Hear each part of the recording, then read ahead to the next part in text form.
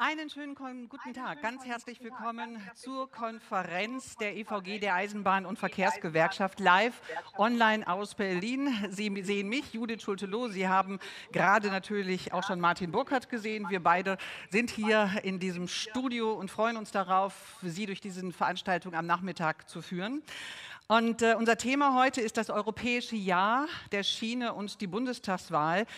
Aber wie Sie wissen, manchmal schlägt die Aktualität alle Abläufe, die man so bisher geplant hat und so auch heute. Denn Sie werden natürlich auch daran interessiert sein, sich genauer anzugucken, was heißt es denn jetzt? Heute Morgen 10.30 Uhr die Pressekonferenz der GDL und der Deutschen Bahn AG und es gibt eine Einigung. Und äh, über diese Einigung und was sie bedeutet, wollen wir natürlich eingangs kurz sprechen und zwar mit Klaus-Dieter Hommel, dem Vorsitzenden der EVG. Herr Hommel, wenn wir auf diese Einigung direkt schauen, da sieht es so aus, die Deutsche Bahn und die Lokführergewerkschaft GDL haben sich auf Lohnerhöhung von insgesamt 3,3 Prozent für die Beschäftigten verständigt.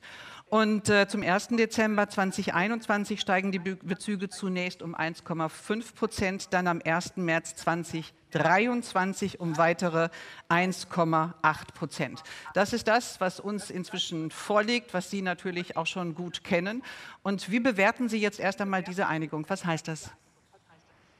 Ja, vielen Dank für die Möglichkeit äh, und schönen guten Tag an alle Kolleginnen und Kollegen, die uns hier und Gäste, die uns hier zuhören. Äh, wir sind froh, dass es äh, heute endlich zu diesem Abschluss gekommen ist und äh, dieses Thema hoffentlich jetzt so langsam zur Ruhe kommt. Es wurde in den vergangenen Wochen sehr intensiv darüber diskutiert. Der jetzt vorliegende Abschluss mit 1,5 und 1,8 Prozent ist materiell de facto kein anderer Abschluss im Volumen als der der EVG denn die 1,5 Prozent liegen lediglich einen Monat eher in der Laufzeit als der Abschluss der EVG. Und um die 1,8 Prozent muss man sich heute noch nicht kümmern, äh, weil sie liegen außerhalb der Laufzeit des Tarifvertrages der EVG. Zu diesem Zeitpunkt werden wir bereits in der nächsten Entgeltrunde sein. Das haben wir ja gerade andersrum erlebt, wo die GDL darauf gewartet hat, jetzt den Abschluss, äh, den wir im vorigen Jahr gemacht haben, äh, zu verbessern. Ich will auch gar nicht bewerten, wie das weitergeht. Ich will hier nur äh, sehr deutlich sagen, weil wir in der Vergangenheit darauf hingewiesen haben, diese Runde ist dann vorbei, wenn sie mit der EVG vorbei ist, dass wir nach wie vor genauso sehen. Wir haben von Anfang an deutlich gemacht, es geht uns nicht über einen Überbietungswettbewerb hier Punkte zu sammeln bei den Beschäftigten, sondern es geht uns darum, einerseits Beschäftigung zu sichern, aber andererseits auch Leistungen von Beschäftigten zu würdigen, äh, die im vorigen Jahr äh, Flagge gezeigt haben, die Mut bewiesen haben und vor allen Dingen die Verantwortung übernommen haben für das System Schiene, für die Deutsche Bahn AG ganz konkret. Ähm, und deshalb will ich hier klarstellen, äh, wie wir die weitere Entwicklung sehen. Erstens, wir nehmen diesen Abschluss zur Kenntnis. Wir sind derzeit dabei, uns auf eine Prüfung vorzubereiten. Warum sage ich vorbereiten? Weil uns äh, konkretere Ergebnisse als die in der Öffentlichkeit noch nicht vorliegen. Wir werden diesen Abschluss prüfen. Wir bereiten uns äh, auf Tarifverhandlungen vor. Wir werden äh, dazu Forderungen stellen und werden die Verhandlungen mit allen Möglichkeiten, die wir haben, dann auch führen. Und ich sage das hier sehr deutlich, das kann ebenfalls bis zu einer Arbeitskampfmaßnahme sein. Wir stellen auch fest, dass dieser Abschluss der GDL äh, nur möglich war, weil wir im vorigen Jahr die materiellen äh, Voraussetzungen äh, dafür geschaffen haben. Denn ohne den verantwortungsvollen Abschluss der EVG im vorigen Jahr, der dazu geführt hat, dass die Corona-Schäden, die bei der Deutschen Bahn AG eingetreten waren und jetzt immer noch eingetreten sind, zumindest zum Teil kompensiert werden konnten, wäre dieser Abschluss materiell überhaupt nicht äh, denkbar gewesen. Äh, deshalb sehen sich die Beschäftigten, unsere Kolleginnen und Kollegen, äh, jetzt nicht nur vom Bahnvorstand, äh, sondern auch äh, von der Bundesregierung äh, getäuscht. Sie fühlen sich betrogen, weil die zugesagten Leistungen des Bundes in Höhe von rund 5 Milliarden bisher nicht an die Deutsche Bahn AG geflossen sind. Das heißt, die Beschäftigten die einzigen waren, die bisher eine Leistung erbracht haben und damit natürlich auch eine Würdigung dessen, was sie hier für das Unternehmen getan haben, nicht zu spüren ist. Wir werden natürlich dafür sorgen, dass dafür ein entsprechender Ausgleich nach unseren Tarifverhandlungen zu leisten ist. Sehr deutlich will ich machen, dass die Einmischung der Politik, und es war heute schon ein Trauerspiel für die Tarifautonomie in Deutschland, wenn ohne jede Schlichtung und ohne jede Veranlassung in der Pressekonferenz neben dem Bahnvorstand und dem Vorsitzenden der GDL zwei Ministerpräsidenten stehen, die sich dafür rühmen, wie sie diesen Prozess positiv beeinflusst haben. Wir lehnen jede Einmischung der Politik ab. Wir wollen in Deutschland Tarifautonomie und das bedeutet, wir müssen als Gewerkschaften in der Lage sein, unsere Probleme selbst zu lösen. Die GDL hat das anders gesehen. Sie hat sehr frühzeitig nach der Politik gerufen. Sie hat darauf gesetzt, dass die Bundestagswahl diese ganzen Themen beschleunigen wird. Und wir sehen natürlich hier die Teilnahme der Ministerpräsidenten Günther und Weil natürlich auch als eine Abordnung der Politik, hier den Bahnvorstand möglicherweise zu überwachen und zu beeinflussen, relativ schnell zu einer Lösung zu kommen. Fazit, wir werden uns jetzt in Ruhe weiterbewegen. Wir werden vor allen Dingen dafür sorgen, dass durch diese Regelung auch im Zusammenhang mit der Gültigkeit des Tarifeinheitsgesetzes kein Schaden für die Kolleginnen und Kollegen im Bahnbereich besteht und erwarten natürlich jetzt insbesondere von der GDL, dass dafür gesorgt wird, dass die durch eine wirklich völlig unangemessene Rhetorik verursachte Behinderung der Menschen beziehungsweise Verschlechterung des Betriebsfriedens verändert wird. Das war jetzt mal eine Kurzeinschätzung. Wir werden in den nächsten Tagen natürlich intensiv mit unseren Gremien diskutieren. Morgen wird sich das erste Mal der Bundesvorstand der EVG mit diesem Thema befassen. Und dann werden wir uns weiter auch öffentlich äußern. Herr Hommel, eine, eine Nachfrage. Die Einmischung der Ministerpräsidenten von Schleswig-Holstein und Niedersachsen. Das habe ich gerade rausgehört aus Ihrem kurzen Statement. Äh, hat Sie besonders verärgert? Hat es das in der bisherigen Vergangenheit so noch nicht gegeben? Es hat es in dieser Form so noch nicht gegeben. Wir sind nicht blauäugig. Wir wissen, dass natürlich in solchen Auseinandersetzungen auch Gespräche, wie man so schön sagt, im Hintergrund stattfinden. Wir haben aber gerade hier eine besondere Situation. Es waren keine Tarifverhandlungen in der normalen Form. Wir haben immer wieder deutlich gemacht, es handelt sich hier um politische Verhandlungen, einen politischen Arbeitskampf. Und gerade weil wir, die Beschäftigten, die in der EVG organisiert sind, die Kolleginnen und Kollegen, im vorigen Jahr in der Pandemie einen ganz wesentlichen Beitrag geleistet haben, war diese politische Einmischung auf jeden Fall ein Schlag ins Gesicht der Kolleginnen und Kollegen. Mhm. Noch mal kurz auf den Punkt gebracht. Sie sagten, es werden jetzt natürlich, man muss es erst noch mal genauer prüfen, man muss es sich genauer anschauen. Gremien werden zusammenkommen und werden gucken, wie bewerten wir das. Ähm, kurz auf den Punkt gesagt noch mal, Ihre Ein, Ihre, Ihr Eindruck nach dieser Pressekonferenz heute. Wie steht die EVG und wie stehen Sie als der Vorsitzende der EVG jetzt da? Sind Sie wütend? Sagen Sie, okay, Nein. ich weiß, wie ich das anfange und ich weiß, wie die nächsten Schritte sind? Oder wie würden Sie Ihren momentanen Zugriff auf diese Entscheidung beschreiben? Ja, ich, äh, wir sind ja hier unter uns. Äh, deshalb Würde ich nie ich sagen. Unter sagen. uns, Herr Hommel, wissen Sie, stimmt nie. Da sind immer viele dabei in einem Livestream. Ja, das ist aber, ich, ich äh, unterstelle, dass die Menschen, die uns hier zuhören, uns gewogen sind. Und im Übrigen, das, was ich hier sage, kann man überall verbreiten. Ähm, ich kenne da einen Vorsitzenden, der heute wieder ein, ein Statement begann mit dem Satz, vor Ihnen steht ein Vorsitzender und dann kommt die Selbsthuldigung. Es ist überhaupt nicht entscheidend, wie ich mich dabei fühle. Ich persönlich fühle mich in der Verantwortung und bin überzeugt davon, auch nach dem heutigen Abschluss, äh, dass wir alles richtig gemacht haben. Wir kriegen sehr viel Zuspruch von unseren Kolleginnen und Kollegen, die die Auseinandersetzungen in den letzten Monaten erlebt haben äh, und äh, es für dringend notwendig halten, dass dieser Prozess jetzt vorbei ist. Und ich will das hier durchaus wiederholen. Ich bin dafür kritisiert worden. Äh, ich habe diese Tarifauseinandersetzung äh, in den letzten Tagen in einem Interview als Seifenoper bezeichnet. Ich bin der Meinung, das ist kein freundlicher Begriff. Jeder weiß, was das bedeutet.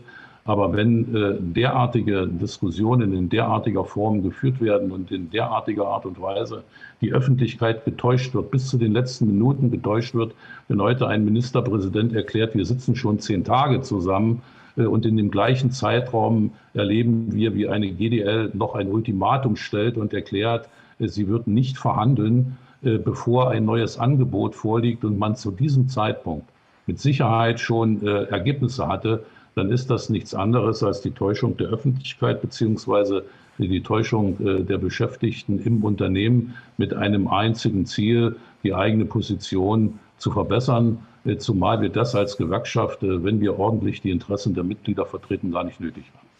Herr Hommel, ich danke für den Moment. Wir werden ja auch gleich noch mal mit den verkehrspolitischen Sprechern der verschiedenen Parteien, die ja heute auch da sind, eingeladen, zwar natürlich zu einem anderen Thema, aber auch schon vorgewarnt sind, äh, ein bisschen die Einschätzung nach dieser Einigung und was das jetzt bedeutet, auch noch mal aufgreifen und würde jetzt mit Ihrem Einverständnis ähm, auf die Zukunft gucken und das, was wir uns eigentlich vorgenommen haben für diese Konferenz heute. Wir wissen, Anfang des Jahres hat äh, das europäische Jahr der Schiene begonnen und das hat auch schon ein wenig Fahrt aufgenommen mit dem Ziel, die Vorteile tatsächlich des Schienenverkehrs als nachhaltiges, intelligentes und sicheres Verkehrsmittel ins Lampenlicht, Lampenlicht, Rampenlicht heißt es immer noch, tatsächlich zu bringen. Also das ist das Ziel, was erreicht werden soll. Mehr Bahn natürlich auch Ziel des Green Deals, ähm, nämlich Klimaneutralität bis 2050 zu erreichen. Das ist das Ziel des Green Deals und dafür braucht es die Bahn. Was passiert? Wir wollen auf die europäische Perspektive gucken. Wir wollen wissen, wie soll das und kann das tatsächlich erreicht werden? Und wie schafft man es, eine Mobilitätswende hinzukriegen, die eben nicht nicht nur ökologisch, ja, wichtig, aber eben auch sozial ist. Schließlich sind es die Mitarbeiter und die Mitarbeiterinnen der Bahn und der Bahnindustrie, die ja tatsächlich diese Mobilitätswende erarbeiten und mit hinkriegen müssen.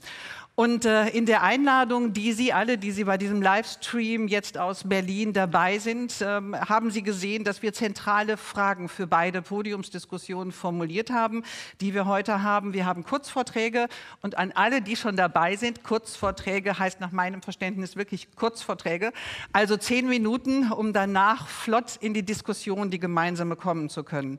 Die vier Fragen noch mal kurz zur Erinnerung. Welche verkehrspolitischen Maßnahmen führen zur Stärkung Stärkung der Schiene und gleichzeitig zur Verbesserung der Arbeitsbedingungen. Eine wichtige Frage.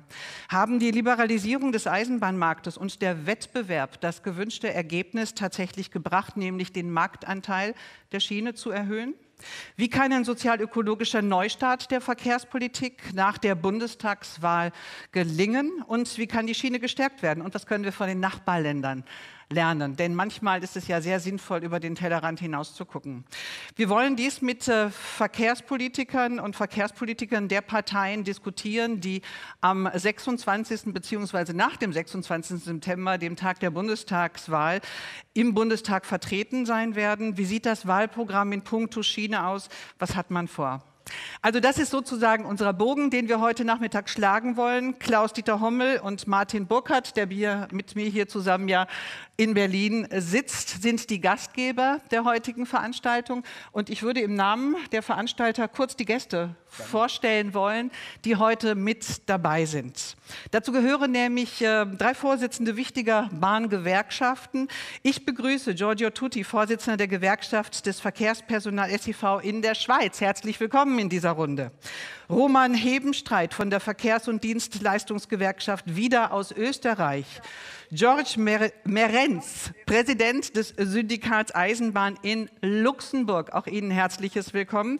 Und für die europäische Ebene ist Sabine Trier bei uns, stellvertretende Generalsekretärin der Europäischen Transportarbeiterföderation EFT. Das ist die Runde und das ist die Runde, die jetzt in die erste Podiumsdiskussion geht. Ähm, wir wollen inhaltlich das so gestalten, dass wir diese zehn Minuten Kurzvorträge voranstellen. Ich werde die verkehrspolitischen Sprecher, die ich jetzt auch schon sehe, gleich noch mal einzeln vorstellen. Schön, dass Sie auch schon dabei sind, denn in dieser Diskussion wollen wir auch an die Vorträge tatsächlich anschließen und das, was wir aus anderen Perspektiven hören, gemeinsam zusammenbringen und nicht nur auf die deutsche tatsächlich gucken. Das europäische Jahr der Schiene, der Green Deal und die neue Verkehrspolitik in Europa, das ist jetzt das Thema von Sabine Trier. Und damit übergebe ich an Sie, Frau Trier, für den Kurzvortrag. Zehn Minuten, wir freuen uns drauf. Ja, herzliche Grüße aus Brüssel. Ähm, ich versuche mein Bestes, mich an die zehn Minuten zu halten.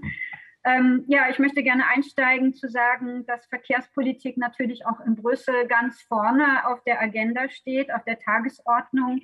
Wir haben 2019 mit der Verabschiedung des grünen Deals für Europa begonnen. Den haben Sie ja schon angesprochen. Ähm, dieser Deal sagt auf einmal, äh, einerseits äh, ehrgeizigere Ziele zu haben, zur Reduzierung ähm, von CO2-Emissionen, nämlich äh, 55 Prozent bis 2030. Ähm, dieser New äh, Green Deal gibt aber auch einen Auftrag an die Verkehrspolitik, und zwar, äh, dass der Verkehrssektor 90 Prozent seiner Emissionen, seiner CO2-Emissionen bis 2050 reduzieren muss. Das ist mehr, als es in früheren ähm, verkehrspolitischen Arbeitsprogrammen der Kommission ge gewesen war. 2011 waren es noch 60 Prozent. Jetzt muss der Verkehr 90 Prozent reduzieren bis 2050 und das ist natürlich enorm. Dieser Auftrag ähm, ist äh, auf europäischer Ebene in, ein, äh, in eine Mobilitätsstrategie, eine nachhaltige und smarte europäische Mobilitätsstrategie umgesetzt worden. Das ist das Arbeitsprogramm der Kommission mit insgesamt 82 äh, Aktionen, die in den Jahren 2021 bis 2023 äh, in konkrete Maßnahmen umgesetzt werden müssen. Und jetzt im Juli, noch vor der Sommerpause, ist das sogenannte Fit for 55 Paket verabschiedet worden und das hält, äh, enthält schon einige Aktionspunkte, die in konkrete Gesetzesvorschläge umgewandelt wurden. Und in diesem Zusammenhang denken wir, dass die Entscheidung, ein, das Jahr 21 zum Europäischen Jahr der Schiene auszurufen, natürlich ein wichtiges politisches Signal ist. Ähm, es ist ein politisches Signal, allerdings sind wir nicht ganz äh, zufrieden mit der Umsetzung. Wir hatten gesagt, dass dies keine reine PR-Aktion sein darf, sondern ähm, dass äh, wirklich konkrete Maßnahmen auch in diesem Jahr äh, in die Wege geleitet werden müssen, um aktiv die Schiene als Verkehrssektor zu fördern und sicherzustellen, dass auch auf europäischer Ebene Schiene wirklich als Rückgrat einer ökologischen verkehrspolitischen Wende betrachtet wird. Ähm, das ist nicht geschehen. Wir haben außerdem gesagt, dass dieses europäische Jahr der Schiene auch ein Jahr der Beschäftigten sein muss. Auch äh, das sehen wir nicht ausreichend. Insofern, es bleibt im Augenblick eine PR-Aktion und ähm, da, muss noch, da muss noch mehr kommen. Was jetzt die, die ähm, europäische Mobilitätsstrategie anbetrifft, da würde ich aus Sicht der ETF gerne drei Punkte ansprechen. Ähm, auf der einen Seite sehen wir eine soziale Schieflage. Es gibt keine konkreten Maßnahmen in diesem verkehrspolitischen Arbeitsprogramm der Europäischen Kommission, das wirklich dazu geeignet ist, die Situation der Verkehrsbeschäftigten zu verbessern. Wir finden in dem Programm zwar Aussagen, äh, dass die Verkehrsbeschäftigten das wertvollste Kapital sind, ähm, dass äh, der ökologische und die digitale Transformation niemanden zurücklassen darf. Das sind so schöne Worte. Und die Kommission analysiert auch korrekt, dass die Arbeitsbedingungen im Verkehrssektor schlecht sind. Sie sind harsch, so ist das in dem Papier geschrieben, dass der Verkehrssektor ein demografisches Problem hat und dass der Verkehrssektor nicht in der Lage ist, die Frauen äh, zu gewinnen. Das ist alles sehr gut analysiert, aber es fehlen konkrete Maßnahmen. Zweitens äh, kritisieren wir, dass die Kommission weiterhin auf Liberalisierung setzt, ohne wirklich so etwas wie eine verkehrspolitische Sozialpolitik zu haben. Und äh, was wir beobachten über die Jahre ist, dass ähm, die reine Wettbewerbs- und Liberalisierungspolitik auf europäischer Ebene uns eben genau dieses unsoziale und unökologische Verkehrssystem beschwert, beschert hat, das wir im Augenblick haben. Also ich möchte nur Stichwort äh, Low-Cost-Carriers in der Zivilluftindustrie äh, nennen oder auch die Dominanz des Straßengüterverkehrs. Wir haben das, weil wir, so, äh, weil wir Sozialdumping in Europa haben.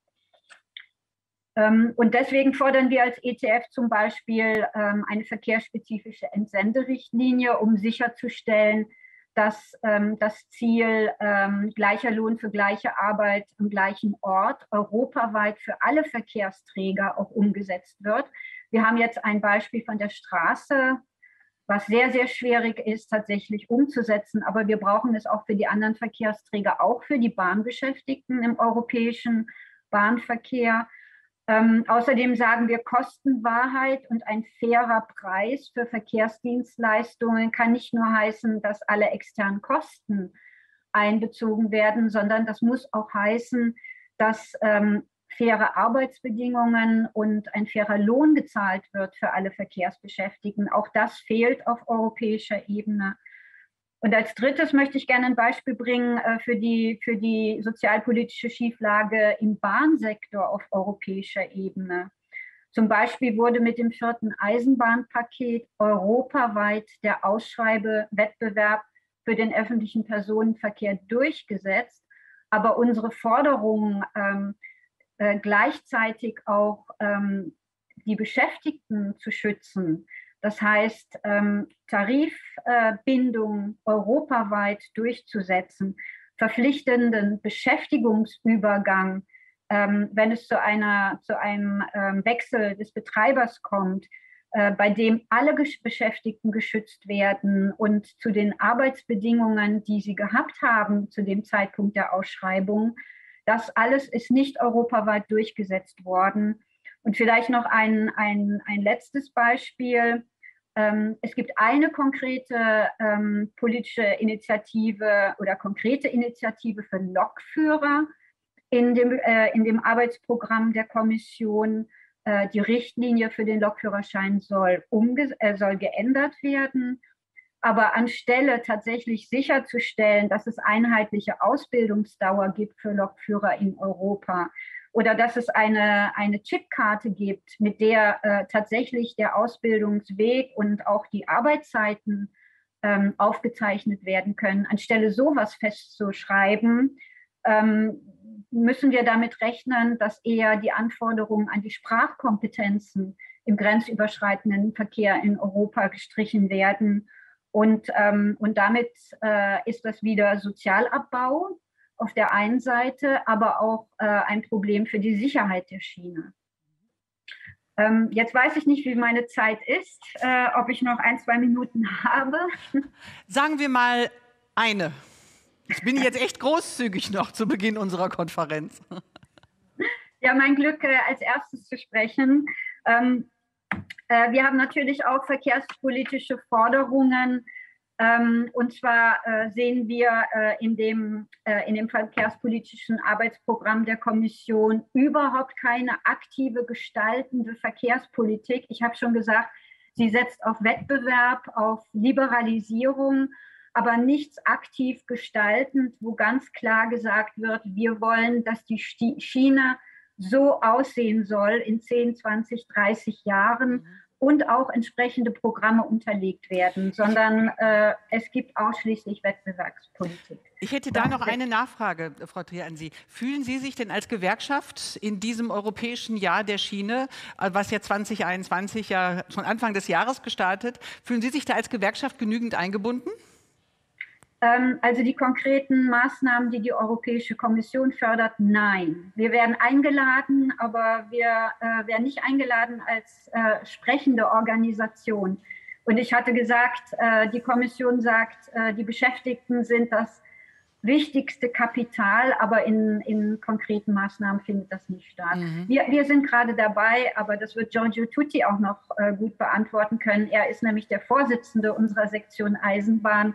Wir sind dabei, jetzt unsere eigene Konferenz, unsere eigenen Aktionen zu organisieren. Es wird eine Demonstration in Paris geben, es wird eine Konferenz geben und wir werden das nutzen, was wir als Gewerkschaft noch immer machen, um unsere dann äh, unsere Forderungen selbst äh, vorzubringen. Dann sage ich für den Moment herzlichen Dank, Frau Trier, und gehe gleich weiter zu Giorgio Tutti. Herzlich willkommen, grüß Sie.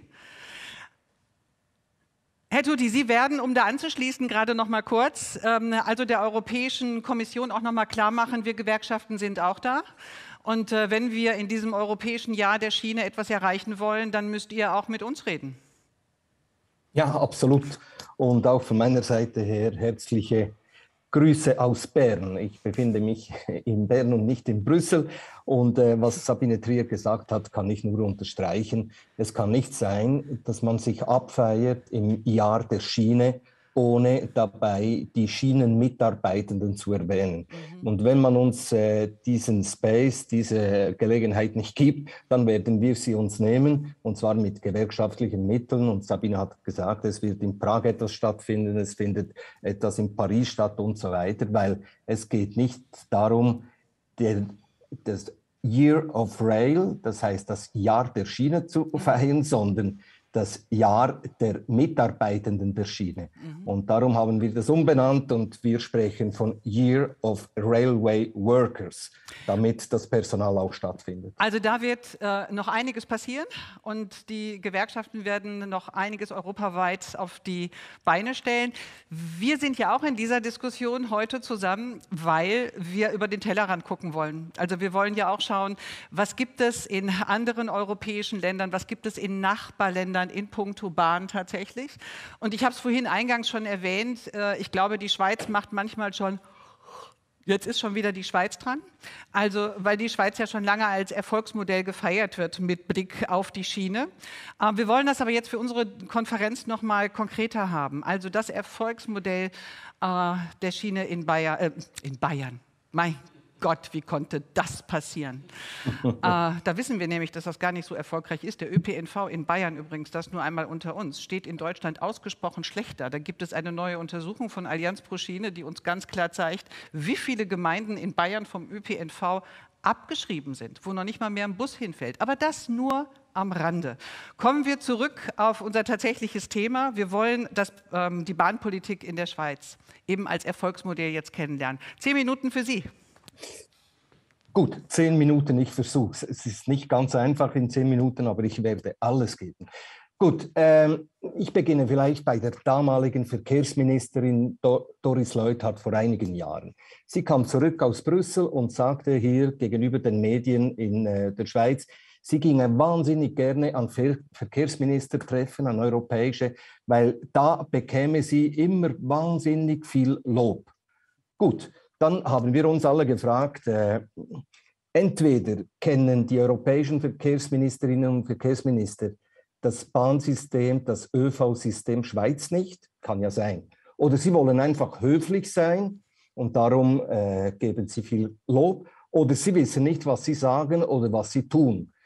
Gut, äh, Fakt ist, dass Europa genau das Gegenteil macht von dem, was eigentlich in der Schweiz säulenmäßig im öffentlichen Verkehr passiert. Und ich versuche es ein wenig systematisch mal äh, näher zu bringen. Und zwar, äh, was die Europäische Union im Rahmen der Verkehrspolitik äh, treibt, ist die Liberalisierung. Man will öffnen, man will liberalisieren, man will zerschlagen auf der einen Seite, auf der anderen Seite will man Wettbewerb auf Teufel komm raus. Wir haben vier Eisenbahnpakete und alle sind getrieben durch Liberalisierungsdoktrin und Wettbewerbselemente, Einführung von Wettbewerbselemente.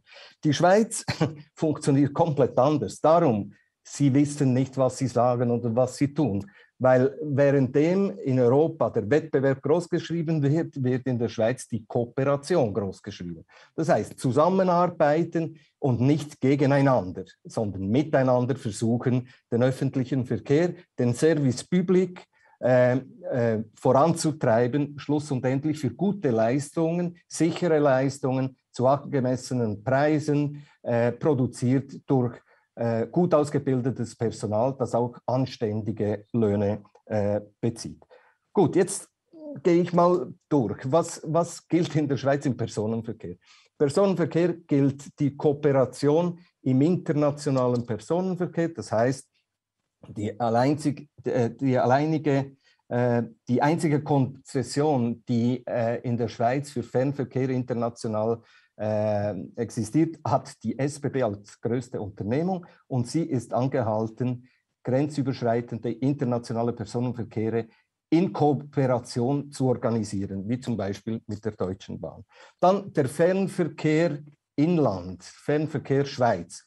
Äh, da hat man versucht, und ich muss vielleicht vorausschicken, es ist nicht etwa so, dass man in der Schweiz nicht versucht hätte, liberalisieren und Wettbewerb einzuführen. Das hat einfach nicht geklappt. Und zwar hat es nicht geklappt, unter anderem auch durch den Widerstand der Gewerkschaft des SCV, aber auch unserer verbündeten politischen Parteien. Am Fernverkehr wollte man die Konzession auseinanderreißen. Fakt ist, die Konzession ist in einer Hand, und zwar bei den SBB als größte Unternehmung, und sie organisiert den Fernverkehr in Zusammenarbeit mit konzessionierten Transportunternehmen, wie zum Beispiel eine BLS oder eine Südostbahn, das funktioniert seit Jahren so und funktioniert offenbar nicht mal so schlecht. Im regionalen Schienenverkehr äh, gibt es äh, die Direktvergabe von Bund und Kantonen und das bedeutet, dass der, auch der Regionalverkehr zu 100 Prozent integriert ist im gesamten öffentlichen Verkehrssystem.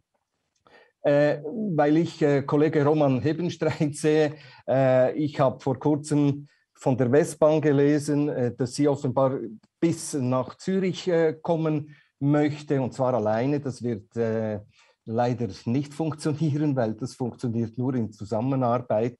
Das sollte eigentlich Benedikt Weibel, ehemaliger CEO der SBB und jetziger Präsident der Westbahn, ja wissen. Ich glaube, er weiß das ganz genau, dass es möglicherweise eben nicht funktionieren wird. So, das ist der Personenverkehr. Jetzt zum Güterverkehr, ganz, ganz äh, kurz und schnell. Im alpenquerenden Verkehr gibt es einen Verlagerungsauftrag mit stützenden ähm, Maßnahmen zur Förderung der, ähm, zur, zur, Förderung der Verlagerung von der Straße auf die Schiene. Und gerade heute ist rausgekommen, dass im Jahr 2020 der Rekord geschrieben wird, seit 25 Jahren äh, der Marktanteil um 3% gestiegen auf 74,4% im alpenquerenden Verkehr. Warum? weil man investiert hat, und zwar Investitionen großgeschrieben, Vollendung der NEAT, äh, der Chenery-Basistunnel wurde in Betrieb genommen und Inbetriebnahme des 4-Meter-Korridors, das heißt äh, investieren, dass die Verlagerung passieren kann. Im Import, Export und im Binnenverkehr herrscht äh, ähm, dieser, ähm, diese, dieser Wettbewerb. Flankieren, hat man aber politisch und regulatorisch das Nachtfahrverbot äh, dekretiert, man hat das Kabotageverbot festgeschrieben und die leistungsabhängige Schwerverkehrsabgabe eingeführt, plus Investitionen. Jetzt im Import, Export und im Binnenverkehr ist die Eigenwirtschaftlichkeit festgeschrieben. Eigenwirtschaftlichkeit, das im Moment diskutiert wird, weil es so ist, auch im Jahr der Schiene und im Zusammenhang mit dem Green Deal und im Zusammenhang mit dem schlechten Klima müssen wir alles dran setzen, dass der Verlagerungsauftrag auch im Binnenverkehr und im Import-Export-Verkehr ausgedehnt wird und vor allem die Eigenwirtschaftlichkeit relativiert wird. Das ist möglich, wenn man das politisch auch entsprechend äh, will ich komme wirklich zum Schluss meiner zehn Minuten und halte fest. Wenn man wirklich ein gutes System haben will, dann hat man den Personenverkehr nicht zu privatisieren. Man hat die Finanzierung unbefristet äh, auszugestalten. Man muss die integrierte Bahn fördern und die integrierte Bahn nicht zerschlagen. Man muss miteinander arbeiten statt gegeneinander. Man muss gut gutes, genügend äh, und gut ausgebildetes und fair bezahltes Personal haben. Man muss konsequent den Unterhalt betreiben und nicht zuletzt den Taktfahrplan bis in die Randregionen. Das sind Merkmale, die man einhalten muss, wenn man ein gutes öffentliches Verkehrssystem, zukünftiges öffentliches Verkehrssystem, das auch ökologisch dargestellt wird. Vielleicht noch zwei, drei Dinge später bei der Diskussion. Vielen Dank. Herr Tutti, herzlichen Dank Ihnen. Äh, ich sage ja, die Schweiz. Ha? Habe ich es gesagt? Noch eine kurze, ganz kurze Nachfrage von mir. Ähm, wie lange haben Sie in der Schweiz gebraucht, um das so tatsächlich aufzusetzen, um das so hinzukriegen und zu sagen, das sind unsere Erfolgsfaktoren, die haben sich jetzt über Jahre bewiesen? Also ich würde mal sagen, ich bin Vorsitzender geworden vor etwa zwölf Jahren und wir hatten damals am Kongress gegen die Liberalisierung, gegen den Wettbewerb, gegen die Zerschlagung Position bezogen. Wir können heute sagen, nach politischen Kämpfen und auch nach gewerkschaftlichen sich einmischen in, in verkehrspolitische Angelegenheiten, an Hearings, an Expertengruppen, äh, Diskussionen und so weiter, sind wir heute nach zwölf Jahren so weit, indem wir sagen können, voilà, das ist jetzt das Resultat. Man hat versucht, äh, liberalisieren, zerschlagen, Wettbewerb einzuführen. Es hat nicht geklappt. Also nach zwölf Jahren sind wir dort, und sind wir eigentlich froh, dass wir erreichen konnten, was wir uns vor zwölf Jahren fest äh, ähm, also vorgenommen hatten. Wie Sie den Kampf geführt haben, das wollen wir gleich noch mal genauer wissen, wenn wir zu dem Thema kommen, was wir ja auch in der Podiumsdiskussion noch mal genauer angucken wollen. Ne? Wettbewerb, Kooperation wird ja ein Schwerpunktthema noch mal sein und wie man tatsächlich schaut, wie geht man dann damit um, wenn die politische Debatte in eine andere Richtung geht. Für den Moment sage ich herzlichen Dank und wir haben den europäischen Blick gehabt. Wir waren gerade in der Schweiz, jetzt ist es mal höchste Zeit, nach Deutschland zu kommen. Ja? Und äh, zu gucken, die Bundestagswahl, 26. September, in zehn Tagen ist sie da. Und äh, wir wollen schauen, Verkehrswende in Deutschland. Ja, das ist das, was hier eigentlich schon gewollt ist, äh, wo man sagt, wir brauchen die auch, wenn wir Klimaziele, über die wir auch schon alle diskutiert haben, tatsächlich erreichen wollen. Klima eigentlich auch das Thema dieses Wahlkampfes, muss man sagen, das auch viele, viele Menschen mobilisiert. Rückenwind vielleicht, also wie sind die Ambitionen für die Bundestagswahl? Steht man tatsächlich so da oder ist das mehr Ankündigung oder nicht? Martin Burkhardt ist bei mir und äh, seine Überlegungen dazu jetzt. Ich freue mich sehr, ja, meine sehr verehrten Damen und Herren, liebe Kolleginnen und Kollegen. Klaus-Dieter Hommel hat ja zu Beginn klargestellt, unsere Position jetzt zum Tarifabschluss äh, der GDL. Ich bin auch gleich gespannt, was äh, Matthias Gastl, Michael Dohnt und auch Sören Bartol dazu äußern werden. Ja, auf die Richtung kommt es uns an bei der bevorstehenden Bundestagswahl und das schon wochenlang. Wir sind in unzähligen Veranstaltungen. Ich freue mich, dass wir heute unsere Veranstaltung haben.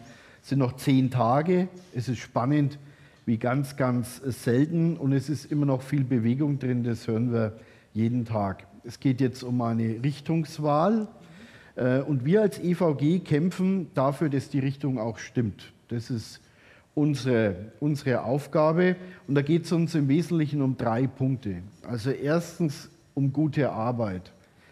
Äh, denn die Eisenbahnerinnen und Eisenbahner, aber auch die Busfahrerinnen und Busfahrer äh, sind das Rückgrat einer Verkehrswende, die wir dringend brauchen. Und auch die Politik insgesamt, und wir haben gerade gehört, dass es in Europa nicht funktioniert, aber in Deutschland muss die Politik auch die Beschäftigten mit ins Zentrum äh, stellen. Schluss mit dem Wettbewerb auf dem Rücken der Beschäftigten, unserer Kolleginnen und Kollegen, und das gilt natürlich insbesondere für den Schienenpersonennahverkehr. Bei der Richtung der zukünftigen Verkehrspolitik haben wir zweitens, und auch darüber werden wir mit den Parteien noch diskutieren, es geht uns, was die Deutsche Bahn angeht, um den integrierten Konzern. Nicht des Konzerns wegen, sondern der Beschäftigten wegen. Ich will das in aller Deutlichkeit sagen, weil wir davon überzeugt sind, äh, dass nur mit Zusammenhalt einerseits und Zusammenarbeit, haben wir ja gerade was von der Schweiz gehört, andererseits die Schiene sicher ist und die Schiene auch funktioniert und weil wir überzeugt sind, dass die Trennung von Netz und Betrieb eine Aufspaltung der Beschäftigten äh, gefährdet und die Verkehrswende auch in, aufs Abstellgleis im wahrsten Sinne des Wortes fährt. Verkehrswende, das ist der Punkt 3, unserer Kernforderungen, bei dem die Weichen nach der Bundestagswahl wieder richtig gestellt werden müssen. Und wenn ich mir und wir haben sie sehr genau angeschaut, die Wahlprogramme äh, der Parteien. Alle reden vom Klimaschutz, das ist das Top-Thema. Alle reden auch von der Verlagerung auf die Schiene. Und das ist schon mal richtig erkannt, das will ich hier auch grundsätzlich sagen. Aber wir müssen leider auch feststellen, dass man insgesamt politisch zu lange auf die falsche Infrastruktur äh, geblickt hat und gesetzt hat, nämlich auf die Straße. Viel, viel Geld, wesentlich mehr als in die Schiene ist beispielsweise in Autobahnen, Bundesstraßen geflossen, zu wenig in die Schieneninfrastruktur. Und dabei ist unser Ansatz, dass die Schiene der Verkehrsträger Nummer eins in Zukunft sein muss und nicht nur in Deutschland, sondern auch in Europa. Denn eines sagen alle und es ist völlig klar, ohne die Schiene werden die Klimaziele äh, nicht erreicht. Eine Klimawende geht nicht ohne Verkehrswende, denn der Verkehr ist mit hauptverantwortlich für den CO2-Ausstoß. Die Verlagerung von Verkehren, einerseits Personenverkehr und immer über Jahrzehnte gefordert, der Güterverkehr ist dringend notwendig. Wir haben etwas gehört von den CO2-Emissionen im Verkehrsbereich. Ich will nochmal eine Zahl sagen, 2030 um 37 Prozent, also um 95 Millionen Tonnen CO2 sinken. Das bedeutet, dass wir insgesamt alleine im Verkehr 71 Millionen Tonnen bis dahin einsparen müssen. Und das geht nur, mit einer Verkehrswende. Wir haben den Green Deal heute gehört als große Überschrift Mobilitätsstrategie bis 2050 und wir haben die Zahlen gehört, um 90 Prozent, kann sich heute noch niemand vorstellen im Verkehrsbereich, was das bedeutet. Der Handlungsdruck ist völlig enorm. Ähm, die Fahrgäste im Schienenverkehr bis 2030 verdoppeln und den Marktanteil des Schienengüterverkehrs immer weit weg von der Schweiz auf 25 Prozent anzuheben. Heute haben wir gerade die 19 erreicht. Also es reicht nicht nur Ziele zu formulieren, wir müssen in die Umsetzung eben kommen. Ich will auch zum Klima und zur Klimakrise noch einmal in Deutschland daran erinnern, wir haben alle die Bilder des schrecklichen Hochwassers in Nordrhein-Westfalen, Rheinland-Pfalz, aber auch in meinem Bundesland in Bayern im Kopf. Und es hat uns die volle Härte gezeigt. Es hat viel Leid gebracht. Und äh, neben den Häusern und auch toten Menschen hat es auch die Infrastruktur in einem verheerenden Ausmaß zerstört. Straßen, Brücken, Gleise, etwa 80 Bahnhöfe, 600 Kilometer Gleise wurden beschädigt. Es wird lange dauern. Die ersten äh, Schätzungen konkretisieren sich. Alleine 1,3 Milliarden Euro an der Infrastruktur. Der Wiederaufbau ist wichtig. Wir sind froh, dass der Deutsche Bundestag die 30 Milliarden Gesamtbeschluss beschlossen haben. Wir brauchen jetzt eine zügige und komplette Wiederherstellung. Und da bitte ich auch äh, dran festzuhalten und nicht irgendwo rumzuknabbern. Äh, wir haben den Eindruck, man versucht schon wieder Gelder irgendwo äh, zu sparen. Wir brauchen insgesamt nach der Bundestagswahl eine Infrastrukturoffensive. Ich glaube, hier sitzen heute in der Runde schon ehemalige äh, Kollegen auch, ich war ja auch lange im Bundestag, die Koalitionsverhandlungen führen werden. Da bin ich überzeugt und deswegen kommt es darauf an, was steht im Koalitionsvertrag. Und ich muss noch einmal sagen, wir haben es gerade aus der Schweiz gehört, wir, und wenn man bei Olaf Scholz bleibt, muss man jetzt, glaube ich, die Bazooka auch in Deutschland rausholen. Es gibt da ein paar Zahlen. Also Österreich investiert pro Kopf dreimal so viel wie Deutschland. Wir investieren 88 Euro pro Kopf in die Schiene, die Österreicher 249 Euro. Dann kommt die Schweiz mit 440 Euro pro Kopf. Das ist fünfmal so viel wie in Deutschland. Und an der Spitze steht Luxemburg. Den hören wir ja heute auch noch, unseren Kollegen, mit sage und schreibe 567 Euro pro Kopf. Also sechseinhalb Mal so viel, wie wir investieren. Und wir brauchen dringend die Investitionen. Und sehr verehrten Damen und Herren, liebe Kolleginnen und Kollegen, es geht hier leider nicht um Fußball, denn da hätten wir vielleicht noch Chancen gegen unsere Nachbarländer. Aber es ist wahr, in der Infrastruktur und der Schienenpolitik stecken wir im Tabellenkeller. Also nicht Hansi Flick muss ran, sondern die nächste Bundesregierung muss hier ran und für Investitionen sorgen. Deswegen ein paar Forderungen zum Schluss. Die Verdoppelung der Mittel für neuen Ausbau auf drei Milliarden steigend auf vier Milliarden. Wir fordern sozialverträgliche Digitalisierung, vor allem bei der ETCS, also der neuen modernen digitalen Stellwerkstechnik. Wir brauchen die digitale automatische Mittelpufferkupplung für Güterwagen, sperriger Begriff. Wir brauchen sie nicht nur in Deutschland, in Europa. Wir brauchen die Elektrifizierung, also der Fahrrad über der Schiene, der fortgesetzt werden muss auf 75 Prozent. Und ich nenne ein Beispiel, wir sind hier international, also wenn die Hälfte der Grenzübergänge noch nicht mit Fahrrad da ist, dann sehen wir, dass wir in Europa viel zu tun haben. Und im Güterverkehr sage ich ganz deutlich, ein Güterzug ersetzt 52 LKWs und deswegen brauchen wir den Einzelwagenverkehr, deswegen müssen wir umsteuern, die Wirtschaft auffordern und das bedeutet natürlich, die Infrastruktur zu verbessern und auch neuen Ausbau voranzutreiben. Das sind Punkte, die wir fordern, neben Sozialpolitik, Rente, aber auch Gesellschaftspolitik. Also wir sind ganz klar für eine rechte äh, Abgrenzung gegen die AfD, will ich hier auch noch sagen.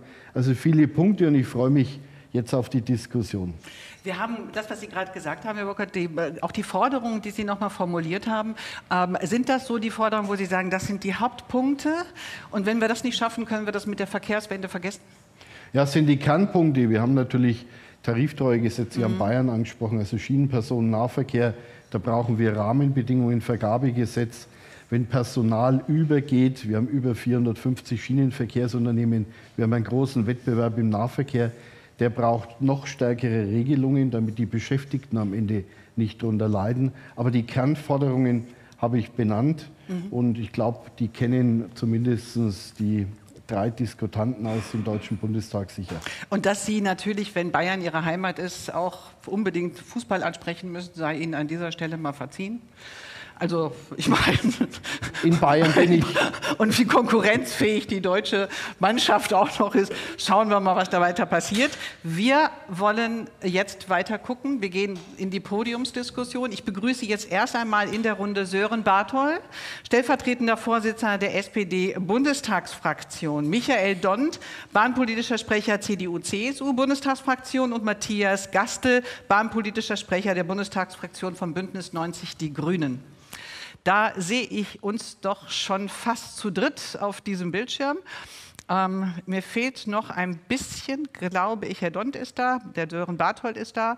Und dann schauen wir, ob wir uns auch noch richtig mit Herrn Gastel Wunderbar, jetzt sind wir alle zusammen.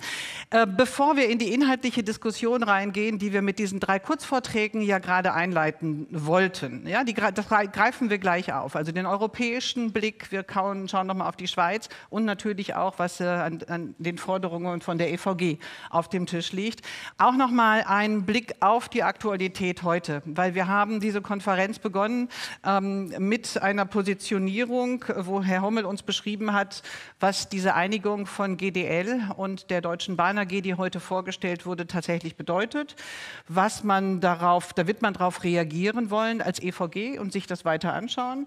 Ähm, man sieht auch, dass erstmal man froh ist, dass dieser aktuelle Konflikt von der Schiene runter ist, wenn ich das richtig verstanden habe. Also es zumindest erstmal nicht zu weiteren Streiks kommt, was ja für die Schiene, die dominant werden will, nun keine gute PR ist, wenn ich das mal so locker sagen darf. Ähm, also eindeutig keine gute PR. Aber es gibt in der Art und Weise, wie dieser Konflikt nun gelöst wurde. Und ich habe da gerade auch noch sehr im äh, Kopf, ähm, dass sich zwei Ministerpräsidenten sozusagen in die Gespräche mit eingemischt haben oder auf angefragt wurden, äh, Herr Weil und Herr Günther, also Ministerpräsident sowohl von Niedersachsen als äh, dann auch von Schleswig-Holstein. Das stößt schon irgendwie verquer auf zumindest bei Herrn Hommel, ähm, der ja uns ja gleich auch noch mal zugeschaltet ist. Ähm, Herr Barthol, fangen wir an. Dass die Politik sich so einmischt, um eine Befriedung dieses Konfliktes hinzukriegen und das auch passiert, währenddessen die GDL noch droht mit weiteren Streiks. Wie bewerten Sie das? Man hat mich nicht vorher gefragt. Also insofern äh, müsste man das diejenigen fragen, die da jetzt äh, miteinander diskutiert haben.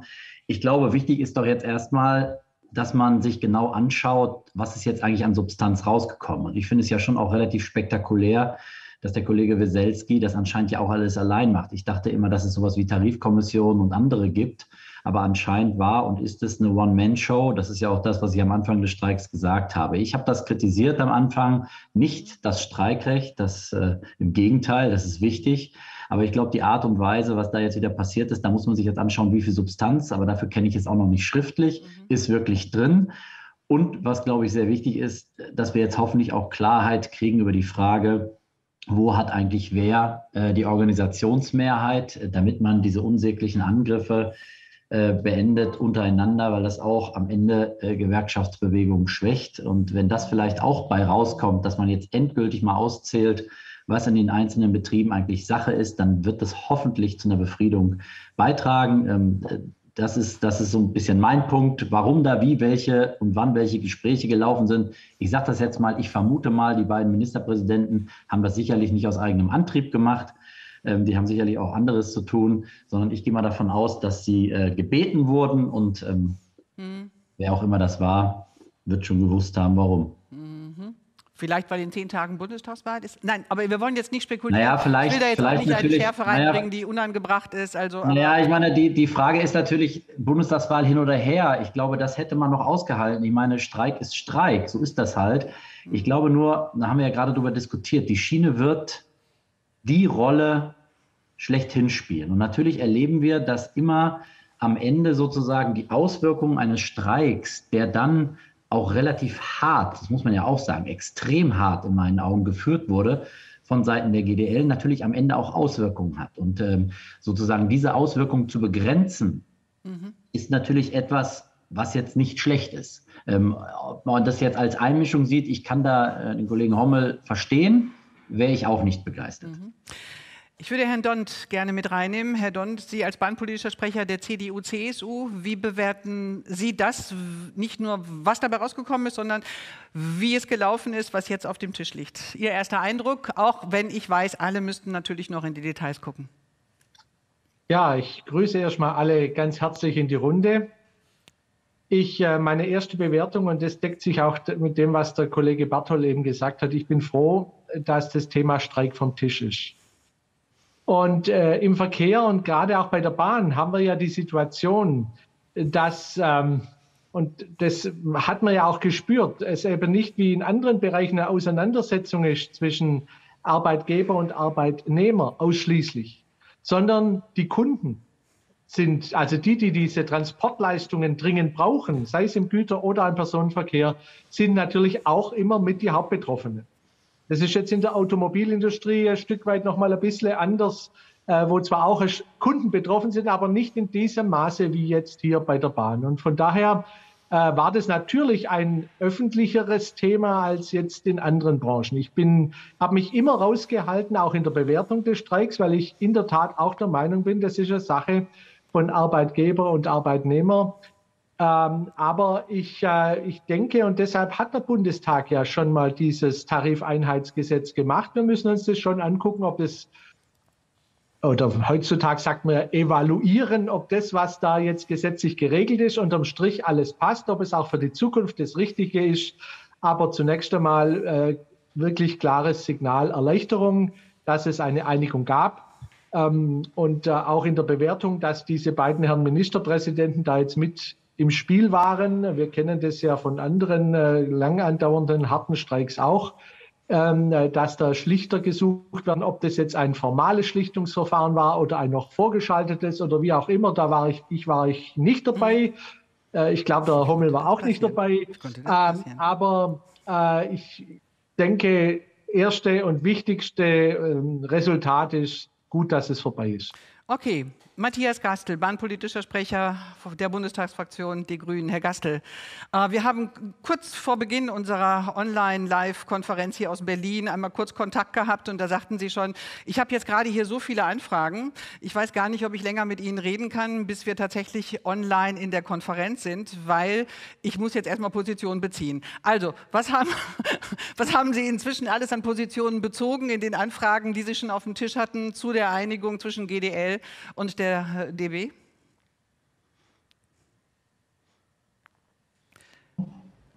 Ah, Sie ah, ja, ich musste einstellen. Ja, ja, ich, jetzt müsste es funktionieren. Äh, ich habe jetzt auch die Kollegen gar nicht gesehen, die, die waren alle eingefroren, ähm, aber ich glaube, das funktioniert jetzt ähm, zumindest mit dem Ton bei mir. Mhm. Ja, vielen Dank auch für die Einladung und ähm, für die Möglichkeit, da was dazu zu sagen. Also ich werde mich an das halten, was der Herr Hommel gesagt hat, ähm, der gesagt hat, wir lehnen jede Einmischung der Politik ab. Ähm, da würde ich jetzt auch eine inhaltliche Bewertung der einzelnen Punkte in gut oder schlecht ähm, mhm. drunter fallen lassen. Das werde ich nicht tun. Ich möchte ähm, sagen, das Tarifeinheitsgesetz, das wir ja als Grüne ablehnen, hat sicherlich nicht zum verträglichen Miteinander zweier Gewerkschaften in einem Unternehmen beigetragen. Wir würden uns das aber sehr wünschen, dass sich ähm, die, ähm, ja, das Miteinander ähm, wieder ähm, besser einstellt, als es jetzt ähm, in der Tarifauseinandersetzung der Fall gewesen ist. denn letztlich wird man in einem Konzern immer zusammen und niemals gegeneinander ähm, arbeiten können. Ich bin natürlich auch sehr froh darüber, dass es jetzt eine Einigung gegeben hat. Ähm, es hat sich zwar schon ein bisschen abgezeichnet, aber in solchen Auseinandersetzungen und von dem wenigen, was man da erfährt ähm, als Außenstehender, kann man sich da ja nie ähm, sicher sein. Das Einzige, was ich jetzt mal ähm, hervorheben möchte von dem, was ich gelesen habe, ist, ähm, dass wohl ein Instrument äh, definiert wurde, ähm, wie die Mehrheits, äh, Mehrheitsverhältnisse der beiden Gewerkschaften festgestellt werden äh, soll und kann, weil das ist ja eine der Schwächen im Tarifeinheitsgesetz, dass es nicht ähm, erklärt und nicht definiert ist. Und ähm, ich hoffe, dass das dann auch im Sinne der EVG ist, diese Art der Feststellung der Mitgliederzahlen in den 300 Unternehmen der Deutschen Bahn, weil da war schon meine Befürchtung, dass ähm, nach einer Tarifeinigung möglicherweise dann hier der nächste Streitpunkt ist. Und wenn das dann mit dem Tarif mit der Tarifeinigung auch geeinigt sein sollte, dann äh, wäre ich an der Stelle sehr, sehr froh, weil dann einfach klar ist, wie das weitergeht. Ansonsten finde ich das wichtig nach einer solchen Einigung und ähm, der Streik hat ja in einer schwierigen Situation ähm, für die gesamte Bahnbranche ähm, stattgefunden, dass es jetzt wieder einen Blick nach vorne geben kann. Ähm, jetzt muss es darum gehen, wieder Vertrauen in das äh, System Bahn herzustellen, dass die Menschen ähm, die Bahn als ein sicheres ähm, Verkehrsmittel ohne ein, ein, ein erhöhtes Infektionsrisiko akzeptieren, dass sie wieder vom Auto zurückkehren zur Bahn und dass sie die Bahn auch hoffentlich wieder als ein zuverlässiges Verkehrsmittel erleben. Ähnliches gilt natürlich auch für die, die Kunden mhm. im mhm. äh, Güterverkehr, dass sie wieder Vertrauen ähm, fassen. Und im Blick nach vorne ist natürlich auch wichtig jetzt, was an politischen Rahmenbedingungen gesetzt wird. Da werden wir gleich drüber reden. Da werden wir jetzt drüber reden. Genau. Lassen Sie uns da jetzt drüber reden. Ich würde das gerne einfach als, als, als Ihre Meinung dazu nehmen, zu dem Punkt. Ne? Wir haben sozusagen von allen dreien eine erste Einschätzung bekommen und äh, die Einigkeit besteht ja darüber, dass man jetzt auch noch mal im Detail weiter gucken muss, wie, was aus dieser Einigung, was erwächst daraus, was tatsächlich für Folgen hat es, wie ist die Feststellung der Mitgliedschaften, wie kann das tatsächlich passieren, Nachverhandlungen der EVG, alles das wird in den nächsten Tagen anstehen. Aber den Begriff Zukunft, den Sie benutzt haben, den würde ich gerne nehmen, weil wir wollen den Begriff Zukunft ja jetzt auf verschiedene Punkte richten. Zukunft ist zum einen, wir haben in zehn Tagen eine Bundestagswahl. Und äh, wir haben politische Parteien, für die Sie drei ja auch stehen und die sich wieder zur Wahl gestellt haben. Und äh, hoffen natürlich auch nach dem 26. September eine Regierung zu stellen. Deshalb wollen wir jetzt mal einen kurzen Überblick geben. Also für alle Sie, die Sie heute online bei uns dabei sind, manche werden sich schon auf der Homepage der EVG natürlich informiert haben, aber jetzt als Diskussionsgrundlage sozusagen ein kurzer Überblick zur Frage, welche Rolle spielt die deutsche Verkehrspolitik in den Wahlprogrammen der Parteien? Also hier der Wahlprogrammcheck der EVG zur Bundestagswahl 2021. Film ab.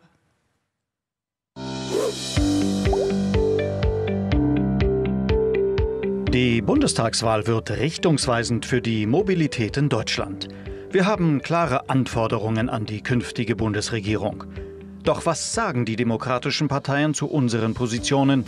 Wir machen den Wahlprogramm-Check. Check Nummer 1. Das Vergabegesetz. Wir wollen, dass bei Betreiberwechseln im Nahverkehr alle Beschäftigten zu den bestehenden Arbeits- und Sozialbedingungen übernommen werden und Tariftreue in Ausschreibungen Pflicht ist. Die Union will Vergaben beschleunigen. Die FDP findet sogar, sie behindern die Wirtschaft. Sie fordert einen, so wörtlich, Entfesselungspakt. Die Interessen der Beschäftigten bleiben dabei auf der Strecke. SPD und Linke hingegen versprechen ein Bundestariftreue- und Vergabegesetz und sind sich beim Personalübergang mit uns einig. Auch die Grünen wollen ein Bundestariftreue- und Vergabegesetz, aber der Personalübergang bleibt im Wahlprogramm unerwähnt. Check Nummer 2. Wie stehen die Parteien zum integrierten Konzern? Für uns ist klar, der integrierte Konzern ist Garant für gute Arbeit und Rückgrat einer klimagerechten Verkehrswende.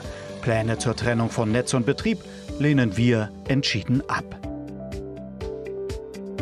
Und was sagen die Parteien dazu? Die Union bekennt sich in ihrem Wahlprogramm leider nur zaghaft zum integrierten Konzern. Die SPD kommt mit einem deutlichen Bekenntnis für den integrierten Konzern daher. Die Grünen haben die Strukturfrage bei der Deutschen Bahn aus ihrem Wahlprogramm gestrichen. Gut so, aber im Dezember hat die Bundestagsfraktion noch ein Positionspapier beschlossen, in dem sie die Trennung fordert. Also Vorsicht an der Bahnsteigkante. Die Linke hält sich, was die Trennungsdebatte angeht, zurück. Allerdings hat die Bundestagsfraktion jüngst die Trennung von Netz und Betrieb klar abgelehnt. Die FDP sagt ganz klar, wir Freie Demokraten wollen die Infrastruktur und den Bahnbetrieb bei der Schiene trennen und den Betrieb privatisieren. Eine Position, die wir als EVG strikt ablehnen. Check Nummer 3. Wie stehen die Parteien zur Verkehrswende? Wir machen uns stark für die Verlagerung auf die umweltfreundliche Schiene, fordern mehr Investitionen in die Schieneninfrastruktur sowie die Beseitigung von Wettbewerbsnachteilen. Und was sagen die Parteien dazu? Die Union spricht viele wichtige Themen an. Den Deutschlandtakt, den Infrastrukturausbau oder die Verbesserung der Wettbewerbsbedingungen. Im Wahlprogramm sind die Punkte aber leider etwas ungenau und teilweise unter Vorbehalt. In den Wahlprogrammen von SPD, den Grünen und den Linken hat die Schiene klar Priorität. Viele unserer Forderungen finden sich dort wieder. Bei der FDP heißt es, Ziel ist es, mehr Personen und Güter auf der Schiene zu transportieren. Aber sie will der Schiene keine Priorität vor anderen Verkehrsträgern einräumen, auch nicht beim Ausbau. Daumen runter aus Sicht der Beschäftigten. Wenn ihr mehr wissen wollt, eine umfassende Auswertung der Wahlprogramme gibt es auf unserer Internetseite. Und nicht vergessen, am 26. September wählen gehen.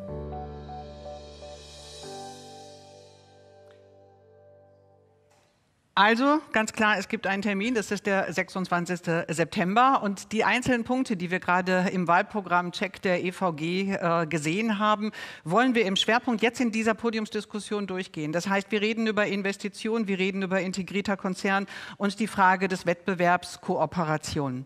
Und fangen wir an mit Investitionen, weil das immer wieder ein Diskussionspunkt ist, auch in Deutschland und auch europaweit. Wir haben vorhin ja auch schon mal, Burkhard, über die Unterschiede gesprochen. Ne? Wie liegt Deutschland da nochmal? Im Tabellenkeller. Wir beide kommen nicht aus dem Fußballspiel heute raus. Mal schauen, was das in den nächsten zwei Stunden noch gibt. Ähm, aber ich könnte es noch mal konkret haben in der Schweiz. Ähm, Herr Tuti, wie hoch sind die noch mal die Investitionen der Bahn in der Schweiz? Also für die Bahn? Okay. Ähm, ich glaube, ähm, wurde schon erwähnt, das ist, liegt bei 440 Euro pro Kopf. Das ist äh, die Investition in die, die Pro-Kopf-Investition in die Schieneninfrastruktur.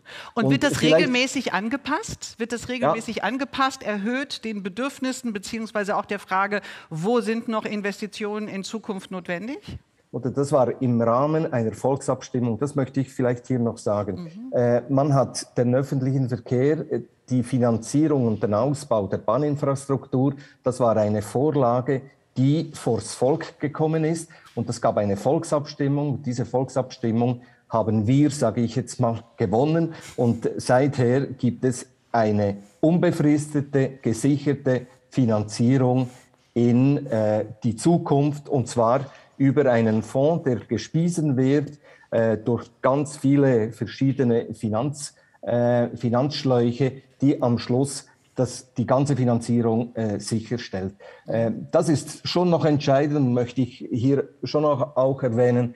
Äh, die Bahn und der öffentliche Verkehr in der Schweiz wird getragen durch eine Mehrheit der Bevölkerung. Mhm. Da gibt es eine politische Legitimation dazu. Mhm. Das, ist, mhm. das ist nicht ein Detail. Mhm. Danke Ihnen, Herr Dont. Schauen wir mal. Investitionen, wie wir sie gerade gehört haben, ähm, sind bei uns in Deutschland natürlich nicht denkbar. Das ist einfach nicht der Fall. Wir reden ja eher über Unterfinanzierung und Modernisierungsstau, wenn wir tatsächlich auf die Schiene gucken. Sie, äh, ich, ich sehe, dass Ihre Stirn ein wenig sich in nachdenkliche Falten legt, nach dem Motto, worüber redet die Frau eigentlich? Ich rede über Unterfinanzierung und Modernisierungsstau. Also Schauen wir in die Zukunft. Wir wollen jetzt uns nicht nur mit dieser Vergangenheit beschäftigen. Was ist da wichtig, auch in puncto Investitionen Ihres Erachtens in der kommenden Legislaturperiode? Ja, vielen Dank. Hätten Sie das gleich gesagt, als Sie in die Vergangenheit geblickt haben, hätte ich die Stirn nicht rausgezogen, weil die Gegenwart sieht anders aus. Und auch deshalb die Zukunft. Wir haben, und da möchte ich ausdrücklich erstens grüßen und auch hervorheben meinen Kollegen Martin Burkert. Wir haben in dieser Legislatur entscheidende Weichen gestellt für die Finanzierung und für die zur Verfügungstellung von viel, viel Geld für die Bahn in Deutschland. 12,7 Milliarden allein in diesem Jahr, was Bund, Länder und DB in, das, in die Infrastruktur der Schiene investieren. Und das wird in Zukunft weiterlaufen. Wir haben als Bund im kommenden Jahr erstes Mal, zum ersten Mal mehr Geld für die Schiene eingeplant, etatisiert als für den Straßenbau. Und das, und das nicht, indem wir dem einen zugunsten des anderen was wegnehmen, sondern weil wir die vergangenen zehn Jahre konsequent die Mittel für Infrastrukturausbau, um eben diese Anstände, Rückstände, die aus der Vergangenheit da sind, abzuarbeiten, um das abzuarbeiten, aufzubauen und in die Zukunft zu investieren. Wir haben einen Bundesverkehrswegeplan, der die richtigen Antworten setzt, wo wir klare Prämissen haben, was wir ausbauen wollen, in Zusammenhang mit dem Deutschlandtakt, in Zusammenhang auch mit einer Verbesserung für Güterverkehr, für Schienenpersonen, Fernverkehr.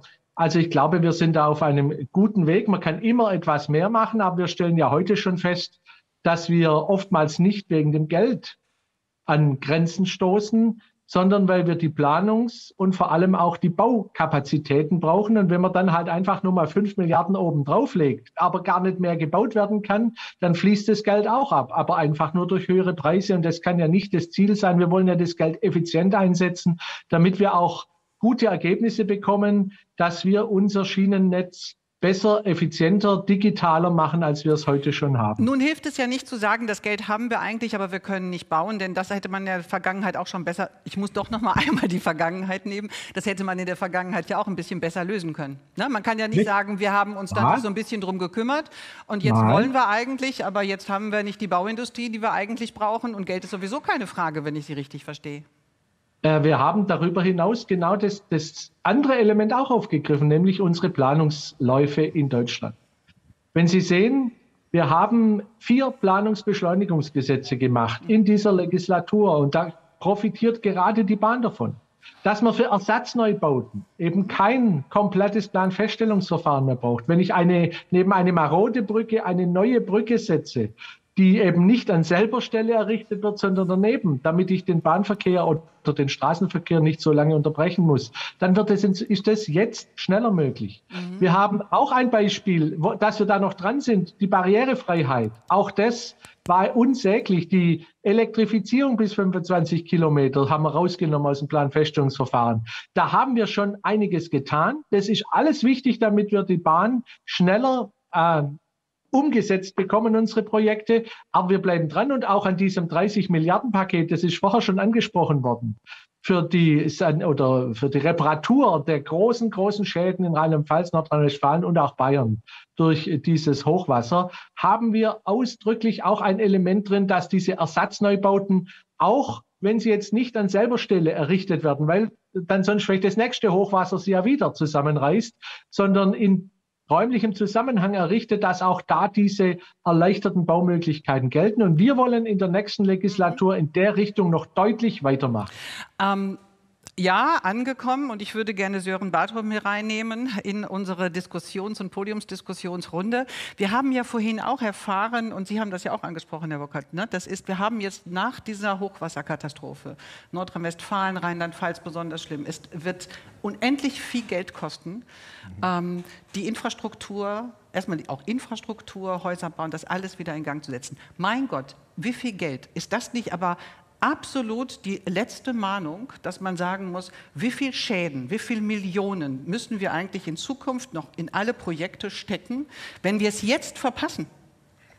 Tatsächlich auf die Folgen zu gucken, nämlich Klimawandel, dann ist das vielleicht in ein paar Jahren, in den nächsten Jahren, auch wenn es immer heißt Jahrhundertereignis, aber viel häufiger der Fall und das wird Milliarden kosten.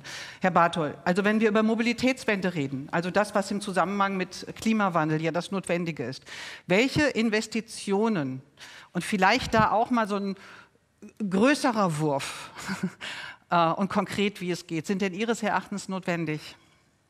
Ich glaube, die erste Maßnahme ist, das Bundesverkehrsministerium aus den Klauen der CSU zu befreien. Also wer den Parteitag der CSU gesehen hat und äh, wie man sich da hinstellen kann und sich dafür abfeiern lassen kann, dass man möglichst viele Investitionen nach Bayern lockt, dann ist das schon erbärmlich. Und ich kann das auch als stellvertretender Fraktionsvorsitzender sagen, wenn wir nicht für 15 andere Bundesländer gekämpft hätten, sähe die Welt noch wesentlich anders aus. Trotzdem, Herr Dont, ist es ja richtig. Danke fürs Lob auch an den Kollegen Burkhardt für das, was sozusagen äh, SPD in Regierungsbeteiligung ausgelöst hat. Wir haben äh, da ja nun auch wirklich eine massive Steigerung in der Großen Koalition und das finde ich, muss man auch nicht schlecht reden, erreicht. Da kommen ja noch GVFG-Mittel, Regionalisierungsmittel, Trassenpreissenkungen dazu. Das ist alles richtig. Es ist aber auch richtig und wichtig, und Olaf Scholz hat das in einer seiner Zukunftsmissionen ja klar adressiert. Wenn wir über Klimaschutzziele reden, dann werden wir das nur erreichen mit einem starken System Schiene und mit einer starken Deutschen Bahn. Äh, stark im Sinne der Mitarbeiterinnen und Mitarbeiter, aber auch stark im Sinne der Mobilitätsleistung. Und äh, dazu braucht es, und ich bin immer ein bisschen skeptisch, was diese Ländervergleiche angeht mit der Schweiz, nichts gegen die Freundinnen und Freunde aus der Schweiz, aber Deutschland ist halt doch relativ komplexer, äh, was auch die Größe angeht. Aber ich freue mich trotzdem immer, weil das ist, glaube ich, wichtig. Die Frage, erstens Eisenbahnpolitik aus einem Guss. Dann der Punkt integrierter Konzern und dann, und das glaube ich, darf man auch nicht unterschätzen, eine klare politische Steuerung, weil die Schiene hat was mit Gemeinwohl zu tun. Und ich glaube, dass wir das auch wieder mehr in den Vordergrund stellen müssen, weil wir sonst die Ziele, die wir uns alle gegeben haben, überhaupt nicht erreichen. Deswegen wird es das Jahrzehnt der Schiene. Wir werden mehr Geld mobilisieren müssen. Wir müssen uns auch davon lösen, dass wir zum Beispiel Straße finanziert Straße. Wir müssen wieder dazu kommen, Verkehr finanziert Verkehr. Wir wollen ohne Ideologie. Aber wir wollen und müssen verlagern. Wir müssen in der Digitalisierung schneller werden. Wir müssen auch in dem Bau, wir haben Schienenstrecken, die diskutieren wir seit 40 Jahren in diesem Land. Und wenn wir Schienenstrecken weiter 40 Jahre diskutieren, dann ist das mit dem Klima vorbei.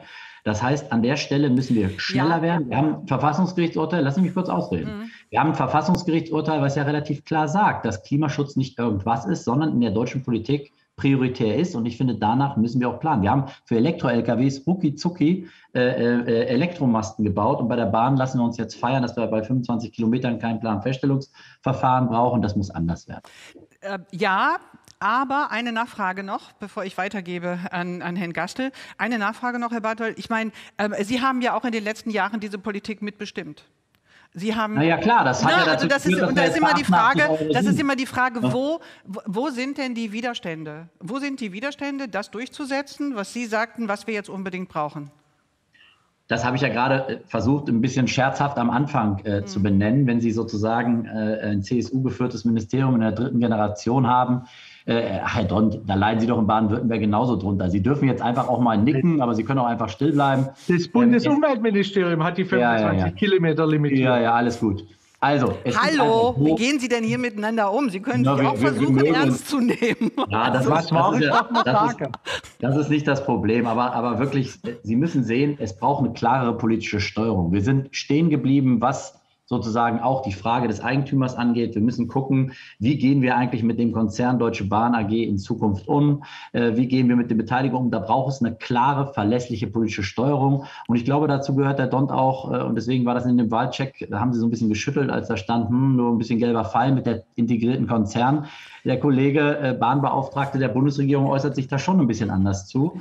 Ähm, da hat auf dem letzten Podium bei der Station und Service der Kollege Alois Reiner auch mal blicken lassen, dass eigentlich die CSU da auch ein bisschen anders drauf ist als die von der CDU. Da darf man auch nie vergessen, die Union besteht auch immer aus zwei Teilen. So, und deshalb verlasse ich jetzt SPD und die Union und gehe zu den Grünen, äh, weil ich die dritte Position in dieser Runde jetzt mal haben möchte. Herr Gastel, ich hoffe, wir sind wieder zusammen. Ich habe gerade zugeworfen bekommen, es ist nicht ganz so einfach mit dem Netz, aber Sie sind da. Wunderbar, Daumen rauf bei mir hier im Studio. Sie wollen die Schiene massiv ausbauen. Das ist das Ziel der Grünen. Das ist im Wahlprogramm ganz klar zu erkennen. Das Ganze muss natürlich finanziert werden. Woher wollen Sie das Geld nehmen? Genau, wir wollen das massiv ausbauen und äh, wir wollen für die Stärkung der Schiene sorgen. Wir wollen für eine massive Zunahme im Personen- wie auch im Güterverkehr sorgen, was natürlich dann auch gut ist für die Beschäftigung, für die Beschäftigung bei der Deutschen Bahn, genauso wie bei den Wettbewerbsunternehmen. Und ähm, vielleicht noch eins ähm, vorweg, bevor ich die Frage beantworte. Wenn man äh, die Kollegen hört, dann ähm, kann man ja denken, alles toll, aber wer so lange schon miteinander regiert hat, ähm, der sollte sich schon auch ein bisschen in die Karten gucken lassen, was bisher geschehen ist. Und äh, wenn man das letzte Jahr anguckt, 124 Kilometer Aus- und Neubau von Bundesstraßen, 0 Kilometer Schiene. 124 Straßen, 0 Kilometer Schiene. Im laufenden Jahr 3,1 Milliarden Euro für Aus- und Neubau der Straßen, die Hälfte für die Schienenwege. Also krasse äh, Fehlkonstruktion, äh, krasse Fehlentscheidungen, völlig einseitig zugunsten ähm, der Straße und zulasten der Schiene. Dutzende von ähm, Bahnstrecken, die Dieselstrecken sind, wurden in diesem Jahr untersucht auf ähm, die Sinnhaftigkeit einer Elektrifizierung. Von mehreren Dutzend sind gerade mal zwei Strecken rausgekommen, die tatsächlich elektrifiziert werden sollen. Also das ist einfach die Situation, das ist die Ausgangslage. Da kann man ja dann glauben, was man will, was alle Versprechen für die Zukunft angeht. Da muss man einfach fragen, ihr habt lang genug Zeit gehabt, das zu machen, aber ihr habt immer die Straße ausgebaut und nicht die Schienenwege.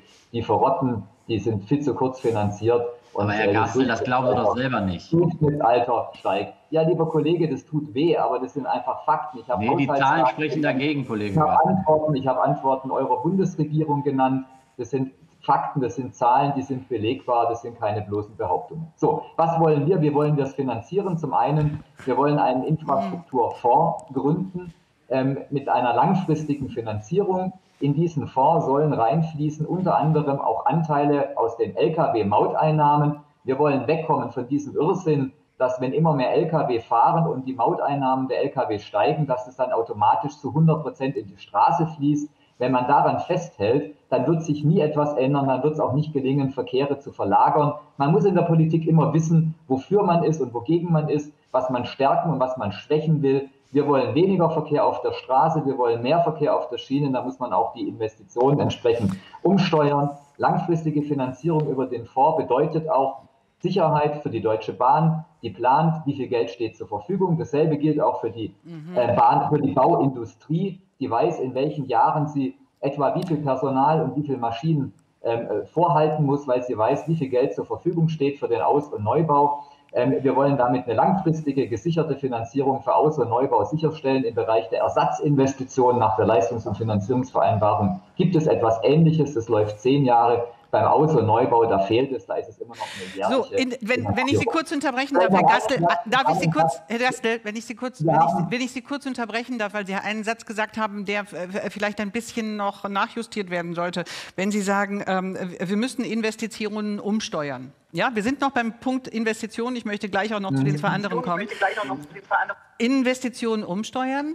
Das heißt natürlich, woanders wird nicht so viel Geld reingesteckt, wie denn in die Schiene, wie Sie gerade gesagt haben, wo Sie den Schwerpunkt legen wollen. Ähm, da, da muss man natürlich ein Übereinkommen finden. Wer kriegt weniger, wer kriegt mehr? Die Schiene soll mehr kriegen, wer kriegt weniger? Da wollte ich genau darauf eingehen, noch, aber einen Satz noch vorher. Wir sind die einzige Partei, die im Wahlprogramm auch stehen hat, dass wir die Pro-Kopf-Investitionen, von denen ja vorhin beispielsweise im Vergleich mit der Schweiz schon die Rede gewesen ist, ähm, erhöhen wollen. Das findet sich nur in unserem Wahlprogramm. Damit wird nochmal deutlich, die Investitionen müssen dort hochgehen. So, jetzt hatte der Herr Dohn vorhin gesagt, wie wenn das toll wäre und gut wäre, wir nehmen keinem anderen Verkehrsträger etwas weg. So wird es natürlich genau nicht funktionieren. Wie will man denn Verkehrsverlagerungen erreichen, wenn man allem mehr gibt? Wenn man neben mehr Geld für die Schiene auch noch mehr Geld in die Straße steckt?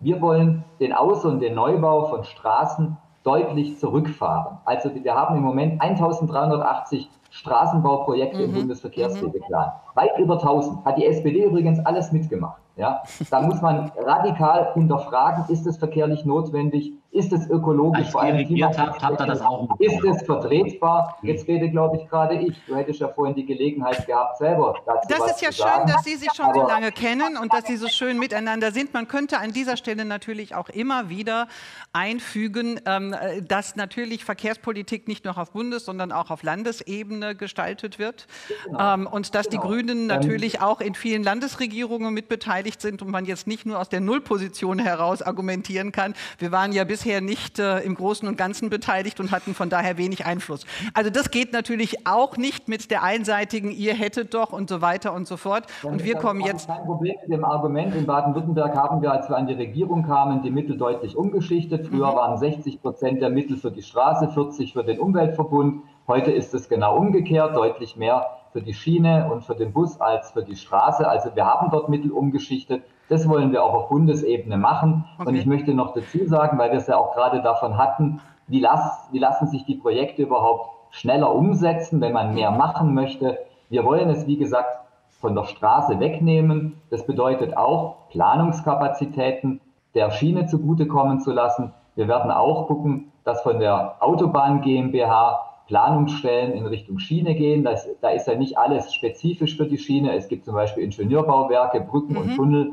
Da ist es bei der Straße ähnlich wie bei der Schiene. Da ist, es, ähm, da ist das gleiche Fachwissen gefragt. Da schichten wir um. Das Personal, die Personalausstattung, die Planungskapazitäten sind das Entscheidende, um zügiger voranzukommen beim Ausbau der Infrastruktur. Ich glaube, wenn, wenn ich da, allem, Herr, Herr Gastel, wenn ich möchte, wenn man von allem mehr möchte, mhm. von Straße und von Schiene, dann wird man überall langsamer. Wir wollen aber weniger Straße, wir wollen mehr Schiene, deswegen okay. wird Geschichte. Okay, Nachricht, positiv, Nachricht und Botschaft ist angekommen. Tut mir leid, wenn ich jetzt übereinander sprechen muss. Ich weiß, wir haben zum Teil auch ein kleines Delay in, der, in unserer Kommunikation, weshalb das nicht äh, direkt kommt. Nein, meine Technik sagt, wir haben überhaupt gar keinen. Sie lassen mich gar nicht zu Wort kommen mit dem Endeffekt, ja? So ist es. Sie reden die ganze Zeit und ich habe gar keine Chance Nachfragen zu stellen.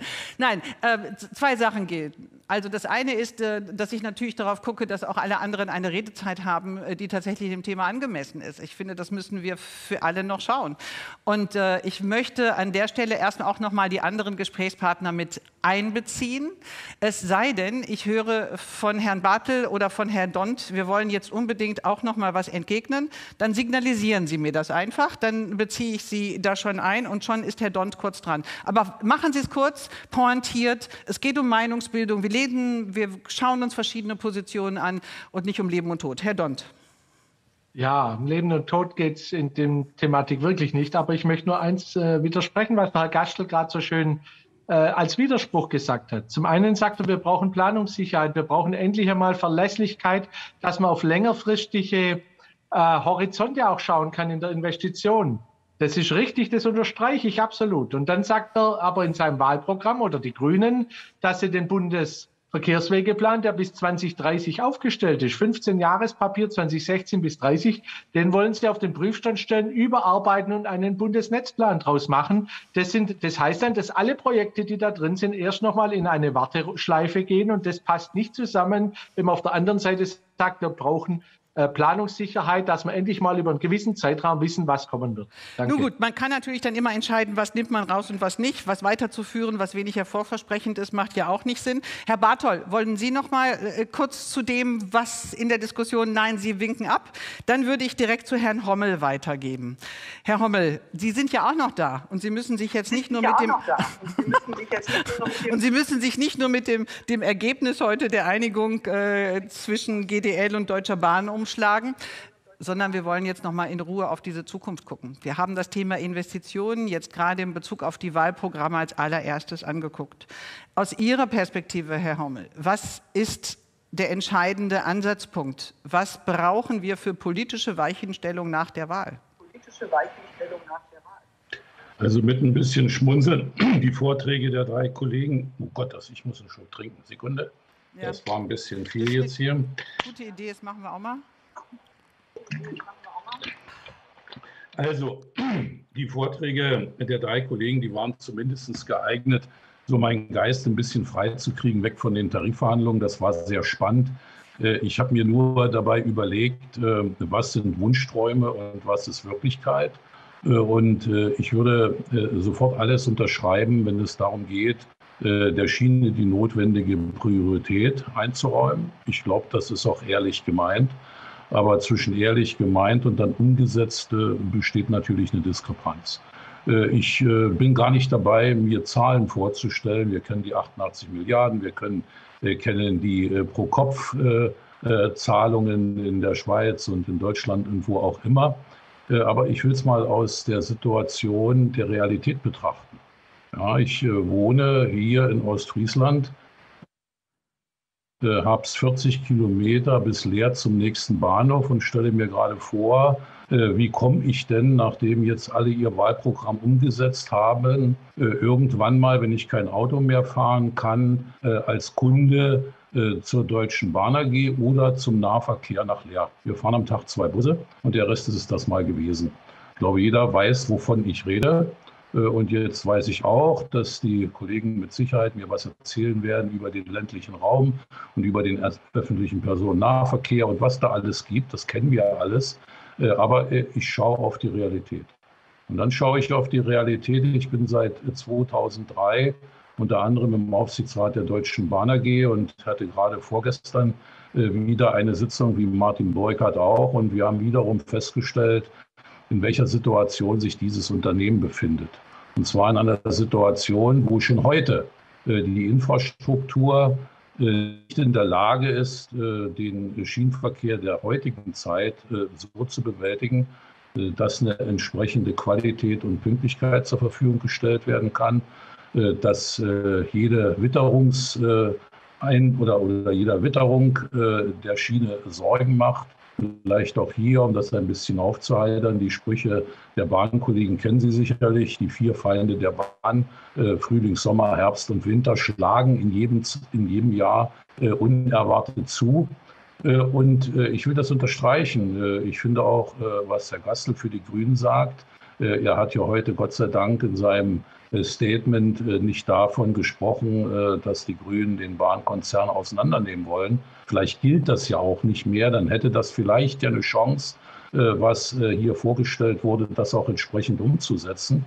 Ähm, aber im Augenblick äh, wird uns Geld allein die Situation nicht verbessern, wenn man nicht weiß, wohin man denn wirklich mit Mobilität in Deutschland will. Und ich glaube, dass eine politische Steuerung, so gut sie gemeint ist, äh, aber hier wenig helfen wird. Ich kann nur sagen, aus über 30 Jahren äh, habe ich bisher praktische Arbeit im Bereich der Bahn, äh, habe ich hier noch nicht erlebt, dass politische Steuerung in Deutschland, egal wer da gerade am Steuerstand, wirklich hilfreich gewesen ist. Das heißt also, dieses Land muss sich entscheiden, wohin will sie, wohin wollen wir mit der Bahn. Und ich finde das wirklich bemerkenswert. Und da bin ich jetzt mal gar nicht beim Geld, äh, wie man das in der Schweiz äh, gelöst hat. Und da bin ich auch der Meinung, da muss man gar nicht auf die Schweiz gucken und sagen, ihr seid bloß ein kleines Land. Äh, auch das ist dort wichtig. Aber man hat sich zur Schiene bekannt. Man hat die Maßnahmen konsequent, nachdem sie beschlossen wurden, umgesetzt. Aber in Deutschland laviert man.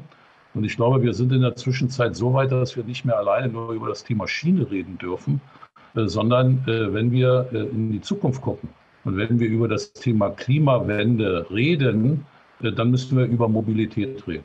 Genau, das versuchen wir ja heute auf dieser Konferenz unter verschiedenen Aspekten das zu machen, ähm, Herr Hommel. Wir kommen gleich nochmal auf Sie zurück. Ich möchte einen. Punkt, nee, nee, nee, nee, nee, jetzt bin ich dran. Einen Punkt möchte ich noch mal kurz, Herr Hommel, Sie gehen mir ja nicht verloren, hoffe ich sehr. Ähm, möchte ich gerne noch mal zum, im Zusammenhang mit Investitionen ansprechen und zwar Frau Trier damit reinnehmen, weil äh, wenn wir auf Europa gucken und tatsächlich auf einen Klimawandel, der trifft ja nicht nur Deutschland, sondern der ist europaweit, der ist weltweit. Ha? Das ist so wie die Pandemie. Da, können wir, da kommen wir nicht raus. Ganz einfach. Und wenn wir auf Geld gucken, wir haben vorhin ja schon, wir wollen ja so ein bisschen auch auf das äh, Europäische Jahr der Schiene gucken und wir haben schon gesehen, okay, die Gewerkschaftsbeteiligung ist nicht so toll. Äh, es ist vielleicht mehr ein Werbeakt. Wie sieht es denn aber auch mit Geld aus? Also, wenn ich ähm, tatsächlich mehr Europa, Deutschland und Europa auf die Schiene haben will, muss das natürlich irgendwelche Formen der Finanzierung geben äh, oder finanzielle Unterstützung. Wie sieht es da aus, Frau Trier? Also, es gibt ja, was weiß ich, Resilienz und es gibt ja verschiedene Fondtöpfe, die man angehen kann. Aber eine große finanzielle Unterstützung für die Schiene europaweit, sehen Sie die? Ähm, also die Gelder, die europäisch zur Verfügung stehen, sind bei weitem nicht ausreichend. Ich glaube, das kann man ziemlich deutlich sagen. Wir haben zwar einen Riesenkraftakt gemacht, dass es auf europäischer Ebene 750 Milliarden gibt, um äh, in diesem Recovery and Resilient Fund, aber der, äh, der betrifft ja die gesamte Wirtschaft. Ähm, Verkehr ist wichtig, ist auch ein wichtiger Teil darin. Ähm, aber ähm, wenn man bedenkt, dass es wirklich die gesamte Wirtschaft betrifft, dann ist es bei weitem nicht äh, ausreichend. Ähm, wir haben diesen sogenannten Co Connecting Europe Facility Fund, der ist Teil davon, der geht ganz spezifisch an den Verkehr. Aber hier werden überwiegend äh, grenzüberschreitende Verkehrsprojekte, äh, Lücken schließen über die Grenze und äh, ausschließlich an den transeuropäischen Verkehrsnetzen finanziert. Und ähm, was wir aber wirklich für eine Verkehrswende brauchen, ist ja auch die Anbindung der Region an die äh, großen Verkehrsnetze. Dafür sind, äh, ist dieser European Recovery and Resilience Fund schon zuständig. Aber das sind ja die einzelnen Mitgliedstaaten, die dann entscheiden, äh, wie viel dieser Gelder, die ihnen zur Verfügung stehen, sie für zum Beispiel den Ausbau der Schiene da anwenden. Also das wissen Sie in Deutschland besser, als, äh, als ich das weiß. Ähm, es gibt vielleicht einen Punkt, ähm, der schon noch wichtig ist. Äh, während der Pandemie äh, war eine positive Maßnahme, dass man die sogenannten europäischen Stabilitätskriterien ausgesetzt hat. Und das ist etwas, was wir eigentlich schon seit vielen Jahren fordern. Wir sagen, äh, Investitionen in die Infrastruktur, in die Eisenbahninfrastruktur ist Investition in die Zukunft und darf nicht zählen, ähm, wenn es um diese Stabilitätskriterien geht. Und ähm, das ist so eine politische Forderung, die jetzt auch wichtig ist, wenn die Pandemie denn hoffentlich bald vorbei ist, dass diese Maßnahme, die eine sehr positive Maßnahme war, auch, ähm, auch weiterhin fortgeführt wird. Ich denke, wir sind uns einig, dass die Pandemie, die wird nie vorbei sein, aber wir werden wahrscheinlich damit leben lernen. Und äh, das ist dann der entscheidende Punkt, ähm, der uns weiterbringt. Ja, das, herzlichen Dank für diese Erklärung nochmal aus europäischer Sicht, was, die, was den Rahmen der Finanzen angeht und auch Investitionen. Ich würde gerne, weil das gerade schon angesprochen wurde, äh, das Thema integrierter Konzern. Also ich meine, Sie alle wissen es ja, DB betreibt nicht nur Züge und das Schienennetz ist in ganz, unter, ganz Europa unterwegs, ähm, organisiert Logistik, Ketten rund um die Welt, also ein Komplettangebot, über das wir reden. Das aber auch immer wieder in der Kritik steht, Herr Burkhardt, wie sehr in der Kritik aktuell? Wie sehen Sie das? Ist das ein Thema? Ja, es ist wieder ein Thema, der integrierte Konzern, der Blick auf die Deutsche Bahn AG. Wir haben das ja an den Wahlprogrammen gesehen und äh, wir werben sehr dafür und zeigen auch auf, warum wir das für ein richtiges System halten, das wir im Übrigen auch in Europa verteidigt hatten. Mhm das Europäische Parlament ist damals der Kommission nicht gefolgt, solche integrierte Konzerne zu verbieten. Mhm. Und wir wissen auch, dass international in Großbritannien als Beispiel genannt die Zerschlagung äh, nicht funktioniert hat und man das wieder rückabgewickelt hat. Nicht nur in, in Großbritannien. Mhm. Und wir wollen diesen Fehler nicht machen. Wir glauben, dass man integriertes Netz für alle Eisenbahnverkehrsunternehmen anbieten kann, mhm. ohne dass es Probleme untereinander gibt. Ich würde gerne äh, Giorgio Tutti mit reinnehmen, weil er vorhin ja schon auch das angesprochen hat in seinem äh, kurzen Statement nach dem Motto, äh, die Diskussion integrierter Konzern besser nicht. Ähm, hatten, haben Sie in der Schweiz schon erlebt? Was waren die Argumente, die schließlich überzeugt haben, es nicht zu tun, Herr Tutti? Ja, vielleicht, wenn ich schon das Wort habe, äh, vielleicht äh, etwas es stimmt ja völlig. Ähm, Kollege Sören Bartel, die Schweiz ist so klein, niedlich, mitten in Europa. Äh, aber ich glaube, aus Erfahrung, was wir als falsch erachten, wird in Deutschland ja nicht weniger falsch sein. Und äh, aufgrund von Erfahrungen, die wir machen, können wir, glaube ich, macht damit, was ihr wollt, äh, können wir sagen, in welche Richtung es sicher falsch ist zu gehen. Und äh, ich habe es erwähnt, äh, Wettbewerb äh, finden wir falsch, Kooperation ist besser und äh, äh, man erreicht damit auch, auch äh, bessere qualitative Ziele.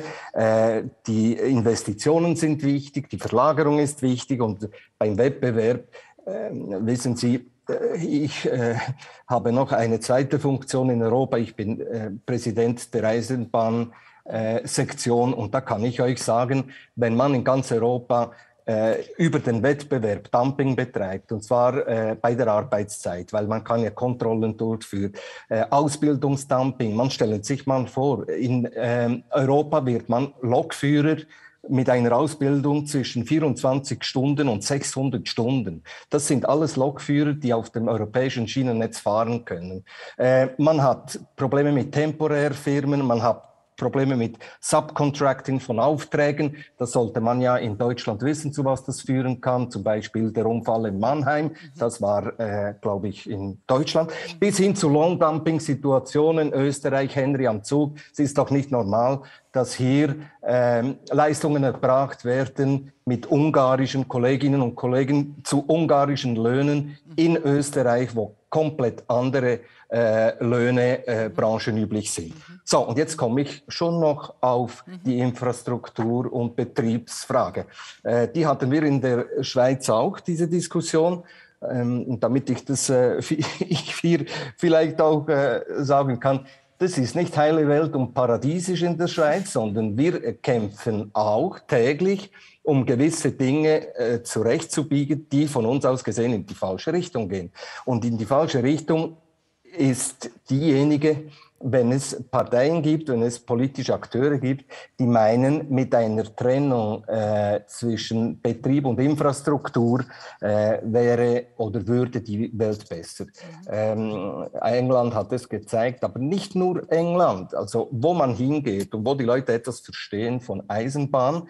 Und da gebe ich vielleicht als äh, Schweizer und kleines Land doch dennoch einen Ratschlag dem großen Land Deutschland. Sprecht mit den Leuten, die das Eisenbahnsystem kennen. Sprecht mit den Leuten, die der, bei der Eisenbahn arbeiten und fragt sie mal, was passiert, wenn das Rad und die Schiene keinen, keinen äh, Haftpunkt mehr haben.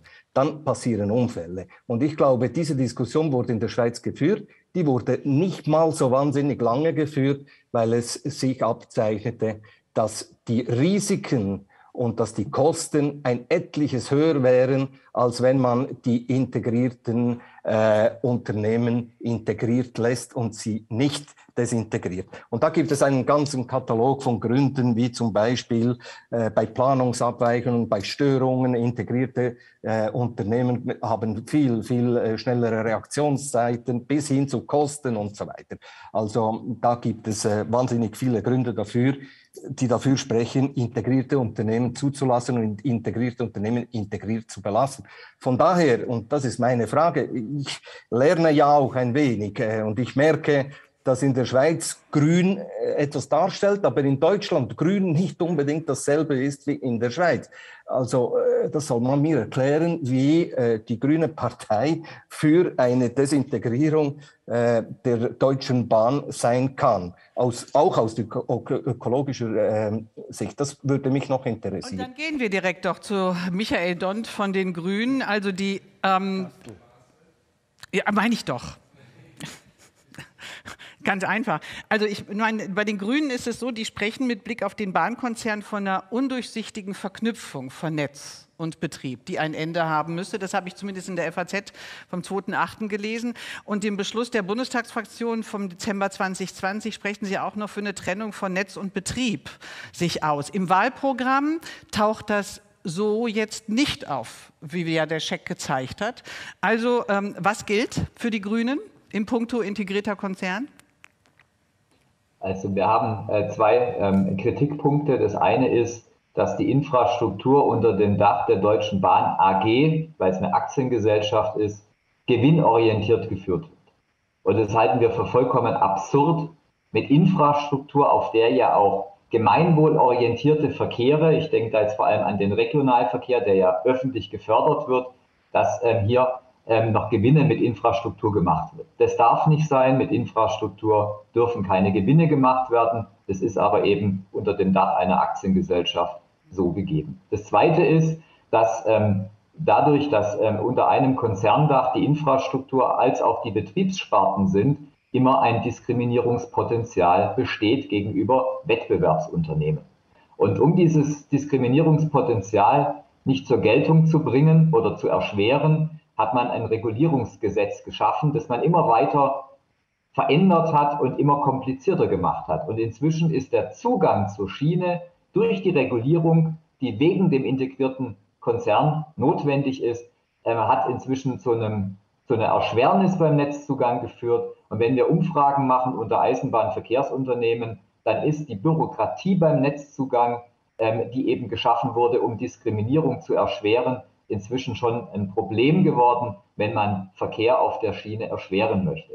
Deswegen ist unser Vorschlag, dass wir die Infrastruktur in eine bundeseigene Gesellschaft überführen. Also wir nehmen die Infrastruktur aus dem privatrechtlich organisierten Unternehmen Deutsche Bahn AG heraus, überführen es in eine bundeseigene Gesellschaft ohne Gewinnerzielungsabsicht, dann braucht man diese komplexe Regulierung nicht mehr, weil dieses, Diskrimin dieses Diskriminierungsinteresse gar nicht mehr bestehen kann. Die ähm, Infrastrukturgesellschaft hat die Aufgabe, die Infrastruktur gut zu erhalten und auszubauen und allen Eisenbahnverkehrsunternehmen diskriminierungsfrei zur Verfügung zu stellen und das Netz möglichst gut auszulasten. Im Wahlprogramm haben wir stehen genau das, was ich gerade gesagt habe, dass nämlich, ich gucke hier gerade drauf, dass die bundeseigene Infrastruktur vom, Gewinnerzielungsabs äh, vom Gewinnerzielungsdruck befreit werden soll, von der chronischen Unterfinanzierung befreit werden soll und dazu entsprechende Strukturen geschaffen werden sollen. Diese Strukturen lassen sich nicht innerhalb der DB AG schaffen. Und im Weiteren steht auch drin, dass der Deutsche Bahnkonzern transparenter und effizienter aufgestellt werden soll und sich auf das Kerngeschäft, nämlich die Eisenbahn in Deutschland und gerne auch im benachbarten Ausland ausgerichtet werden soll. Okay, dann würde ich. Steht also, ja. Damit steht also auch etwas zur Struktur der Deutschen Bahn drin. Wir wollen Infrastruktur gewinnfrei führen. Wir wollen sie auch nicht privatisieren, wie manche sagen, sondern es ist exakt das Gegenteil aus der privatrechtlichen Rechtsform raus näher an den Staat. Ähm, dann würde ich Herr Dont an Sie weitergeben. Wie ist die, Ihre Position dazu? Die Trennung von Netz und Betrieb nach Parteitagsbeschluss im November 2019 denkbar, im aktuellen Wahlprogramm auch nicht. Also wo steht die Union?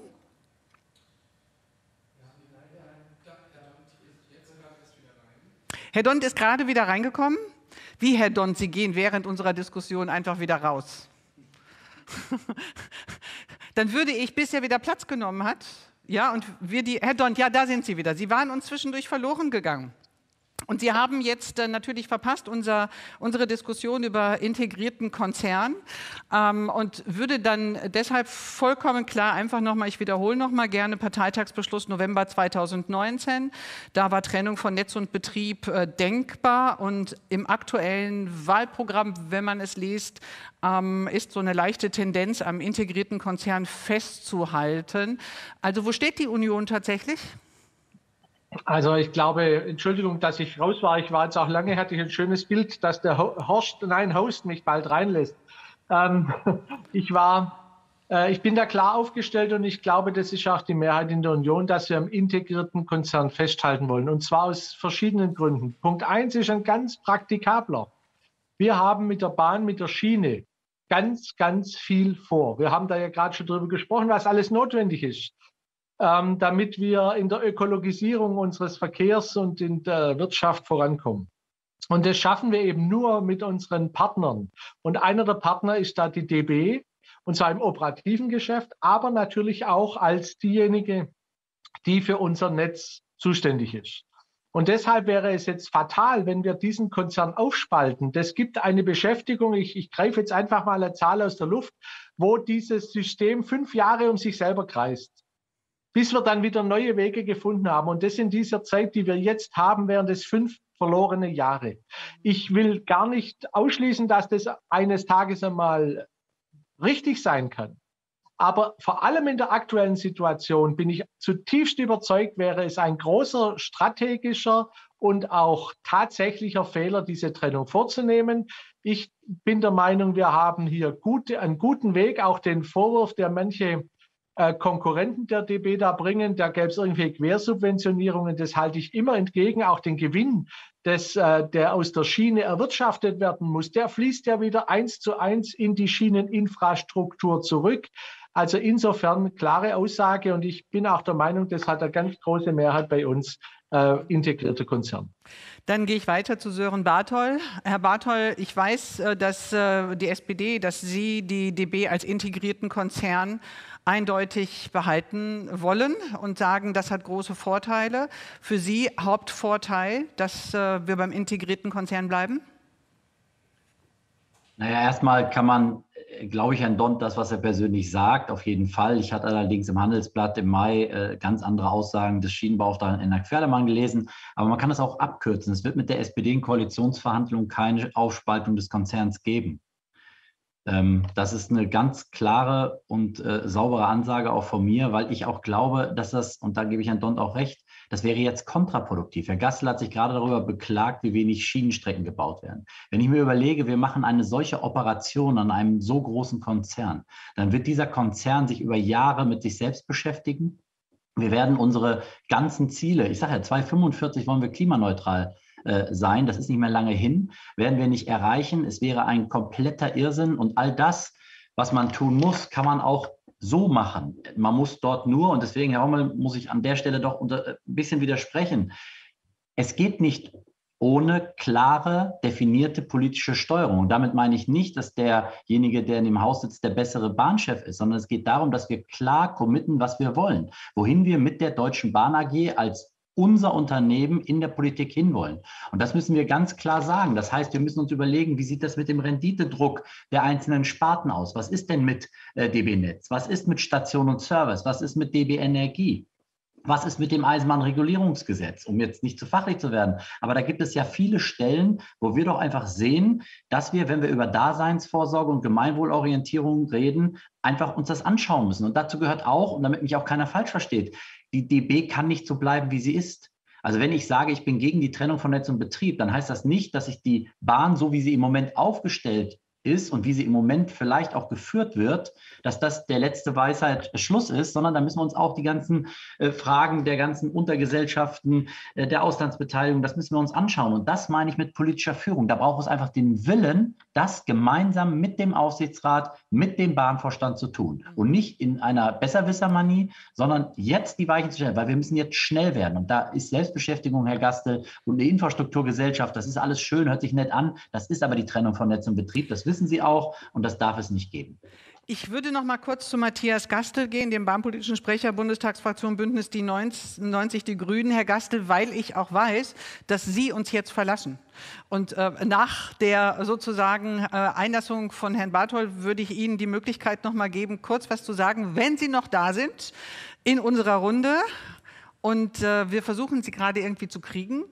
Bis dahin kann ich sagen, ich hatte auch mal das Vergnügen als allererstes, Herr Burkhardt, wissen Sie, womit ich mich beschäftigt habe? Mit dem Eisenbahner Handbuch. Haben Sie mal das Eisenbahner Handbuch gelesen? Es gibt viele Eisenbahner-Handbücher. Also ja, das, was ich hatte, ja, das war so. Und da dachte ich, das muss ich studieren, um zu tatsächlich, da muss ich ein extra Studium zu machen, um ja. zu begreifen, was da alles drinsteht. Also welche Normen es gibt, welche Regulierungen. Es gibt eine Fahrdienstvorschrift, die ist sehr umfangreich. Ich habe ähm, vor kurzem auch aus den 30er Jahren einmal eine Vorschrift bekommen. Also die Geschichte der Bahn hat sich weiterentwickelt, aber Vorschriften sind in der Tat geblieben und auch die Berufe sind keine einfachen. Ja, also das ist so wahr. angeklungen, ob das Lokführer, Fahrdienstleiter, Wagenmeister sind oder andere Berufe. Man braucht Zeit und es gibt eine Menge Vorschriften. Soll ich uns beide als Pausenfüller buchen lassen? Nur mal so, ich meine, weil wir über Sachen uns so spontan unterhalten, die äh, einfach aufkommen. Aber ich habe den Eindruck, dass wir äh, Matthias Gastel jetzt verloren haben. Und äh, dann würde ich sagen, wenn ihr uns zumindest noch hört, herzlichen Dank, Herr Gastel, dass Sie in dieser Runde dabei waren und möchte unser Thema, was wir gerade hatten, gerne noch weiterführen. Herr Barthol, ich komme noch mal kurz zu Ihnen, wenn Sie einverstanden sind. Ähm, ich würde nämlich gerne jetzt auch noch mal in diesem Zusammenhang auf die Situation der Beschäftigten gucken.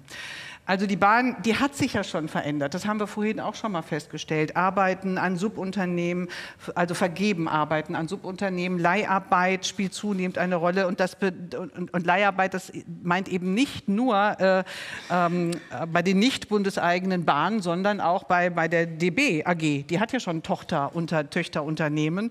Also da sind ja schon Dinge, wo man auch genauer mal hingucken muss, was nimmt das eigentlich für eine Entwicklung. Also was heißt diese aktuelle Situation, Herr Barthol, für die, für die Beschäftigten? Also die Entwicklung, Sie haben gesagt, wir müssen uns auch mit der Bahn beschäftigen. Was passiert da eigentlich? Integrierter Konzern ja, heißt aber nicht alles ist tippitoppi. Ja?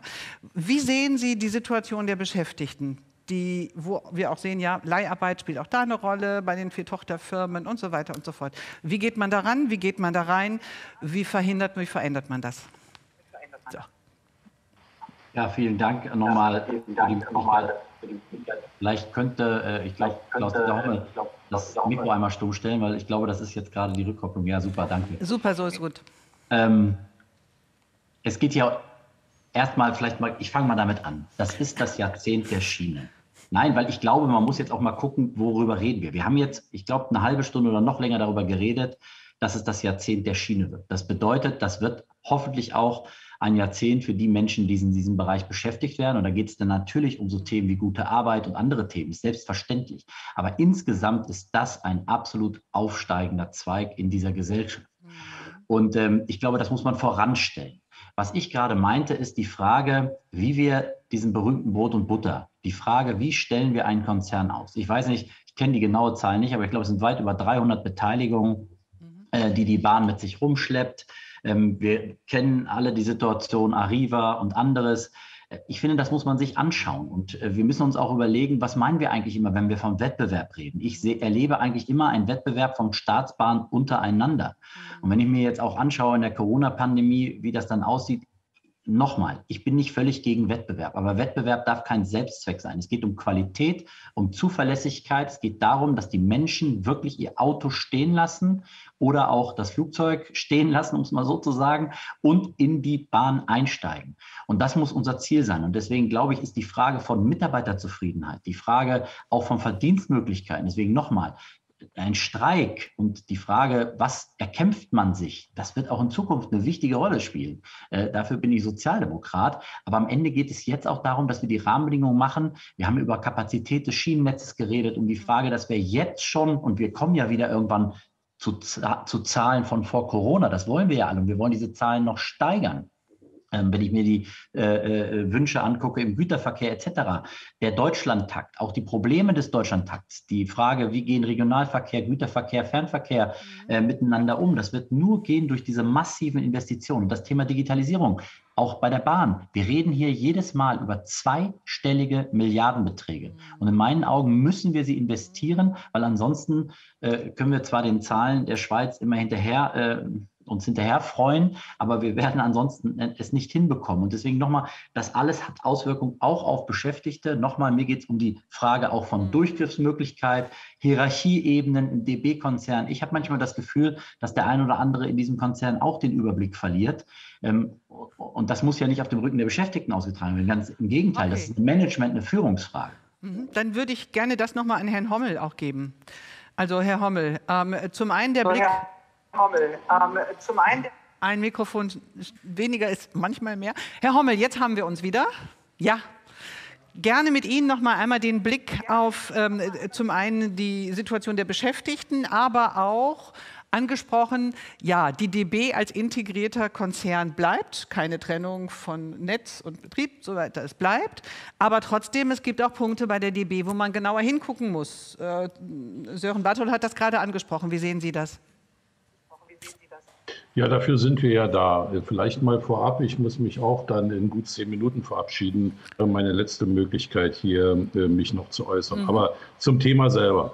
zum Thema selber. Wir gucken natürlich genau hin äh, und äh, wir haben eine Menge Kritikpunkte, die wir zu lösen versuchen, die wir auch lösen. In den vergangenen Jahren ist der Druck auf die Beschäftigten gewachsen.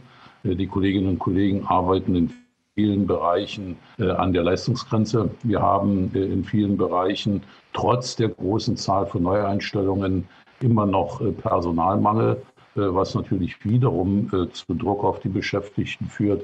Und wir haben natürlich die Situation, äh, dass äh, verstärkt in Ausbildung und Qualifizierung zu investieren ist, um letztendlich auch sicherzustellen, dass die Menschen, und viele werden ja, äh, wie wir das nennen, die sogenannten Quereinsteiger von draußen eingestellt.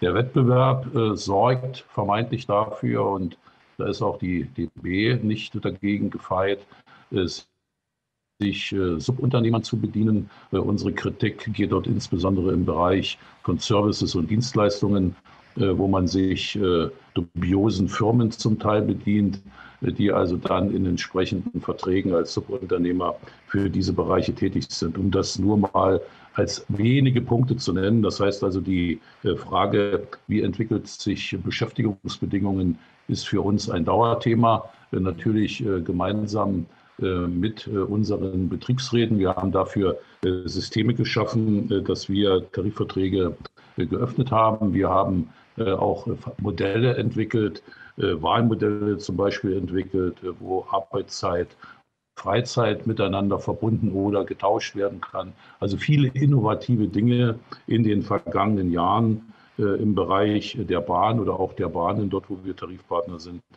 eingesetzt. Das ist eine ständige Aufgabe und das wird uns auch in Zukunft glaube ich, erhalten bleiben. Der integrierte Konzern, hier ist sehr viel gesagt worden. Ich will das jetzt aus Zeitgründen auch gar nicht wiederholen. Mhm. Ich finde äh, sehr gut, was äh, mein Kollege Tutti aus der Schweiz sagt.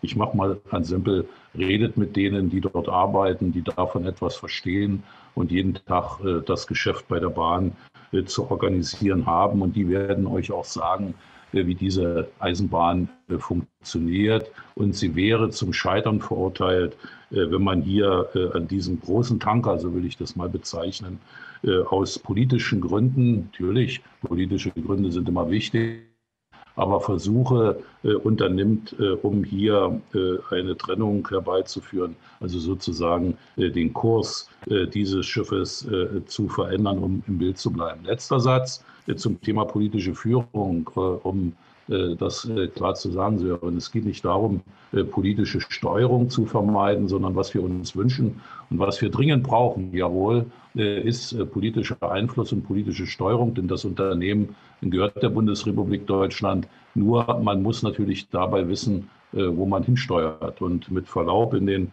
vergangenen Jahren hatten wir nicht immer äh, das Gefühl, äh, dass diejenigen, die da zu steuern versucht haben, auch genau im Blick hatten, wo denn die Reise bitteschön mal hingehen soll. Und das ist schädlich.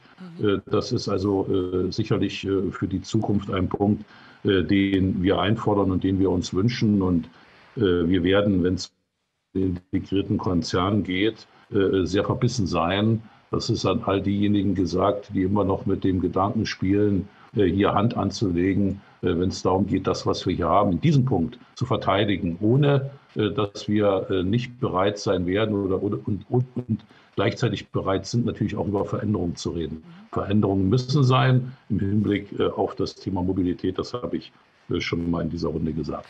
Ich würde gerne noch mal an Sabine Trier und Giorgio Tutti geben, sozusagen unsere Beobachtungsposten von außen. Also wir haben jetzt ähm, kennengelernt, welche Positionen es äh, in den verschiedenen Parteien gibt, also sozusagen der, dem Triell, das wir ja hier auch hatten mit der Union, SPD und den Grünen. Ähm, es folgen übrigens in der nächsten Podiumsdiskussion, das ist jetzt schon quasi der Cliffhanger auf äh, gleich nach der Pause, folgt natürlich auch noch mal äh, die Linke, die dabei sein sein wird, wird vertreten sein. Und äh, die FDP wird dann auch vertreten sein, also von den Parteien, die ja am 26. auch danach im Bundestag sein werden. Aber jetzt nochmal der Blick äh, von außen. Frau Trier, so, jetzt haben Sie zugehört, jetzt haben Sie mitbekommen, was die bahnpolitischen Sprecher im Einzelnen sagen. Wir konnten natürlich nur Aspekte einzelne kurz rausgreifen. Das ist ein, boah, ein dickes, fettes Thema insgesamt, wo man drehen muss. Und jetzt haben Sie einen Vorschlag für uns.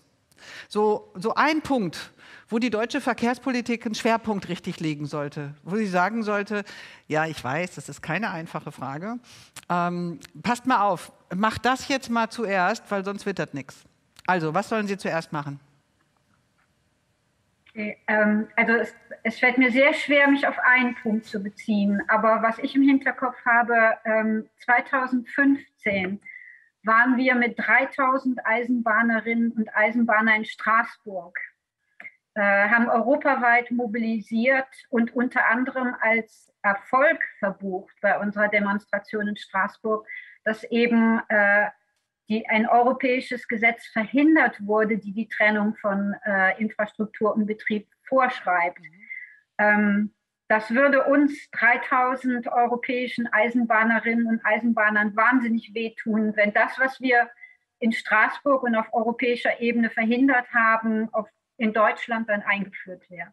Mhm. Das äh, wäre dann der eine Punkt, den ich einbringen würde. Ich glaube, wir sind dabei, das gerade auszuräumen. Zumindest in dieser Runde war das der Fall, möchte ich schon mal festlegen. Also der politischen, die wir jetzt äh, äh, gerade hatten. Aber wir werden sehen, man muss Dinge, die immer wieder in die Diskussion kommen, tatsächlich ansprechen, damit es gut geht. So, Herr Tuti, jetzt haben Sie mal gehört und gesehen, wie hier ähm, die bahnpolitischen Sprecher, das wissen Sie natürlich auch, in Deutschland diskutieren einzelne Punkte nur angesprochen. Wo sehen Sie den wichtigsten Punkt, den entscheidenden Punkt vielleicht, wo man ansetzen muss, um tatsächlich die Mobilitätswende auch hinzukriegen? Wir waren immer viel Straße, wie werden wir mehr Schiene? Mhm. Also zuerst mal vielen Dank, dass ich hier dabei sein kann. Ich finde es hochinteressant. Ähm, erlauben Sie mir vielleicht, weil ich habe es ein wenig wie Sabine Trier, es ist schon noch schwierig, mhm einen Punkt zu erwähnen, aber ich nehme die Kurve mal ein wenig breiter. Es muss uns einfach bewusst sein, in welcher Situation wir stecken. Wir haben heute ein Wahnsinnsthema und das ist Pandemie und das ist auch richtig, dass das beschäftigt. Irgendeinmal, so hoffen wir, so können wir das glaube ich, ein wenig in den Griff bekommen und dann ist vielleicht die Pandemie weniger das Thema. Dann holt uns eigentlich die Klimasituation mhm. und die Klimadebatte wieder ein. Das ist äh, so klar wie das Amen in der Kirche. Mhm. Und in diesem Zusammenhang müssen wir uns einfach bewusst sein, dass klimatisch, das heißt in der Klimaproblematik, Teil der Lösung dieser Problematik ist der öffentliche mhm. Verkehr mhm. und ist die Eisenbahn. Jetzt, wenn das ein Fakt ist und eigentlich ziemlich unbestritten ist, müssen wir einen Schritt weitergehen und sagen, eigentlich ist das eine Riesenchance für das Klima, für die Eisenbahn, für die Ökologie, wenn wir jetzt das Richtige tun, weil wir könnten auch das Falsche tun. Und von mir aus gesehen ist etwas, was wir äh, richtig machen müssen, ist uns bewusst sein, dass bis 2035 durchschnittlich über alle Länder in Europa, weil die Eisenbahn hat eine gemeinsame Geschichte und Tradition. Bis 2035 muss etwa 40 Prozent des Personals in den Eisenbahnunternehmen ersetzt werden. Aus demografischer Sicht wegen den, äh, wegen den Pensionierungen und so weiter. Jetzt, wie kriegt man diese Kurve? Äh, die kriegt man, indem man das äh, Eisenbahnsystem äh, möglichst gut darstellt, attraktive, für attraktive äh, Arbeitsplätze sorgt und, und das, dabei finde ich das zentral, man muss attraktiv sein für neue, junge Leute, vor allem auch für junge Frauen, weil der, Eisen, der, der Frauenanteil in den Eisenbahnunternehmen, der, der ist ja lachhaft, der ist bei weitem unter 20 Prozent. Das kriegt man nicht hin, 40 Prozent Personal bis 2035, wenn man nicht auch die Anstellung der Frauen fördert. Äh, und vielleicht noch der absolut letzte Punkt, dabei denken, dass die Eisenbahnerinnen und Eisenbahner die geben alles Tag für Tag, damit das Ganze rund läuft. Und wenn es in letzter Zeit nur noch Bashings gibt und nur noch äh, äh, schlecht geredet wird, dann ist das höchst demotivierend und Mangel an Wertschätzung für diejenigen Leute, die tagtäglich Eisenbahn produzieren. Und es ist auch ein wenig abstoßend, und das brauchen wir gar nicht, und zwar überall, dass man auch die Jungen und die jungen Frauen äh, fernhält von diesem Eisenbahnsystem, das dringend dann auch gut ausgebildet, motiviertes Personal braucht. Das ist nicht ein Punkt, sondern das ist ein Sammelsurium. Aber ich glaube, an dieser Stelle müssen wir uns das schon bewusst sein, was wir hier riskieren. Wir haben Chancen, aber wir haben auch Risiken. Genau. Und alles muss eigentlich zusammen gemacht werden, so schnell wie möglich, wenn ich das richtig verstehe. Was bringt die Eisenbahn voran? Beispiel Schweiz, Investitionen, integrierte Bahnunternehmen, Kooperationen haben wir jetzt ein bisschen hängen lassen, was natürlich auch der Aktualität und der Zeit, die wir da hatten, geschuldet ist, möchte ich sagen. Ich sage ganz herzlichen Dank, Giorgio Tutti, Sabine Trier, Klaus-Dieter Hommel, Sören Bartol, Michael Dont, Matthias Gastel. Danke Ihnen für die Runde, auch wenn wir nur ein paar Sachen anreißen konnten. Aber ich äh, bin guten Mutes, dass wir diese Diskussion in einzelnen Punkten und auch weiterhin kontrovers und lösungsorientiert fortführen werden. Herzlichen Dank für diese erste Runde. Wir machen jetzt, ähm, ich sag mal, elf Minuten Pause, holen uns einen Kaffee und dann machen wir hier in der Konferenz der EVG online live aus Berlin weiter. Danke Ihnen schon mal für diesen ersten Aufschlag. Schönen Tag noch. Danke.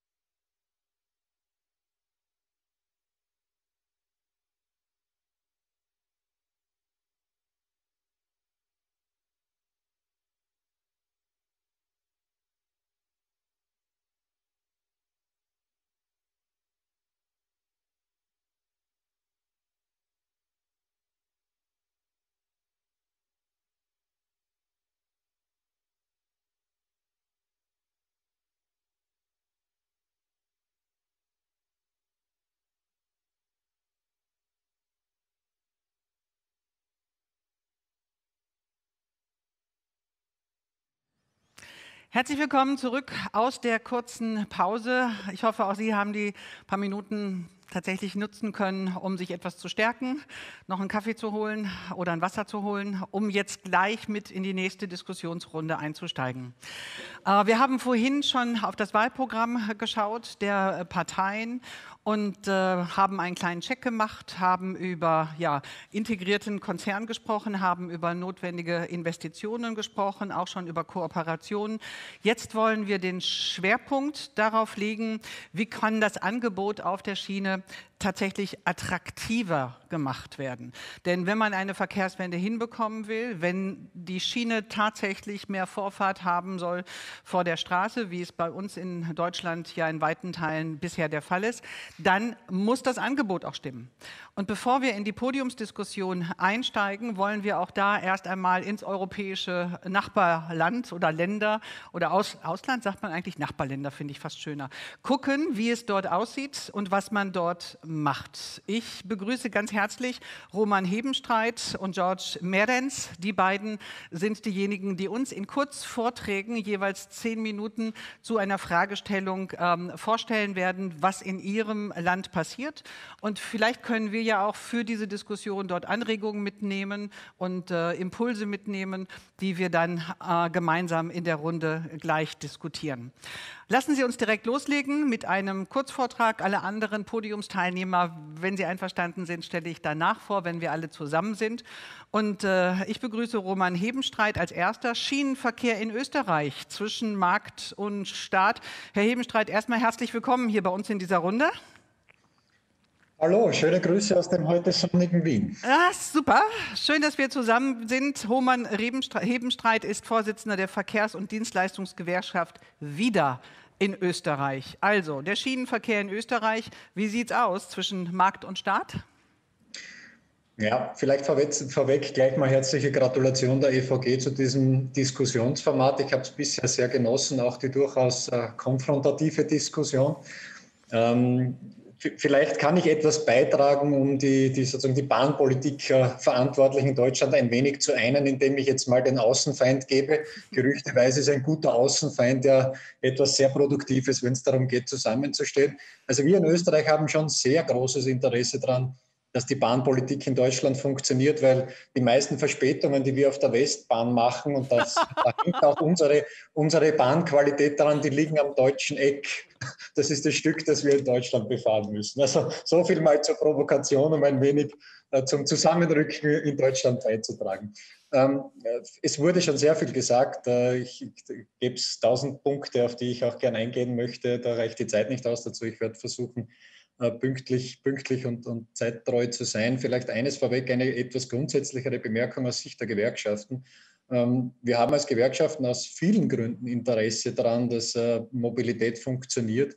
Letztendlich ist es äh, aus, aus, aus dem Selbstverständnis der Gewerkschaften, zwar nicht nur der Bahngewerkschaften, ja auch so, dass wir immer danach trachten, den Menschen ein selbstbestimmtes und gutes Leben zu ermöglichen. Und eine qualitativ hochwertige und leistbare Mobilität ist ein wesentliches und zentrales Element äh, selbstbestimmten Lebens, mhm. weil es geht da darum, die Möglichkeit zu haben, beispielsweise äh, nicht nur vor Ort eine Arbeit annehmen zu müssen, sondern äh, in guter Qualität und leistbar vielleicht auswärts einen besseren Job zu bekommen oder sich weiterzubilden äh, oder auch ein soziales Leben zu haben, in dem man Urlaub gestalten kann. Und am Ende geht es in der klimapolitischen Verantwortung natürlich auch darum, dass unsere Kinder vielleicht noch Luft zum Atmen haben. Nur, nur so viel grundsätzlich als, als Einstieg im, aus Sicht der Gewerkschaften. Ja, die österreichische Sicht ähm, kurz beleuchtet. Ich bin jetzt mal so frech und, und behaupte, die Bahnpolitik in Österreich ist durchwegs ein, eine relativ erfolgreiche. Äh, sie ist getragen sehr stark von dem Lobbying der Gewerkschaften. Das soll jetzt nicht äh, nach irgendwie Eigenlob klingen, gar nicht. Aber wir haben ähnlich wie die Kollegen in der Schweiz äh, über Jahrzehnte hinweg versucht, natürlich maßgeblich Einfluss zu nehmen auf die Verkehrs- und Eisenbahnpolitik in Österreich und wir werden damit auch nicht aufhören. Wenn ich sage Erfolg, dann messen wir das an zwei Kennzahlen. Die eine Kennzahl, die ist heute schon mal erwähnt worden, äh, nämlich die gefahrenen Kilometer pro Einwohner. Das ist Österreich ja äh, leider noch weit hinter der Schweiz, aber im europäischen, also im EU-Raum, dürfen wir uns an die erste Stelle reihen. Äh, und auch was den Modal Split, also den Anteil des Schienengüterverkehrs anlangt, hat Österreich immer noch knapp die 30 Prozent. Also wir liegen bei 28. Da gibt es zwar einiges zu tun, aber rein aus diesen beiden Parametern betrachtet ist die Verkehrspolitik und die Bahnpolitik in Österreich eine durchwegs erfolgreiche. Worauf beruht die aus, aus der Sicht der Gewerkschaftsbewegung? Äh, Im Wesentlichen auf ein paar ganz zentrale Dinge, die passiert sind. Äh, sie beruht einerseits äh, auf dem System der integrierten Bahnen. Wir haben ja mehrere integrierte Bahnen, die große Bundesbahn, aber auch Landesbahnen, die als integrierte Bahnen funktionieren. Das bringt vieles mit sich. Da ist auch vieles schon gefallen, das ich nur unterstreichen kann bin ein wenig irritiert über das Statement des äh, Vertreters der Grünen Parlamentsfraktion, Bundestagsfraktion, ähm, äh, weil er da mal meinte, so, also das ist eine AG und ist gewinnorientiert und man muss das doch trennen. Also in Österreich ist das auch eine AG, es ist ein integrierter Konzern, äh, aber die Infrastruktur in Österreich hat niemals Gewinne ausgeschüttet an die Eigentümer, sondern man hat sich aus der Eigentümersicht, und das ist zu 100 Prozent der Staat zum Beispiel darauf verstanden, äh, alles, was an Gewinnen entsteht, auch wieder zu reinvestieren ins Netz, um nur ein, einen Aspekt hier vielleicht gleich vorwegzunehmen. Die zweite Säule, auf die das in Österreich beruht, ist der berüchtigte Rahmenplan. Der Rahmenplan ist ein langfristiges parlamentarisches Instrument in Österreich, um die Investitionen in die Schiene, übrigens auch in die Straße abzusichern. Ähm, der Rahmenplan kennt ein sogenanntes Vorbelastungssystem, also ein Vorbelastungsgesetz, das zum Beispiel für die großen Schieneninfrastruktur heute schon Investitionen absichert, die über 2030 beispielsweise hinausgehen, und zwar unabhängig, wie die Regierungskonstellationen dazwischen sind. Da gibt es zwar ein paar Nuancierungen dazu, aber im Wesentlichen funktioniert das so. Und, und das ist ähnlich wie in der Schweiz, der zentrale Erfolgsfaktor im Personen-, Personennahverkehr. Österreich funktioniert im Nahverkehr nach wie vor äh, über eine hundertprozentige Direktvergabe der öffentlichen Hand, ein wenig anders organisiert äh, in der Schweiz, äh, was den Schienenverkehr anlangt. Im Güterverkehr vielleicht noch erwähnt, äh, Österreich bekennt sich nach wie vor als eines der wenigen Länder zu einer sehr gezielten Einzelwagenförderung. Das heißt, dieser Modal-Split-Anteil des Güterverkehrs auf der Schiene in Österreich resultiert auch aus einer sehr gezielten Fördersystematik, die immer wieder evaluiert und angepasst wurde, äh, aber im Großen und Ganzen auch das Bekenntnis der politisch Verantwortlichen, immer wieder hier gezielt zu fördern und die Nachteile, Stichwort Kostenwahrheit zwischen Straße und Schiene, auch entsprechend auszugleichen. Das ist ja einfach und kurz beschrieben das Fundament, auf das wir aufbauen in Österreich. Äh, der Form halber erwähne ich noch dazu, wir haben vieles von dem, was vorhin diskutiert wurde, hinter uns gebracht. Es gab in der Zeit zwischen 2000 und 2007 unter konservativer Regierungsmehrheit äh, in Österreich auch mal den Weg äh, der Trennung. Also man hat versucht, Netz und Betrieb zum Beispiel in der Infrastruktur zu trennen. Ich kann ganz Europa nur davor warnen, es hat uns fast ein halbes Jahrzehnt gekostet, das wieder zusammenzuführen und zu integrieren. Ich hätte gern das Geld in einem Wohlfahrtsfonds, das uns als Steuerzahler das alles gekostet hat. Da könnte man ganz schön damit wirtschaften. Äh, war eine, eine absolute Katastrophe in jederlei Hinsicht aus Sicht der Steuerzahlerin und, und des Steuerzahlers. Ähm, und wir haben dann äh, ein gutes Jahrzehnt äh, sozialdemokratischer Verantwortung in der Verkehrspolitik in Österreich erlebt äh, die unter anderem den Rahmenplan, die Direktvergabe und wesentliche Investitionsmittel auch in die Fahrbetriebsmittel der Bahnen, ja, der Bahnen in öffentlicher Hand in Österreich mit sich gebracht haben. Das alles ist übrigens auch das Fundament, auf dem die grüne Verkehrsministerin jetzt aufbaut, mit den Maßnahmen, die jetzt in Österreich anstehen. Ähm, erwähnen mag ich vielleicht das durchwegs über die Grenzen Österreichs auch medial bekannte äh, sogenannte Klimaticket. Also wir werden ähnlich wie in der Schweiz das Generalabonnement in Österreich eine, eine Leist, ein leistbares Generalabo bekommen. Das wird jetzt in mehreren Schritten umgesetzt. Da gibt es zwar noch Reibereien äh, zwischen den einzelnen Ländern, im Großen und Ganzen ist es aber durch. Also man wird um knapp 1000 Euro in ganz Österreich äh, ein Jahresticket äh, erwerben können, mit dem man das gesamte öffentlich, öffentliche Verkehrsnetz nutzen kann. Mhm. Äh, das ist ein wesentlicher Fortschritt. Äh, was ist noch in der Pipeline? In der Pipeline sind Überlegungen zu neuen Ideen in puncto Verlagerung, Verladeförderung im Schienengüterverkehr. Da lobbyieren wir als Gewerkschaft sehr stark. Äh, wir sind da drauf und dran, äh, eben Anreize zu schaffen, um mehr Verkehr auf die Schiene zu bringen. Ist nicht ganz so leicht. Da ist Europa unser größter Gegner, äh, weil die Kommission ja bisher nichts anderes kennt als den Weg der Liberalisierung. Und auch wenn einzelne Staaten mehr in ihre Bahnen investieren wollen, geht es da immer um die Wettbewerbsverzerrung, die berüchtigte, und das Beihilfenrecht. Das ist oft eher hinderlich. Und der letzte Punkt, den ich in dem Zusammenhang vielleicht erwähnen möchte, das sind die auch über die Grenzen hin nicht nur bekannten, sondern aktiven Nachtzüge, die Österreich begonnen hat äh, zu betreiben, äh, auch äh, entsprechend zu investieren. Also wir haben einen Investitionsplan über die nächsten über das nächste Jahrzehnt, der da einen erkläglichen Ausbau vorsieht. Da sind wir sehr froh darüber, dass das die Bahn in Österreich rechtzeitig erkannt hat, gerade im Zuge der, der ganzen Klimadebatte natürlich wesentlich. Ähm, wir versuchen die letzten zwei Minuten noch äh, zu nützen, um vielleicht auf ein, zwei Aspekte genauer einzugehen. Äh, Stichwort Direktvergabe vielleicht noch kurz erwähnt. Aus österreichischer Sicht ein absolutes Erfolgsmodell. Es ist auch nur schwer verständlich, warum die ganze Europäische Union äh, ignoriert, dass äh, die beiden Länder, die im Punkto Eisenbahnverkehr am erfolgreichsten sind, gemessen an den gefahrenen Kilometer pro Einwohner, nämlich die Schweiz und Österreich, nach wie vor mit dem Direktvergabesystem funktionieren. In Österreich hat man sich dazu bekannt, es so weit als möglich aufrechtzuerhalten. Es gibt einfach der öffentlichen Hand die Möglichkeit, ein Grundverkehrsangebot auch in einem integrierten Taktsystem anzubieten ohne sich dauernd die Köpfe einschlagen zu müssen über Trassenvergaben, über Taktfahrpläne, über äh, diverse Ausschreibungsmodalitäten und sonstiges. Äh, wir würden uns wünschen, dass es noch länger aufrecht bleibt, obwohl das äh, heiß umfädet und umstritten ist, das System innerhalb Europas. Wir sind ja als EU-Land das einzige, das sozusagen dieses System noch mit Zähnen und Klauen verteidigt.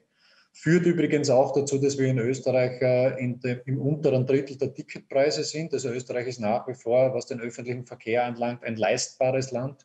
War jetzt unlängst erst in einer größeren deutschen Stadt, habe gestaunt, wie, wie da so die Preise für den öffentlichen Verkehr sind.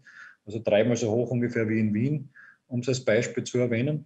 Ähm, und dann geht es natürlich aus Sicht der Beschäftigten in der Bahn auch immer darum, äh, welche Rahmenbedingungen schaffen wir für die Beschäftigten. Und ich kann vielleicht äh, abschließend sagen, natürlich ist in Österreich nicht alles äh, glänzend und, und aus Sicht der Gewerkschaften sozusagen zufriedenstellend, aber am Beispiel der Nachtzugverkehre erwähnt, wir haben in Österreich ein anderes Tarifsystem wie in Deutschland. Also ein, ein Tarifkonflikt wie in Deutschland wäre in Österreich nicht möglich, weil bei uns geht es nicht, nicht um die Mehrheit innerhalb eines Betriebes, sondern es geht um die Branchenmehrheit. Also in Österreich muss eine Gewerkschaft eine Branchenmehrheit abbilden, um Tarifvertragsfähigkeit zu erlangen. Uh, deshalb haben wir auch flächen, flächendeckende Tarifsysteme. Also es gibt zum Beispiel für die Bahnbeschäftigten in Österreich einen flächendeckenden Tarifvertrag, in dem wir übrigens auch die Nachtzugbeschäftigten, auch das Catering-Personal übrigens involvieren konnten, war ein schöner Erfolg im Zuge der, der Aufnahme des, des Nachtzugverkehrs. Abschließend vielleicht noch erwähnt, äh, dass gerne das verstärkend, was schon Sabine Trier vorher erwähnt, Trier vorher erwähnt hat, äh, wir, wir schauen mit Argusaugen auf die Entwicklungen in ganz Europa. Wenn das so weitergeht, dass jeder Schritt der, der Liberalisierung dazu dient, die Rahmenbedingungen für die Beschäftigten im Eisenbahnsystem zu verschlechtern, äh, wir fürchten uns beinahe vor der Diskussion um die Triebfahrzeugführerrichtlinie, wenn es hier weiter zu Verschlechterungen kommt und Ausbildungsdumping weiterhin von der Europäischen Kommission und Union äh, unterstützt und vorangetrieben wird, dann gnade uns im Eisenbahnsystem. Wir werden schreckliche Unfälle erleben wir haben schon gemerkt, was es bedeutet, wenn hier Dumping betrieben wird. Wir brauchen dringend strengere Kontrollen. Wir brauchen einerseits Kontrollsysteme, aber auch strengere Kontrollen im Eisenbahnverkehr. Wir sind grenzüberschreitend unterwegs. Wir schaffen es heute zwar aus dem Urlaub, unsere Bewässerungsanlage im Schrebergarten zu steuern, aber wir schaffen es offensichtlich nicht im Zeitalter der Digitalisierung, die Einsatzzeiten des Fahrpersonals im Eisenbahnwesen zu überwachen. Das ist einfach lächerlich. Äh, ja, und am Ende des Tages wird es natürlich auch darum gehen, wie das Lohngefälle sich weiterentwickelt. Äh, gleicher Lohn bei gleicher Tätigkeit am gleichen Ort muss aus Sicht auch der österreichischen Gewerkschaften und Bahnbeschäftigten oberstes Prinzip bleiben. Zu guter Letzt kann ich nur sagen, aus österreichischer Sicht fürchten wir uns ein wenig davor, wenn dieser Weg weitergegangen wird, auch wenn er nicht erfolgreich ist. Die Kommission hat vor mehr als 20, 25 Jahren damals im Weißbuch geschrieben, dass man den Anteil des Modal Splits erhöhen möchte und dass man mehr Menschen auf die Bahn bringen möchte. Das Instrument dazu war die Liberalisierung. Vielleicht denkt man mal drüber nach, äh, gemessen an den Zahlen, ob das gelungen ist oder nicht, ob es das richtige Instrument war. Aus österreichischer, und da darf ich auch für den Giorgio Tutti reden, Schweizer Sicht ist es das sicher nicht. Man soll nicht jeden Blödsinn weiter betreiben. Vielleicht orientiert man sich einmal an den kleineren doch noch erfolgreicheren Ländern. Wir müssen uns fürchten, dass Österreich und die Schweiz vielleicht diesen Blödsinn, den der Rest Europas schon betrieben hat, auch noch nachmachen. Das wäre so ziemlich das Schlimmste, was uns passieren könnte. Aber wir sind da eh ein bisschen die gallischen Dörfer. Wir werden schon wissen, wie wir uns da zu, zur Wehr zu setzen haben. Herzlichen Dank. Ich danke Ihnen. Ich möchte gar nicht wissen, wer ist Asterix, wer ist Obelix in diesem äh, Zusammenhang. Eine Frage noch, also Sie haben ja wirklich sehr, sehr viele Punkte benannt und auch auf den Punkt gebracht. Ähm, eine Frage noch zu der Direktvergabe, die Sie auch genannt haben. Also erfolgreich, funktioniert super, ähm, macht das Leben eigentlich einfacher, aber ähm, in Europa ist es ganz und gar nicht geschätzt. Also wo sind da vor allen Dingen die Widerstände? Mit denen werden Sie sich ja auch auseinandergesetzt haben. Wo sehen andere den Nachteil? Wo sind da Befindlichkeiten, weshalb man an die Direktvergabe, so wie Sie es verschrieben haben, nicht so ran will? Oh, da müsste es mir jetzt eine Stunde geben, um das nee, aufzunehmen. Sagen wir mal zwei Minuten. Aber ich, ich sage es zumindest ganz knapp. Äh, mir fällt da spontan ein, da saß mal ein Konzernboss bei mir im Büro und meinte, Herr Hebenstreit, Sie müssen doch auch Interesse daran haben, dass Bahnfahren erkläglich teurer wird, weil dann kann ich Kohle verdienen und Sie können mehr für Ihre Beschäftigten rausholen. Und ich weiß noch, ich habe ihm damals gesagt, äh, äh, schätzen Sie uns falsch ein, weil in erster Linie sehen wir es als Gewerkschaft als unsere Aufgabe, für leistbare Mobilität der Menschen zu sorgen und nicht darum, irgendjemand Kohle zuzuschieben. Äh, und es ist ganz einfach so, die Direktvergabe gibt der öffentlichen Hand und den politisch Verantwortlichen die Möglichkeit, leistbare Mobilität zu organisieren und zur Verfügung zu stellen. Mhm. Äh, und es ist einfach die Entscheidung zu treffen, ermöglicht man es, äh, kapitalorientierten Gesellschaften Gewinne zu machen äh, oder ermöglicht man es den Menschen im eigenen Land äh, bis äh, in, die, in die Regionen hinein leistbare, qualitativ hochwertige Mobilität zu schaffen. Mhm. Danke Ihnen äh, und ich freue mich gleich auf äh, eine Vertiefung in der Diskussion, in der anschließenden Podiumsdiskussion gleich. Und äh, würde jetzt äh, zu George Merenz gehen, denn wir wissen Luxemburg. Luxemburg ist, wenn wir auf den ÖPNV gucken, noch einen ganzen Schritt ja, weit nach vorne gegangen. Und zwar hat den ÖPNV kostenlos gemacht. Eine Mobilitätswende so hinzukriegen mit einem kostenlosen ÖPNV ist natürlich schon mal sportlich und ist vielleicht auch ein Wagnis. Aber was hat es gebracht und warum überhaupt? Das wollen wir jetzt erfahren. Eben von George Merenz, Vorsitzender der Syndikat Eisenbahn. Eisenbahn in Luxemburg. Sie haben das Wort. Die zehn Minuten gehören Ihnen. Also einen schönen Gruß aus Luxemburg oder heute aus den französischen Alpen, wo es zurzeit sehr viel regnet. Darum weiß ich nicht, ob man mich sehr gut hört. Doch. Und, ja? Ja, ist okay. In dem äh, Regierungsabkommen von 2018 haben die drei Koalitionsparteien, die Grünen, die Demokraten und die Sozialisten, festgeschrieben, dass den im Wahlkampf, Wahlprogramm äh, versprochenen Gratis-ÖPNV zum 1. März 2020 einzuführen. Dies als soziale Maßnahme für den gesamten nationalen ÖPNV und für jedermann. Also wenn Sie nach Luxemburg kommen, auch Sie können umsonst Zug, Bus oder Tram fahren. Eine solche Entscheidung kam natürlich auch der Imagepflege Luxemburgs weltweit zugute. Es geht aber entscheidend darum, den Individualverkehr auf der Straße zu verringern und die Menschen auf ökologische, ökologische Transportmittel wie den ÖPNV zu bringen. Sonst, solches kann man aber nur durch ein gutes, flächendeckendes Angebot erreichen und daher müssen massive Investitionen in den öffentlichen Personennahverkehr getätigt werden. Mhm. Und wie schon gesagt, glaube ich, dass Luxemburg mit ungefähr 580 Euro pro Kopf hier nicht schlecht bestellt. Die 40 Millionen äh, Euro Einnahmenverlust, welche durch den gratis ÖPNV entstehen werden, werden ausschließlich von dem ordentlichen Straßen, äh, Staatshaushalt getragen. Es kommen keine zusätzlichen Lasten für die Steuerzahler zu. 40, die 40 Millionen Euro trugen den ÖPNV längst nicht mehr. Es war aber nicht nur ein kleiner Schritt, den ÖPNV komplett gratis zu gestalten. Da die Tarifstruktur in Luxemburg bis dahin schon sehr günstig war. Schüler, Studenten, sozial schwache Einwohner bekamen äh, äh, viele, äh, wie sagt man, Produktionen und sogar gratis. Eine Stunde, eine zwei Stunden Fahrkarte für den gesamten nationalen öffentlichen Transport kostete bis dato 2 Euro, eine Tageskarte 4 Euro und ein Jahresabo für ganz Luxemburg 440 Euro. Die Regierung steht aber auch weiterhin zu den massiven Investitionen in den ÖPNV, in das Schienennetz, Eine neue Zuglinie ist im Bau, eine hauptstädtische Trambahn, ein großer inner, innerstädtischer Schritt, die Menschen auf den öffentlichen Verkehr zu bewegen, sowie eine schnelle Trambahn zwischen der Hauptstadt und der größten Stadt im Süden des Landes ist in Neues Zugmaterial ist geordert und bei der staatlichen Eisenbahn wird massiv neues Personal eingestellt. Neue Buslinien werden eingeführt, um die Einwohner flächendeckend als, äh, zu, äh, zu den, äh, als Zubringer zur Eisenbahn oder Tram zu bringen. Quer durchs Land werden neue Fahrradwege erstellt, um die Mobilität durchzufördern. Ein ordentlicher ÖPNV kann nur funktionieren mit den entsprechenden Investitionen. Ich, ich erlaube mir, den jetzigen Transportminister zu zitieren.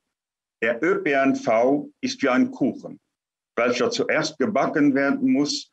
Der Gratis-ÖPNV ist nur das Sahnehäubchen obendrauf. Und als Zusatz von mir, bei einem schlechten gebackenen Kuchen bringt das Sahnehäubchen obendrauf auch nicht viel. Naja, Sahne hilft. Ja. Ach so, aber ich wusste gar nicht, dass Sie mich hören. Entschuldigung. Ich wollte, ich kann das aber auch gerne sagen. Ich meine, Sahne hilft. Also ich meine, Sahne macht manchen, ist ein schöner Geschmacksverstärker, mal ganz ehrlich, für manche Kuchen, oder?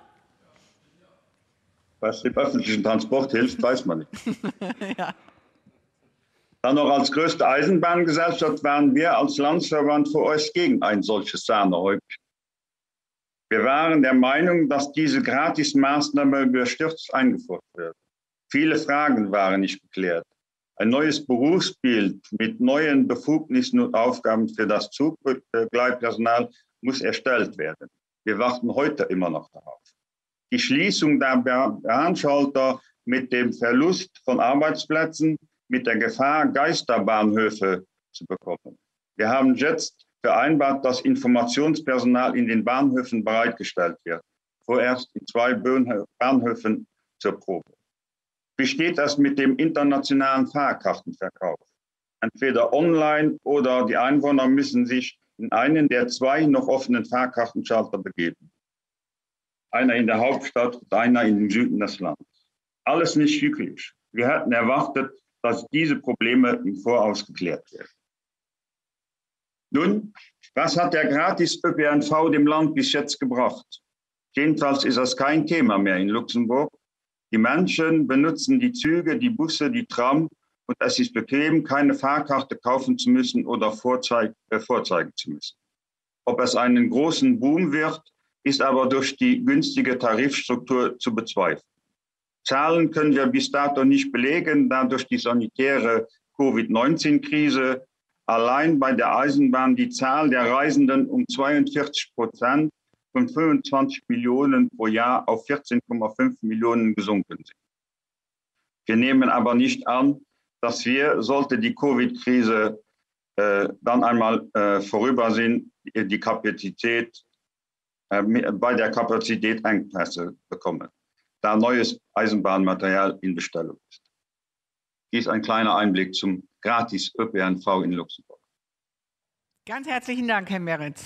Gratis ÖPNV, das ist ein Punkt. Wir haben aus, ähm, aus Österreich den Nachtzug als ein Beispiel gehört und wir wollen jetzt in der Runde insgesamt in unserer Podiumsdiskussion darauf schauen, wie, können, wie kann das Angebot auf der Schiene attraktiver gemacht werden. Die beiden Beispiele aufgreifen und vielleicht noch fortführen. Und ich darf die Runde insgesamt äh, vorstellen. Nehmen, neben George Merenz und Roman Hebenstreit kommt Sabine Leidig zu uns ähm, bahnpolitische Sprecherin Fraktion Die Linke im Bundestag. Schönen guten Tag, Frau Leidig. Ich grüße Sie. Dann ist bei uns Ulrich Reuter, verkehrspolitischer Sprecher FDP Landtagsfraktion Nordrhein-Westfalen. Hallo, Herr Reuter. Wunderbar. Und Martin Burkhardt ist bei, mir, weil er sozusagen, wir beide wuppen das hier gemeinsam von Berlin aus, die EVG Online-Konferenz heute live aus Berlin. Ja, wie kann die Schiene für Kunden attraktiver werden? Ähm, Herr Merens, noch mal kurz. Sie haben gerade gesagt, so richtig wissen wir das noch nicht, was die Zahlen angeht. Das, was Sie beschrieben haben mit Pandemie und den Rückgang natürlich der Gäste in den verschiedensten Bereichen des ÖPNV, das erleben wir ja in allen Ländern. Ähm, also das ist sozusagen eine ähnlich schwierige Ausgangsposition Position. Die Rückgewinnung der Kunden und Kundinnen wird natürlich auch noch Zeit brauchen und wird auch Zeit in Anspruch nehmen. Würden Sie aber erstmal grundsätzlich sagen, nochmal, der kostenlose ÖPNV ist richtig und ist ein Erfolg, auch wenn er natürlich was kostet?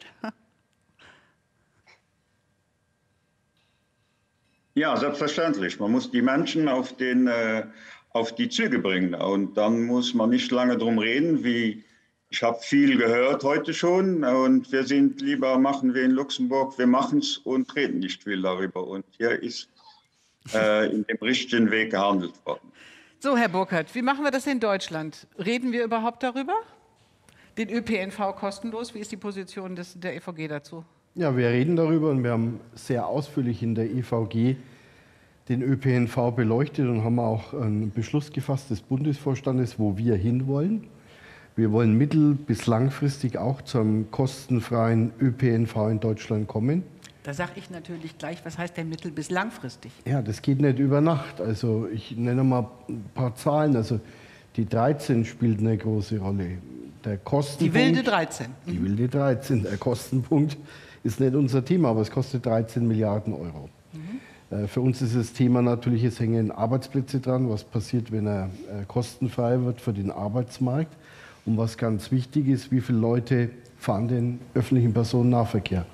Die aktuellsten Zahlen, alleine bei den Beschäftigten, die zur Arbeit fahren, nutzen den ÖPNV nur zu 13 Prozent.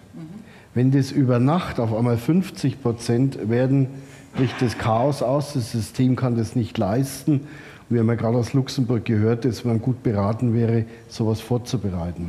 Das heißt Fahrzeuge, Infrastruktur. Der Deutschlandtakt trägt auch ein Stück dazu bei. Also wir müssen uns darauf vorbereiten, aber wir brauchen den Umstieg, wenn wir die Klimaziele erreichen wollen und müssen, auch im Zusammenhang von vorhin, was den Green Deal angeht dann brauchen wir einen starken öffentlichen Personennahverkehr und dafür stehen wir als EVG und haben eine klare Beschlusslage. Okay, die Beschlusslage, der Weg ist, ähm, das Ziel ist klar, ähm, der Weg dahin aber jetzt noch nicht so genau beschrieben, wenn ich das richtig sehe. Ja. Schon, was man vorhat, schon, was man überlegt, aber wir reden darüber in einem Zeitraum von, kann man das schon ausmachen? Ja, schwierig. Wir schauen jetzt, wie das Modell läuft. Roman Hebenstreit hat ja interessanterweise diese 1000-Euro-Tickets angesprochen. Bei uns gibt es jetzt Modellprojekte in Deutschland, wo man ein 365 Euro Jahresticket erwerben kann, also pro Tag einen Euro. Ähm, dann wird man sehen, ähm, ob das angenommen wird. Ich gehe davon aus, aber der nächste Schritt soll dann sein, wie in Estland, wie in Luxemburg, dass wir zum kostenfreien ÖPNV kommt, ist der richtige Weg, aber das wird wirklich noch eine Zeit lang dauern. Da würde ich unsere anderen Diskutanten gerne mit in diese Runde nehmen, Frau Leidig. Ähm, ich freue mich ja auch immer, wenn ich, äh, der Frauenanteil, wir haben schon darüber gesprochen, der wird ja wahnsinnig hoch sein in Zukunft in der Bahnindustrie, ne? weil der ja total gefördert wird. Heute haben wir das noch nicht ganz so hoch, aber immerhin.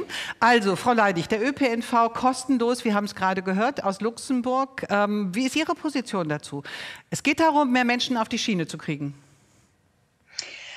Also wir haben als Linke ja tatsächlich als erste, ähm, ich sage jetzt mal, offensiv den Nulltarif im ÖPNV vertreten und gefordert und dafür auch Finanzierungskonzepte entwickelt.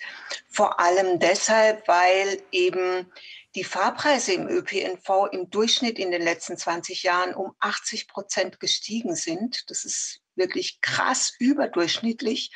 Wir haben das gar nicht so sehr auf den Bahnverkehr insgesamt bezogen, weil der ÖPNV natürlich bei uns auch total viel Busanteile hat. Aber wir sehen es tatsächlich als einen wichtigen Beitrag für die sozial-ökologische Verkehrswende.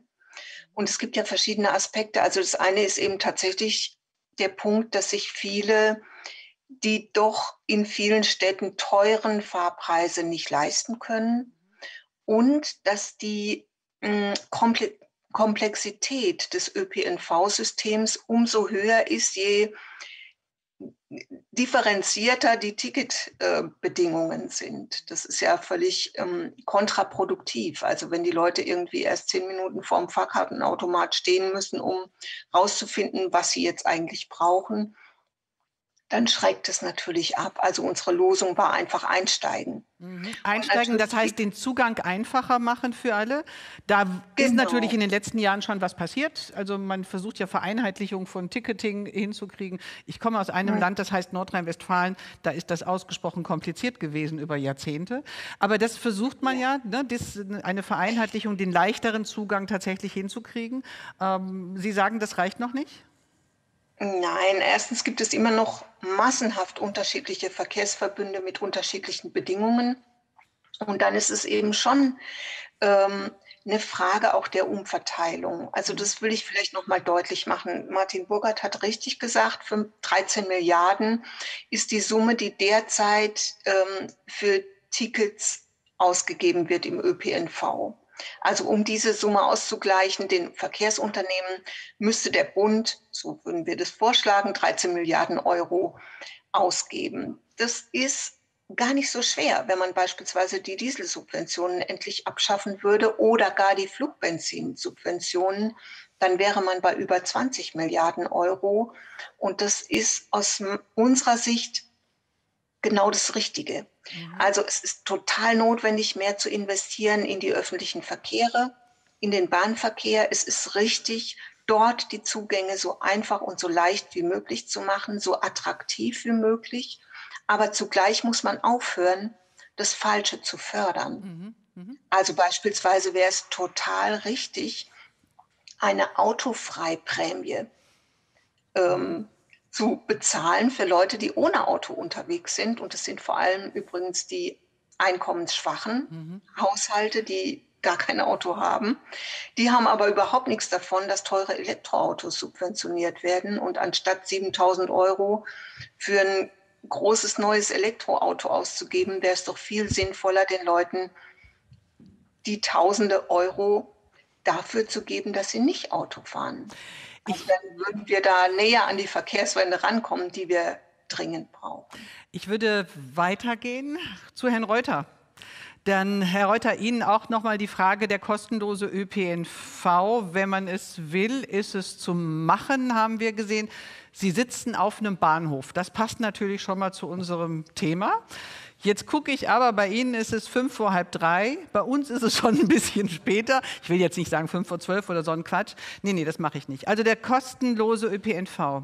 Wie stehen Sie dazu, Herr Reuter?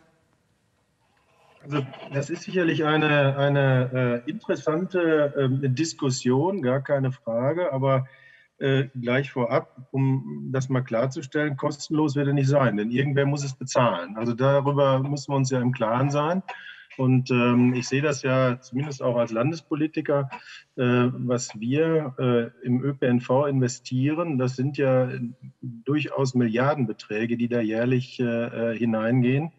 Und ähm, insofern, glaube ich, müssen wir bei einem Weg anfangen, der heute auch schon öfter mal äh, beschritten worden ist, dass wir nämlich erstmal investieren in das System wenn ich äh, mir vorstelle, wir würden in Nordrhein-Westfalen den ÖPNV kostenlos machen, wird er am morgigen Tag zusammenbrechen, wenn alle Leute da reingehen, weil die Kapazitäten überhaupt nicht da sind.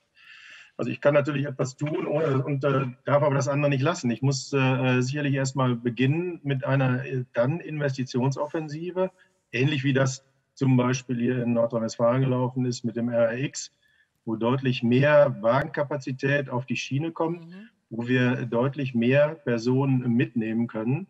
Ähm, und das äh, hat man ja zumindest äh, bis äh, vor der Pandemie gesehen, dass die Züge durchaus auch sehr intensiv genutzt worden sind und das Angebot, das Mehrangebot auch angenommen worden ist. Also wenn ich Sie richtig verstehe, wenn ich Sie richtig verstehe, heißt es, ähm, okay, ähm, es muss erst investiert werden, damit man das Angebot tatsächlich erfüllt, wenn es zu einer größeren Nachfrage kommt. Und wenn man investiert hat, dann wären auch Sie für einen kostenlosen ÖPNV. Das kann man dann äh, am Ende des Tages sehen. Also ah, glaube, am Ende des Tages. wie, gesagt, wie gesagt, kostenlos ist er äh, am Ende des Tages nicht, denn irgendeiner wird den ÖPNV bezahlen. Wie immer man dann auch über welche Finanzierungsform man sich dann Gedanken macht. Ähm, aber ich äh, sehe auch nicht unbedingt die Problematik darin, äh, äh dass äh, äh, zu wenig der ÖPNV genutzt wird. Also zumindest bei uns im Lande, wenn man sieht, wir haben da schon durchaus Steigungsraten und insofern kann man auch einen bezahlten ÖPNV durchaus weiter nach vorne bringen und äh, ihm mehr Marktanteile verschaffen, als das bis jetzt der Fall war. Nur dazu gehört eben äh, eine deutliche Attraktivitätssteigerung. Mhm. Und äh, das ist eigentlich das Thema, über das wir uns unterhalten müssen. Ja. Und ich glaube, da haben, sind wir noch einige Jahre beschäftigt, um das mal vorsichtig zu, zu sagen. Was natürlich in Nordrhein-Westfalen, wenn ich das kurz einwerfen darf, auch daran liegt, dass man, äh, man natürlich mit dem bestehenden Netz schon noch schneller unterwegs ist bei, als den kilometerlangen Staus, die äh, morgens ab 7 Uhr meine Radiotätigkeit begleiten. Ähm, und man natürlich, wenn die Situation auf der Straße schon so mies ist, dann nimmt man dann das kleinere Übel. Also für viele ist es so ja, umzusteigen, weil man auf der, auf der Straße nicht mehr vorankommt. Das löst ja noch nicht das grundsätzliche Problem. Das ist ja nicht so, dass man sagen kann, okay, jetzt machen wir so, die Straße ist so voll, jetzt machen wir auch Maschine, sondern es geht ja darum, dass wir unter verschiedenen Aspekten über den Wechsel diskutieren müssen. Also weg von der Straße hin zur Schiene. Sind Sie dabei? Ja, prinzipiell äh, halte ich schon viel davon. Verkehrsverlagerung sicherlich durch äh, Attraktivitätssteigerung der einzelnen äh, äh Modi auch äh, äh, zu befördern. wir sind sicherlich nicht unbedingt diejenigen, die jetzt prinzipiell sagen, wir müssen den Autoverkehr verbieten, sondern stehen eher auf dem Standpunkt, dass natürlich durch Attraktivitätssteigerung und ein verbessertes Angebot wir am Ende des Tages auch eine Mobilitätswende hinbekommen können. Mhm. Und äh, dazu gehören ja neben jetzt Bahnverkehr auch sicherlich dann äh, viele andere Dinge, äh, die im Verkehrsbereich äh, diskutiert werden. Mhm. Und dann äh, als Gesamtpaket ist das schon äh, eine Aussicht, wo man dann am Ende auch diese Ziele erreichen wird. Ich würde noch mal zu Herrn Hebenstreit gehen. Wird der kostenlose ÖPNV, Herr Hebenstreit, auch in Österreich diskutiert? Nein, also noch nicht, muss ich dazu sagen. Wobei, was mit Sicherheit feststeht, ist, äh, was wir mit Sicherheit bezahlen werden, vielleicht auch an den Herrn Reuter, sind die Strafen für die nicht erreichten CO2-Ziele. Insofern äh, wird man sich mit dem Verkehr beschäftigen müssen und man wird sich auch damit beschäftigen müssen, wie der größte Hebel, den wir haben, und das ist der Verkehr, auch entsprechend gestaltet wird. Ich, kann nur sagen, äh, dass diese Anreizsysteme im öffentlichen Verkehr in Österreich gut funktioniert haben. Äh, erwähne vielleicht als Beispiel Wien. In Wien gibt es ein 365-Euro-Ticket für, für das gesamte öffentliche Verkehrsangebot, das heißt 1 Euro pro Tag und man braucht sich keine Gedanken mehr machen. Wien hat ungefähr 1,8, 1,9 Millionen Einwohner und wir haben eine Million äh, Jahreskartenabonnenten in Österreich und wer in Wien wohnt, welche, weiß, welche Qualität dieses Angebot hier hat. Das führt natürlich zu einer entsprechenden Verlagerung. Okay, das heißt, es geht schon, es ist natürlich schon daran, die Qualität zu steigern. Das ist der Punkt, der da sein muss in Kombination, Herr Burkhardt. Also das ist schon, Qualitätssteigerung ist erstmal der wichtigste Schritt, um mehr Leute auf die Schiene zu kriegen. Qualität, Kapazität natürlich und die Kostenfrage. Mhm. Was andere Länder nicht haben, und die Frau Leidig, äh, die Sabine hat einen wichtigen Punkt angesprochen, das sind die Aufgabenträger. Mhm. Wir haben beim Schienenpersonennahverkehr 27. Aber im Bereich der Busse haben wir 220 in Deutschland die Busverkehre vergeben mit all den Problematiken. Ich sage auch ganz deutlich, das Berufsbild der Busfahrerin, des Busfahrers, die ja jeden Tag die Kinder transportieren, für hohe Sicherheit sorgen, Tag für Tag, ähm, ist so unterwertig. Das gehört angehoben und natürlich auch die Beschäftigungsbedingungen. Und wir haben im Vergabegesetz äh, beim Schienenpersonennahverkehr zumindest das Personal mit übergehen soll. Unsere Forderung ist muss. Im Busverkehr gibt es es überhaupt nicht. Also wenn ein Busfahrer zum anderen wechselt, dann ist da gesetzlich nichts vorgesehen. Er kann mit übergehen. Unsere Forderung, er muss und ist zu hohen Tarif- und Sozialstandards. Daran halten wir fest und da fehlt es beim Bus hinten und vorne. Ja, ich würde gleich noch mal auf die Beschäftigten noch mal extra auch zu sprechen kommen wollen und erst noch mal weitere Ideen für die Schiene sammeln. Ähm, Frau Leidig, ich weiß, Sie fordern Mobilität für alle. Das haben Sie vorhin ähm, auch äh, ja, klar zum Ausdruck gebracht. Flächendeckender Taktfahrplan gehört dazu, Nachtzüge statt ähm, Fernstraßen, Bau und Inlandsflüge. Wir haben vorhin auch schon über die Nacht, den Nacht Nachtzug kurz äh, diskutiert, ähm, der ja sozusagen in, äh, in äh, Österreich äh, wieder eine Rolle spielt, ein Geschäft, ein interessantes Geschäftsmodell offensichtlich ist, äh, während die anderen Bahnen DBRG und auch die Franzosen, glaube ich, ne? Äh, sich da aus diesem Nachtzuggeschäft verabschiedet haben. Aber die Frage ist nämlich auch hier äh, Kosten natürlich. Wie lässt sich das umsetzen? Also zum Beispiel Nachtzüge statt Fernstraßenbau und Inlandsflüge hört sich ja erstmal an, okay, gucken wir an, aber wie umsetzen? Naja, also erstmal möchte ich sagen, dass das Verschwinden der Nachtzüge ja eine bewusste Entscheidung von Eisenbahnunternehmen war. Insbesondere die Deutsche Bahn AG hat sich da wirklich, ähm, finde ich, sehr viel zu Schulden kommen lassen. Und ich möchte mir so ein bisschen ans Revier heften, dass wir damals, es war 2014, als erste mit den Betriebsräten aus dem Segment, ähm, aus dem Nachtzugssegment der DB zusammen eine kleine Kampagne auf die Beine gestellt haben und auch sehr, sehr viel Öffentlichkeitsarbeit gelaufen ist von den Nutzerinnen und Nutzern. Es hat sich eine, ähm, eine Europ europaweite Organisation entwickelt, Back on Track, die sich abstimmen und die dafür streiten, dass es mehr Nachtzugverbindungen gibt. Und das Schlaue an den Nachtzugverbindungen ist ja, dass sie gar nicht besonders viel Investitionen brauchen. Im Unterschied zu den Hochgeschwindigkeitsbahnstrecken, die ja auch in der Planung, ähm, in der europäischen Planung drin sind. Also das finde ich ist nochmal ein wichtiger Punkt der Diskussion.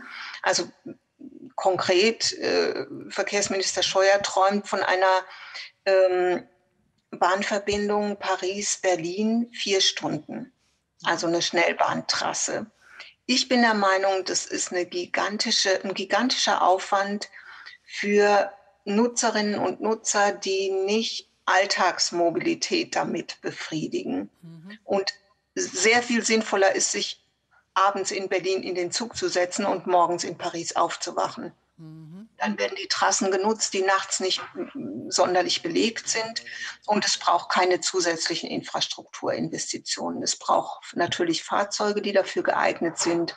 Es braucht kompetente Beschäftigte, die in der Lage sind, dieses System Nachzug mit seinen hm, Auswechselbahnhöfen, an denen, in denen eben Waggons abgekoppelt und woanders angekoppelt werden, betreiben können. Die gab es, die wird es wieder geben und ich glaube, dass es ein sehr, sehr viel umweltschonenderes ähm, Reise, eine viel umweltschonendere Reisemöglichkeit ist als ähm, Hochgeschwindigkeitstrassen und natürlich sowieso als die Fliegerei. Und was die Preise angeht, also wenn man sich mhm. in echt anguckt, mhm. dann ist es gar nicht teurer als zu fliegen. Mhm. Also die, die Billigschnäppchenpreise, die sind natürlich auch beim Fliegen auf Kosten der, ähm, der Qualität, aber auch vor allem auf Kosten der Beschäftigten. Mhm. Ich würde gerne, ich würde, ich, ich würde das gerne zu, zu Herrn Hebenstreit noch mal geben, weil er ja das Nachtzugmodell sozusagen in Österreich ähm, als, als ein gutes äh, Geschäftsmodell sieht. Ähm, aber bei dem, was äh, Frau Leidig gerade gesagt hat oder eingemeint hat und wie sie sich das vorstellt, wie sehen Sie das, Herr Hebenstreit? Also 2024 wird es Berlin-Paris geben. Das, das, kann ich schon ankündigen. Das wissen wir schon, das ist im, Plan, im Ausbauplan schon enthalten. Aber ja, natürlich. Erstens geht es um die Investitionen ins rollende Material genauso wie die Infrastruktur. Es wird wesentlich davon abhängen, äh, wie die Qualität sich gestaltet. Und die Qualität liegt sowohl am rollenden Material als auch an der Infrastruktur. Wir haben in Österreich gelernt, wie wichtig es ist, äh, zum richtigen Zeitpunkt an den richtigen Stellen in die Infrastruktur zu investieren. Äh, Deutschland hat da einen riesen Aufholbedarf. Ich glaube auch, dass das ganz schwierig werden wird, das irgendwie zu gestalten, weil äh, jetzt im laufenden Betrieb diese Investitionen immer schwieriger werden. Äh, und das Zweite ist auch natürlich die Investition ins rollende Material. Am Ende geht es dann auch darum, wie sich die Preise gestalten. Und ja, es stimmt natürlich, solange dieser, dieser Kostenunterschied äh, in der, in der Lastenverteilung etwa zwischen den zwischen der Luftfahrt und der Bahn existiert, wird das natürlich ein Anreizsystem bleiben, das gerade Niedrigeinkommenbezieher auf die, auf die Billig-Airlines äh, treibt. Und was das für die Umwelt beziehungsweise für die Rahmen- und Arbeitsbedingungen dort bedeutet, ist, denke ich mir, hinlänglich bekannt. Hier Aber, wird Politik gefordert sein. Ja, da fällt mir gerade ein, inwiefern politische Entscheidungen da auch eine Rolle spielen. Wenn ich das richtig erinnere, aber es sind genügend, genügend Fachmänner und Frauen anwesend, die mich korrigieren können, weil ich es jetzt nur aus dem Gedächtnis habe, dass ähm, der französische Präsident hat doch ähm, eine Präferenz gemacht oder festgelegt, dass ähm, wenn man eine Strecke, Inlandsflüge sollen nicht mehr benutzt werden, wenn das Ziel in zweieinhalb Stunden mit dem Zug erreicht werden kann. Welche Vorgaben auch immer, sie müssen in die Realität umgesetzt werden. Ich sage. Ihnen, wir haben als Gewerkschaften erkämpft in Österreich, dass es einen Mindesttickettarif gibt nach der Auseinandersetzung mit dem Sklavenbetrieb Ryanair. Äh, und am Ende wird wahrscheinlich die Europäische Union diese Regelung zu Fall bringen, weil es wettbewerbsverzerrend sein wird im schlechtesten Fall. Also okay. es ist sehr wohl die Politik gefordert, die Rahmenbedingungen zu schaffen, um hier entsprechend lenkend einzugreifen. Mhm. Herr Bockert. Sie wollten auch ergänzen. Ja, also mal sehr vernünftig, wenn man unter zwei Stunden das Ziel erreicht. Also Nürnberg-München innerhalb von Bayern gab es Flüge, die gibt es heute nicht mehr. Mhm. Man fliegt auch nicht mehr Nürnberg-Berlin, weil man in unter drei Stunden schon in Berlin mit dem ICE ist. Das also es bewegt, bewegt da fliegt man natürlich auch nicht. Natürlich muss man auch sagen, weil die Billiganbieter da diese Strecke gar nicht fliegen. Ja, die waren auch da. Ach, die waren ich meine, da? Air Berlin gibt es heute nicht mehr, aber mhm. Ryanair ist auch ein Drehpunkt äh, mhm. in Nürnberg, aber trotzdem fliegt man es nicht mehr. Ja. Ich glaube, äh, was die Renaissance der Nachtzüge angeht, wir waren ja da als EVG auch immer dafür. Ich glaube, die Sabine Leidig hat hier ihre Verdienste mhm. über viele Jahre äh, das hochgehalten. Ähm, wir sind jetzt froh, dass die Deutsche Bahn und auch die französische Bahn äh, den Weg nach vorne mitgeht. Die Österreicher sind da die Lokomotive. Ich habe mal das, ähm, die Strategie auch ansehen dürfen, im Übrigen auch die Fahrzeuge, die neu kommen, 23, 24, wo man viel mit dem äh, Kundenverband Pro Bahn und mit denen geredet hat, was braucht man denn eigentlich an Anforderungen für Nachtzüge. Da kommen tolle Züge, und ich sage mal, so eine Strecke wie von Berlin nach Warschau, die ist eigentlich nicht rentabel. Aber man hat festgestellt, dass der Zulaufverkehr auf Berlin, von denen, die dann mit dem Nachtzug fahren, der sehr rentabel ist. Mhm. Auch das führt dazu, dass man solche Überlegungen hat. Berlin, Paris ist 24, soll es Wahrheit sein. Wir mhm. warten es mal ab. Und ich sage mal, ich bin froh und wir als EVG sind froh, dass wir auch den Nachtzugverkehr jetzt wieder in Deutschland und in Europa haben. Ja. Herr Reuter, wenn ich Sie noch mal wieder mit in die Runde nehmen darf, wir wollen ja gerade die äh, Schiene attraktiver machen und haben schon mal geschaut, welche Punkte da sind. ÖPNV kostenlos ist einer. Nachtzug, ähm, man kann auch wieder ein Geschäftsmodell sein, wie wir in Österreich sehen. Ähm, und äh, auch hier gibt es zumindest in Deutschland Ansätze dazu, dass man ähm, auch da wieder drauf gucken muss. Wo sehen Sie denn, welche Maßnahmen Ihres Erachtens, Herr Reuter, sind entscheidend, um ähm, die Attraktivität der Schiene tatsächlich zu erhöhen. Also damit die Schiene den Stellenwert bekommt, den bisher in der Geschichte Deutschlands die Straße hatte. Sagen wir mal so, die, äh, die Frage gerade der Nachtzüge, ich persönlich habe den äh, auch zu Zeiten, als in, in äh, IDB das noch angeboten hat, das relativ häufig genutzt. Ähm, würde es wahrscheinlich auch jetzt wieder nutzen. Ähm, bin allerdings mehr in Nordrhein-Westfalen unterwegs, also da ist jetzt der Nachtzug. Braucht man keinen Nachtzug. Nee. Allerdings wollten wir in der Tat wirklich mit dem Verkehrsausschuss, äh, das war vor Corona geplant, mit äh, dem Nachtzug von Düsseldorf nach äh, Wien fahren. Das hat sich dann leider zerschlagen, weil Corona dazwischen kam und wir insofern nicht reisen konnten. Also die, die, die Absicht war schon da. Nein, aber Spaß beiseite. Das ist schon, ich glaube, gerade über solche Dinge wie zum Beispiel Nachtzüge kann man auch die Attraktivität des Systems Schiene äh, deutlich steigern. Die Frage dann Digitalisierung, ich äh, kann im Zweifel äh, und ähm, wir hier im Ruhrgebiet, da werden Sie mir zustimmen, können da ein Lied von singen. Wir sind ja sehr eng getaktet, was jetzt so die Strecke Köln, Düsseldorf, Hamm oder Dortmund, Hamm, Bielefeld angeht. Über Digitalisierung können wir da sicherlich noch einiges machen, sodass wir da ähm, Möglichkeiten schaffen können, äh, die wir sicherlich auch äh, ähm, in, äh, über die Bundesrepublik verteilt in den anderen Bundesländern auch erreichen können.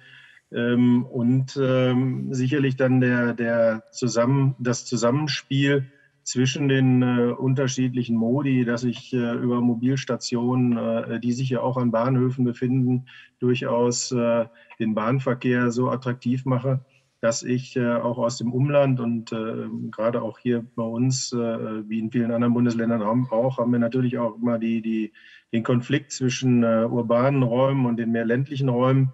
Und insofern glaube ich, wenn wir da ein attraktives Angebot schaffen, dann können wir mit den entsprechenden Halten, die es in den in den Regionen geben muss, äh, können wir dann auch äh, den Bahnverkehr entsprechend nach vorne bringen. Das ist allerdings auch wirklich eine Frage, denn wo das äh, der, der Investitionen, die ich tätige und wie ich das gerne machen möchte. Also als Beispiel, was wir natürlich hier in, in Nordrhein-Westfalen, was ich immer sehe, ähm, wenn man von den Niederlanden her guckt und die Betüve-Linie sieht, die ist in den Niederlanden seit zehn Jahren fertig. Wir haben jetzt den vierten Abschnitt äh, zwischen der Grenze äh, und Duisburg planfest gestellt, äh, sind bei zwei im Bau. Also das ist, das bringt uns natürlich eine Menge zurück. Und das ist das, was uns natürlich auch im, im europäischen Wettbewerb ähm, äh, auch äh, deutlich äh, benachteiligt, weil wir einfach zu lange brauchen, um entsprechend Bahn attraktiv zu machen. Und da gibt es halt nur Planungsbeschleunigung. Wir müssen bauen. Ich muss nicht unbedingt für ein Fahrrad, meine Einstellung,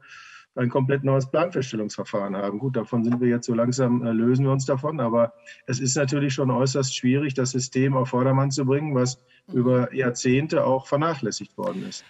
Das ist und genau das haben ja die politisch Verantwortlichen, die sich jetzt auch am 26. September zur Wahl stellen. In zehn Tagen ist Wahl ja auch mit zu verantworten. Also ne, alle die, die wir haben heute ja auch schon äh, mit äh, der Union diskutiert, wir haben mit der SPD diskutiert ähm, und mit den Grünen. Die Grünen sind ja nun auch in den Ländern schon länger vertreten. Also das heißt, alle die, die sagen, wir machen es jetzt anders, ähm, haben es selber mit verschuldet und ehrlich gesagt mit dass über diese Situation Situation, über die wir jetzt reden.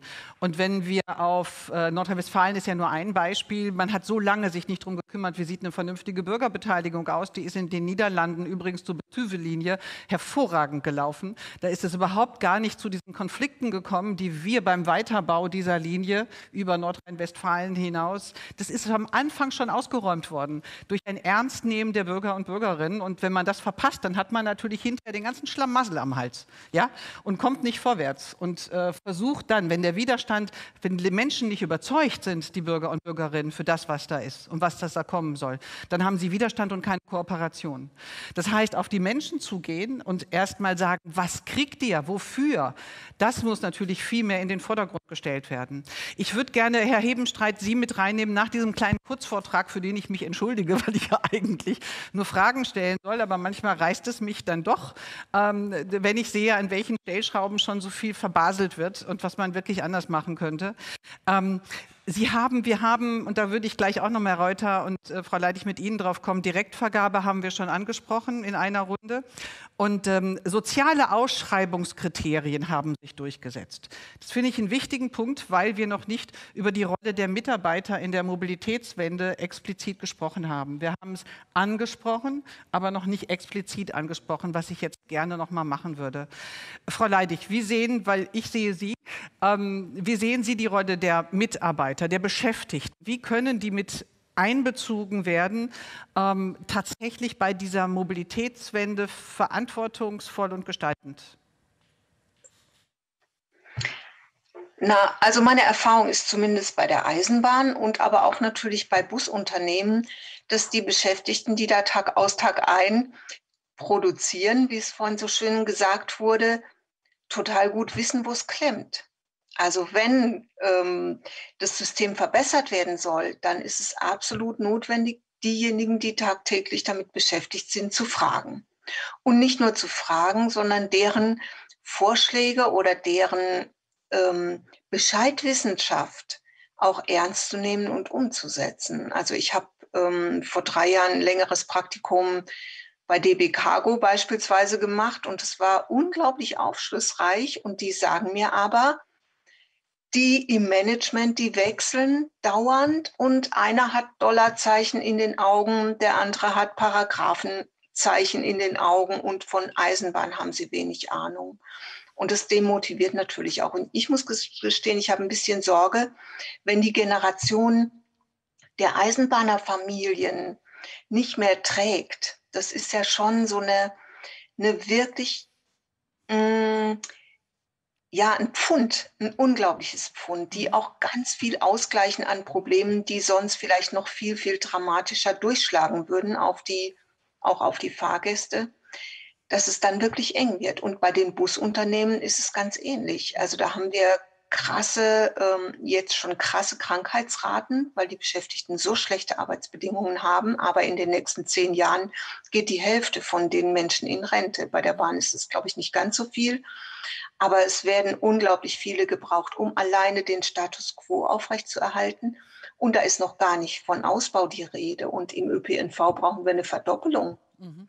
der Kapazität bis 2030. Also braucht es eine eine Offensive für gute Arbeit und ähm, Beschäftigungsbrücken. Das will ich jetzt auch noch mal ins Spiel bringen, weil das eine ist der Ausbau des Guten und der andere ist eben tatsächlich, wir wollen Mobilität für alle, Sie haben es vorhin gesagt, aber mit weniger Verkehr.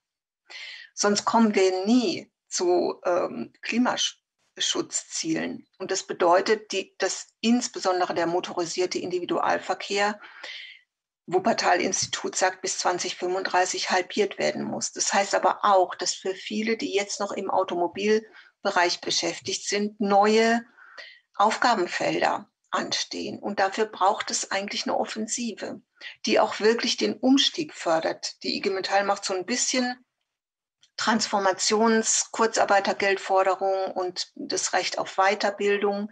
Aber dazu gehört natürlich mehr, nämlich auch auf der Seite der der öffentlichen Verkehre eine deutliche Verbesserung der Arbeitsbedingungen und letztlich auch der Bezahlung. Herr Burkhardt, wie, ähm, wie beschäftigt sich die EVG damit? Also wie können tatsächlich und müssen äh, Mitarbeiter und Mitarbeiterinnen erstmal in diesen Mobilitätswandel, wenn wir den dann hinkriegen, aber das Vorhaben ist ja da, ähm, einbezogen werden. Und bei allem, was wir erleben und diskutieren, ja auch, äh, wir haben schon über Subunternehmen heute gesprochen, äh, Folgen von Liberalisierung und so weiter und so fort, äh, auch bei der DB und den Tochtergesellschaften ähm, geht es ja auch um den Schutz. Also wie soll ich Zukunft gestalten, wenn ich nicht weiß, wie morgen mein Arbeitsplatz aussieht? Mhm. Ähm, ist ja nicht einfach zu machen. Also das heißt, wie kriegt man das hin, die Mitarbeiter mitzunehmen auf der einen Seite und auf der anderen Seite zu stärken und zu fordern, auch mit Hinblick auf Zukunft? Der demografische Wandel trifft ganz Deutschland und auch die Bahnen und auch die Deutsche Bahn. Das sind sie im Übrigen, weil die Sabine Leidig das angesprochen hat, in den nächsten zehn Jahren auch über 100.000, also auch knapp die Hälfte aller Mitarbeiterinnen und Mitarbeiter, die in den Ruhestand gehen. Und ich sage mal, der Eisenbahner, die Eisenbahnerin fällt nicht von den Bäumen, die müssen hochqualifiziert und ausgebildet werden. Wir haben in dem Bündnis Bahn, das wir in der Pandemie äh, geschlossen haben, ja nicht nur Beschäftigungssicherung äh, mit eingebaut, sondern auch die Ausbildungszahlen einerseits mhm. und die Einstellungszahlen andererseits bei der Deutschen Bahn AG festgeschrieben. Mhm. Und es bewahrheitet sich äh, heute, dass es äh, klug war, das zu tun, mhm. vor allem bei den Auszubildenden. Die Deutsche Bahn AG wird dieses Jahr fast 25.000 Menschen von außen einstellen, 4.000 äh, Auszubildende. Mhm. Und wir achten zurzeit massiv darauf, dass sich Berufsbilder auch nicht negativ verändern. Also diese Schmalspurausbildungen, mhm. äh, die darf es aus unserer Sicht nicht geben. Mhm. Wir schauen natürlich bei den technischen Berufen auch massiv drauf. Und ich sage mal, wir brauchen alles. Wir brauchen natürlich äh, den Akademiker auch weiter, aber äh, das Handwerk hat goldenen Boden. Und ich bin sehr froh, dass man jetzt bei der Deutschen Bahn AG auch wieder drauf schaut, dass man ähm, junge Menschen mit Hauptschulabschluss einen Gleisbauberuf erlernen lässt weil der Gleisbauer, Tiefbau, Facharbeiter auch ein wichtiges Rad äh, ist, den man dringend braucht. Mhm. Also wir achten darauf und durch die Tarifverträge versuchen wir natürlich auch die Attraktivität so hoch zu halten, dass junge Menschen kommen, das haben wir ja vorhin schon mal gehabt, aber dass überhaupt Menschen auch zur Bahn kommen und sich nicht entscheiden, woanders hinzugehen. Herr Mertens, ich würde auch Sie noch mal gerne damit einbeziehen und äh, wie, wie nach Luxemburg gucken, die Beschäftigten mit einziehen, mit einbeziehen, äh, wenn es um die Gestaltung klimafreundliche Mobilität gibt. Ähm, mehr Leute, die auf, auf, auf die Schiene kommen und insgesamt in den ÖPNV, da brauchen Sie natürlich Leute für. Da brauchen Sie Mitarbeiter für, die müssen motiviert sein. Wir hören auch, dass Mitarbeiter und Mitarbeiterinnen immer wieder an die Grenzen des Machbaren inzwischen kommen. Denn äh, nicht nur die Pandemie war ja für die auch eine besonders stressige Zeit. Also wie gehen Sie in Luxemburg damit um? Also selbstverständlich braucht man motivierte äh, Mitarbeiter und die haben, so haben wir äh, seit zwei, drei Jahren machen wir, äh, sagt man, Umfragen beim Personal, wo der Schuh drückt. Und darauf, darauf wird auch äh, vom Management dann reagiert. Ja, bei der ersten Umfrage war die äh, Resonanz sehr erstaunlich bei, der, bei dem Management, dass die Mitarbeiter sich so schlecht behandelt gefühlt haben. Daraufhin wurde sehr viel in diesem äh, Hinpunkt, äh, Punkt, äh, verbessert und äh, es läuft auch viel besser. Mhm. Und äh, jetzt sind wir dabei, ein Mitarbeitergespräche umzusetzen, wo die Mitarbeiter jedes Jahr ein Gespräch mit ihrem direkten Vorgesetzten machen, um ihn dann äh, mit ihm zu reden, wo der Schuh drückt. Mhm. Was ist das? Ist das vor allen Dingen ähm, äh, tatsächlich mangelnde Wertschätzung? Ist das Arbeitsverdichtung? Also nur so um zwei Stichworte zu nennen, die ja häufig zur Überlastung führen. Wie schätzen Sie das ein? Bei verschiedenen äh, war es natürlich auch äh, Mangel an Personal, wo wir äh, bei, beim Zugpersonal, Lokpersonal, wo wie, wie überall in jedem Land, wo der Schuh gedrückt. Da wurde aber jetzt viel nachverbessert. Mhm. Das würde ich gerne auch noch mal zu Herrn Hebenstreit nach Österreich bringen. Herr Hebenstreit, Sie haben ja vorhin auch schon mal kurz äh, angedeutet, dass das Personal auch irgendwann ähm, nicht am Anschlag war, aber äh, doch auch mit Überlastung zu kämpfen hat. Wie gehen Sie damit um in Österreich? Naja, weil Sie gefragt haben, wie man die Beschäftigten mit einbezieht, die ja. sind ja dabei. Die sind ja nicht nur dabei, die sind mittendrin in diesem ganzen System und erleiden das ja auch jeden Tag. Man, man stelle sich vor, aufgrund dieses elendigen Ausschreibungswettbewerbs steht ein Beschäftigter jedes Mal nach Vertragsende äh, vor dem Nichts. Ja. Und wir erleben das im Busbereich in Österreich, der ja auch liberalisiert ist wie in Deutschland dass du dann halt vor der Alternative stehst, wenn du acht oder zehn Jahre in einem Betrieb gearbeitet hast, dass dann der Übernehmende zu, zu dir kommt und sagt, du kannst schon weiterarbeiten, aber du fängst in der Lohngruppe wieder ganz unten an. Also allein diese Existenzbedrohung oder diese Unsicherheit, wie geht es mit meinem Job weiter? Oder die Tatsache, dass aufgrund der Liberalisierung im Eisenbahnsystem überall an Ausbildungen gespart wird, beziehungsweise Dumping der Sonderklasse betrieben wird, weil es ja hier in diesem Wettbewerb des, des billigsten und des, des niedrigsten Prinzip es hier dauernd darum geht, irgendwo Kosten zu sparen. Und ich bin selbst äh, ursprünglich gelernter Lokführer.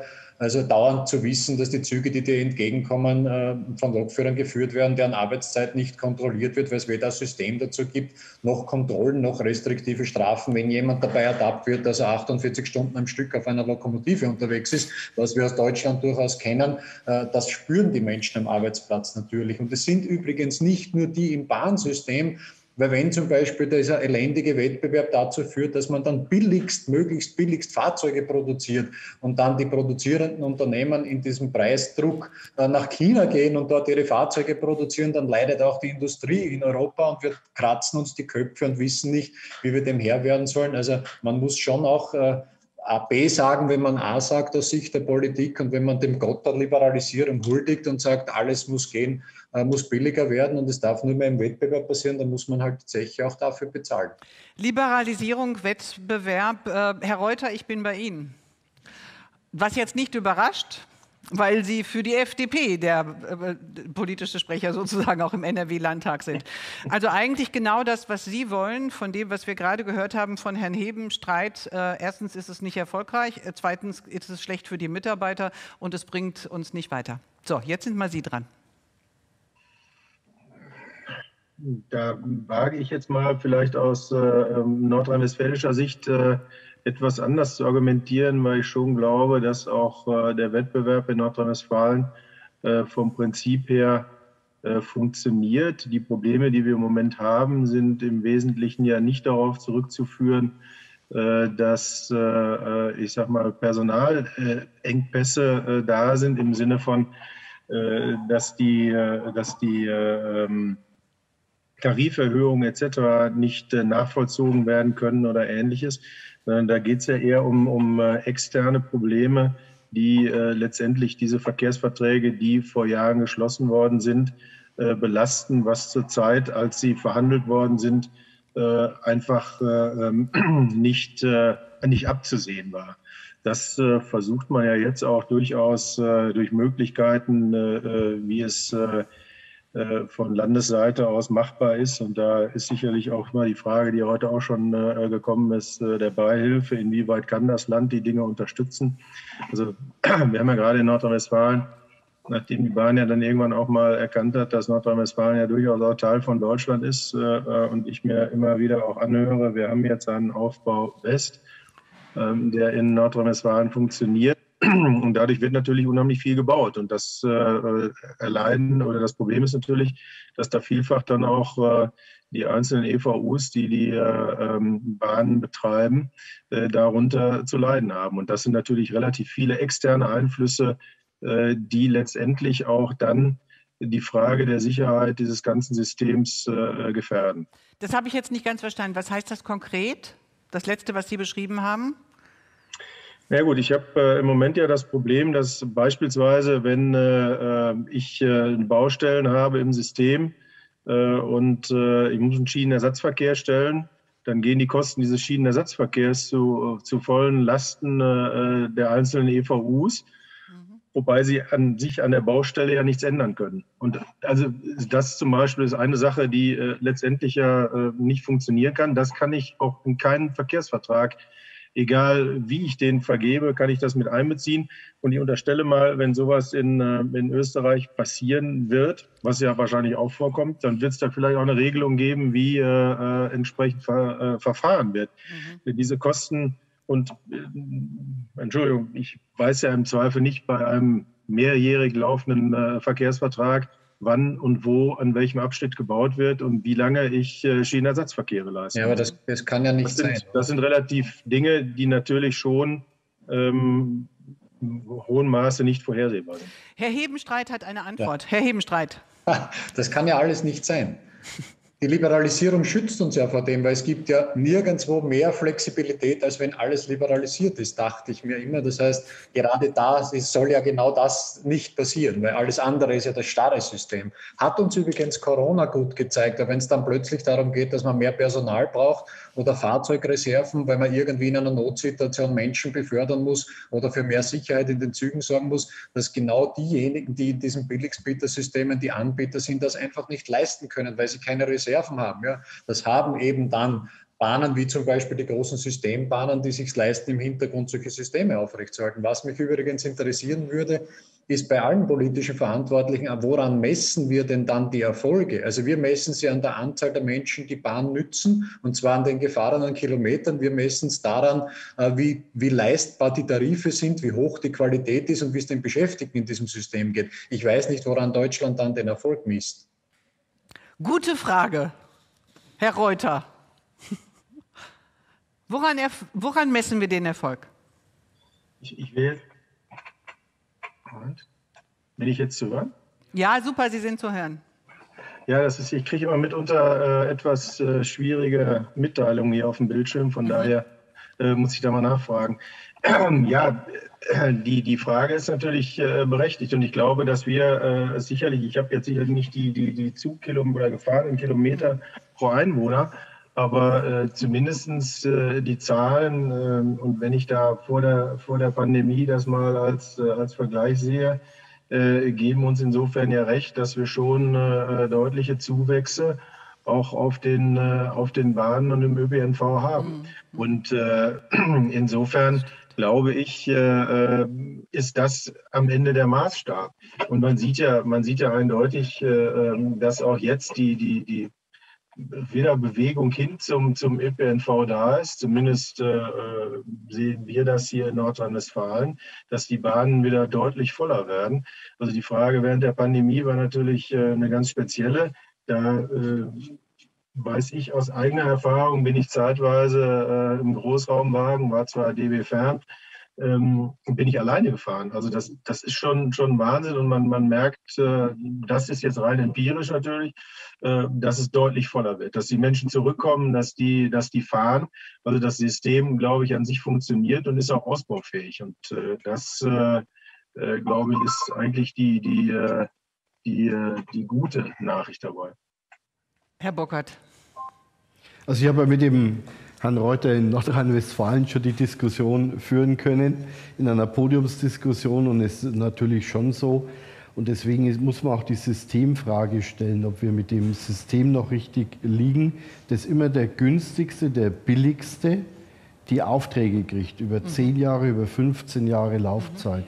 Und wir sind gerade in Nordrhein-Westfalen dabei, es hoffentlich hinzubekommen, dass bis die nächste große Ausschreibung kommt, die S-Bahn in Köln, dass wir die Beschäftigten dahingehend... Wann geht es los? Nur damit ich dann eine andere Stadt ziehe? Im Februar, so. Februar nächsten Jahres wird die S-Bahn Köln ausgeschrieben und bis dahin muss es möglich sein, dass die Beschäftigten geschützt werden. Mhm. Aber die Frage ist schon, ob das Gesamtsystem, der Bund gibt das Geld, fast 9 Milliarden Euro in die Länder. Die Länder schreiben völlig unterschiedlich aus. Jedes Land hat eine andere Struktur. In Bayern gibt es eine Eisenbahngesellschaft, Nordrhein-Westfalen hat drei Zweckverbände. Dann gibt es äh, ostdeutsche Länder, die haben Bezirksverbände. Und das ist natürlich hochproblematisch. Und das Problematischste ist, dass dann kalkuliert wird und falsch kalkuliert wird. Ähm, dann wird das findet man kein Personal. Das ist übrigens in Nordrhein-Westfalen äh, auch der Fall und stellt dann fest, man braucht mehr Geld vom Bund. Und das haben wir ja gerade in den Fällen Keolis ein Beispiel, Abelio, gerade in dem Land Nordrhein-Westfalen, wo es zu großen Schwierigkeiten äh, kommt. Also nach dem, was Sie jetzt alles aufgelistet haben, sind wir jetzt etwas deprimiert, weil das so viele negative Sachen ja hatte. Aber wir wollen auch in dieser Runde, und die jetzt kommt auch langsam zum Ende, wenn ich hier halbwegs pünktlich rauskommen will mit Ihnen gemeinsam, ähm, gucken, was sind eigentlich die Funde. Also wir haben ja Beispiele genannt, wie tatsächlich die Schiene gestärkt werden kann, mit welchen Maßnahmen. Wir haben uns angeguckt, wie sieht das mit dem ÖPNV aus, wenn der kostenlos ist. Hallo, der Nachtzug, herzlich willkommen. Und wie strukturiert man was? Deshalb, wir haben ja ganz gerne den Blick nach außen, den haben wir auch in der ersten Runde nochmal gemacht. Wir sind ja für Empfehlungen wahnsinnig offen. Also wer einen guten Rat hat, der wird hier genommen. Ja? Und ähm, Roman Hebenstreit ist der Erste, jetzt, äh, der jetzt erstmal dran ist, uns einen äh, guten Rat aus Österreich zu geben, wie wir hier in dieser deutschen Verkehrspolitik nochmal so richtig in Fahrt kommen. Ich habe vorher ja gelernt, es darf nur einer sein und das ist verdammt schwierig. Aber man, man, ich mache es vielleicht ein bisschen wie die gute Fee, macht bloß nicht die Fehler, die die anderen gemacht haben. Äh, und insofern denke ich mir, das zentralste Thema ist äh, im Vordergrund mal diese elendige Geschichte mit der Zerschlagung der integrierten Eisenbahnen, diesen Fehler nicht zu machen. Da, davor kann ich nur warnen. Äh, wir haben das, wie gesagt, in Ansätzen erlebt in Österreich in den 2000er Jahren. Es hat viele Millionen gekostet und äh, ja, es war ein, ein, ein harter und steiniger Weg zurück. Äh, man darf dabei nicht vergessen, dass diese, diese Idee der Trennung ja ja, das, also was das für das Bahnsystem bedeutet, kann ein gelernter Eisenbahner kaum beschreiben mit Worten. Es heißt ja nicht umsonst das integrierte Bahn Rad Radschienesystem, das industrielle Radschienesystem. Äh, und das ist gar nicht so abstrakt. Ich sage es mal mit einem polemischen Beispiel, wenn mir das noch erlaubt ist. Wenn man die Dinge auseinanderreißt, ja, allein im, Bau, im, im Baubereich, das ist ungefähr so, wie wenn ich dann dem Straßenbetreiber, also dem Infrastrukturbetreiber, das freigeben und der sagt, für mich ist es optimal, dass es in Zukunft nur mehr, ich weiß nicht, Tunnel baut, die nur eineinhalb Meter hoch sind, ist mir doch egal, stellt bloß eure Flotten um, könnt ihr alle mit Cabrios fahren in Zukunft. Das klingt jetzt vielleicht ein bisschen blöd, aber wer, wer sich auskennt im Eisenbahnsystem mhm. und eine Ahnung von Sicherungssystemen hat, der weiß, wie wichtig das ist, dass diese Systeme integriert, verzahnt ineinander planen und auch investieren, weil da geht es nicht mehr um Millionen, da geht es um Milliarden. Wir reden übrigens über Sicherungssysteme für ganz Europa, ETCS-Level. Mhm. Äh, das ist schon durchaus ein praktisches Beispiel. Also ich warne nur davor, diesen Weg der Trennung zu gehen. Das wäre das Schlimmste, was Deutschland machen könnte. George Merenz schaut nach Deutschland und sieht, welchen Verbesserungsvorschlag, welche Maßnahme, wie kommen wir verkehrspolitisch voran? Also ganz klar, der ÖPNV kann nur funktionieren, wenn es ein guter ÖPNV ist. So wie vorhin gesagt, der Kuchen muss gebacken werden. Und ein guter Kuchen kann nur, nur so kann er funktionieren. Ein, ein flächendeckender ÖPNV muss aufgebaut werden und dann kommen die Menschen sowieso auf den Zug oder auf den Bus ob er jetzt äh, eine gute Tarifstruktur hat, wie die Österreicher oder wie wir vorher, oder ob er gratis ist. Aber es muss funktionieren. Und das ist äh, mein Vorschlag an Deutschland. Ja, schauen wir doch mal, dass der ÖPNV und alles funktioniert und wir damit natürlich auch sowas wie eine Mobilitätswende hinkriegen, halt von der Straße mehr auf die Schiene. Ähm, ich sage schon mal herzlichen Dank Roman Hebenstreit, herzlichen Dank George Mehrens, herzlichen Dank Sabine Leidig und auch Ulrich Reuter für diese Runde jetzt hier, denn Martin Burkhardt, dem stellvertretenden Vorsitzenden der Eisenbahn- und Verkehrsgewerkschaft EVG, steht jetzt noch ich habe zwei Minuten schon überzogen. Herr Burkhardt, das ist jetzt sehr knapp für Sie, noch einmal zum Schluss zu sagen, was richtig wichtig ist. Wir danken unserer charmanten. Die charmante Moderatorin. Nein. Moderatorin, die das heute hervorragend gemacht hat, uns da durchgeführt hat. Ja, wir, ich glaube, es war halt ganz wichtig. Wir haben national natürlich die Dinge nochmal angeschaut, unsere Forderungen an die nächste Bundesregierung. Wir waren international mit unseren Nachbarländern zusammen, haben dort gesehen, was läuft gut. Die haben uns aber auch gesagt, was wir vielleicht an Fehlern nicht wiederholen sollen. Und ich sage mal, wir brauchen ähm, eine soziale, ökologische Verkehrswende, um die Klimaziele äh, zu erreichen. Und es geht nur mit der Schiene und es geht nur, wenn die Schiene Verkehrsträger Nummer eins wird. Und wir haben uns da klar positioniert. Es sind jetzt noch zehn Tage bis zur Bundestagswahl. Und ich hoffe, dass sich heute einige ein Bild in der Schienenverkehrspolitik machen konnten über die Unterschiede auch der Parteien. Und der letzte Aufruf ist natürlich, bitte gehen Sie, geht ihr alle zur Wahl. Jede Stimme zählt. Es ist spannend. Ich glaube, es bleibt auch bis zum Schluss spannend. Wir wollen unseren Weg konsequent weitergehen, unsere Ziele durchsetzen als Eisenbahn- und Verkehrsgewerkschaft. Nochmal herzlichen Dank allen, die, die heute dabei waren. Es bleibt noch der Verweis auf äh, die Homepage der EVG, wo Sie natürlich alles nochmal auch die Wahlprogramme im Check nochmal nachlesen können, mit detaillierteren Argumentationen noch. Wir konnten ja heute nur Schlaglichter im Prinzip werfen auf einzelne Punkte. Ähm, wir wünschen Ihnen einen schönen Abend, erholsamen Abend. In zehn Tagen ist Wahl. Ich hoffe, vieles von dem, was wir heute angesprochen haben, wird sich in Zukunft ändern. Die Mobilitätswende muss kommen, so oder so. Wir wünschen Ihnen einen schönen Abend, wo immer Sie sind. Danke für die Diskussion, danke für die rege Beteiligung. Auf bald. Tschüss.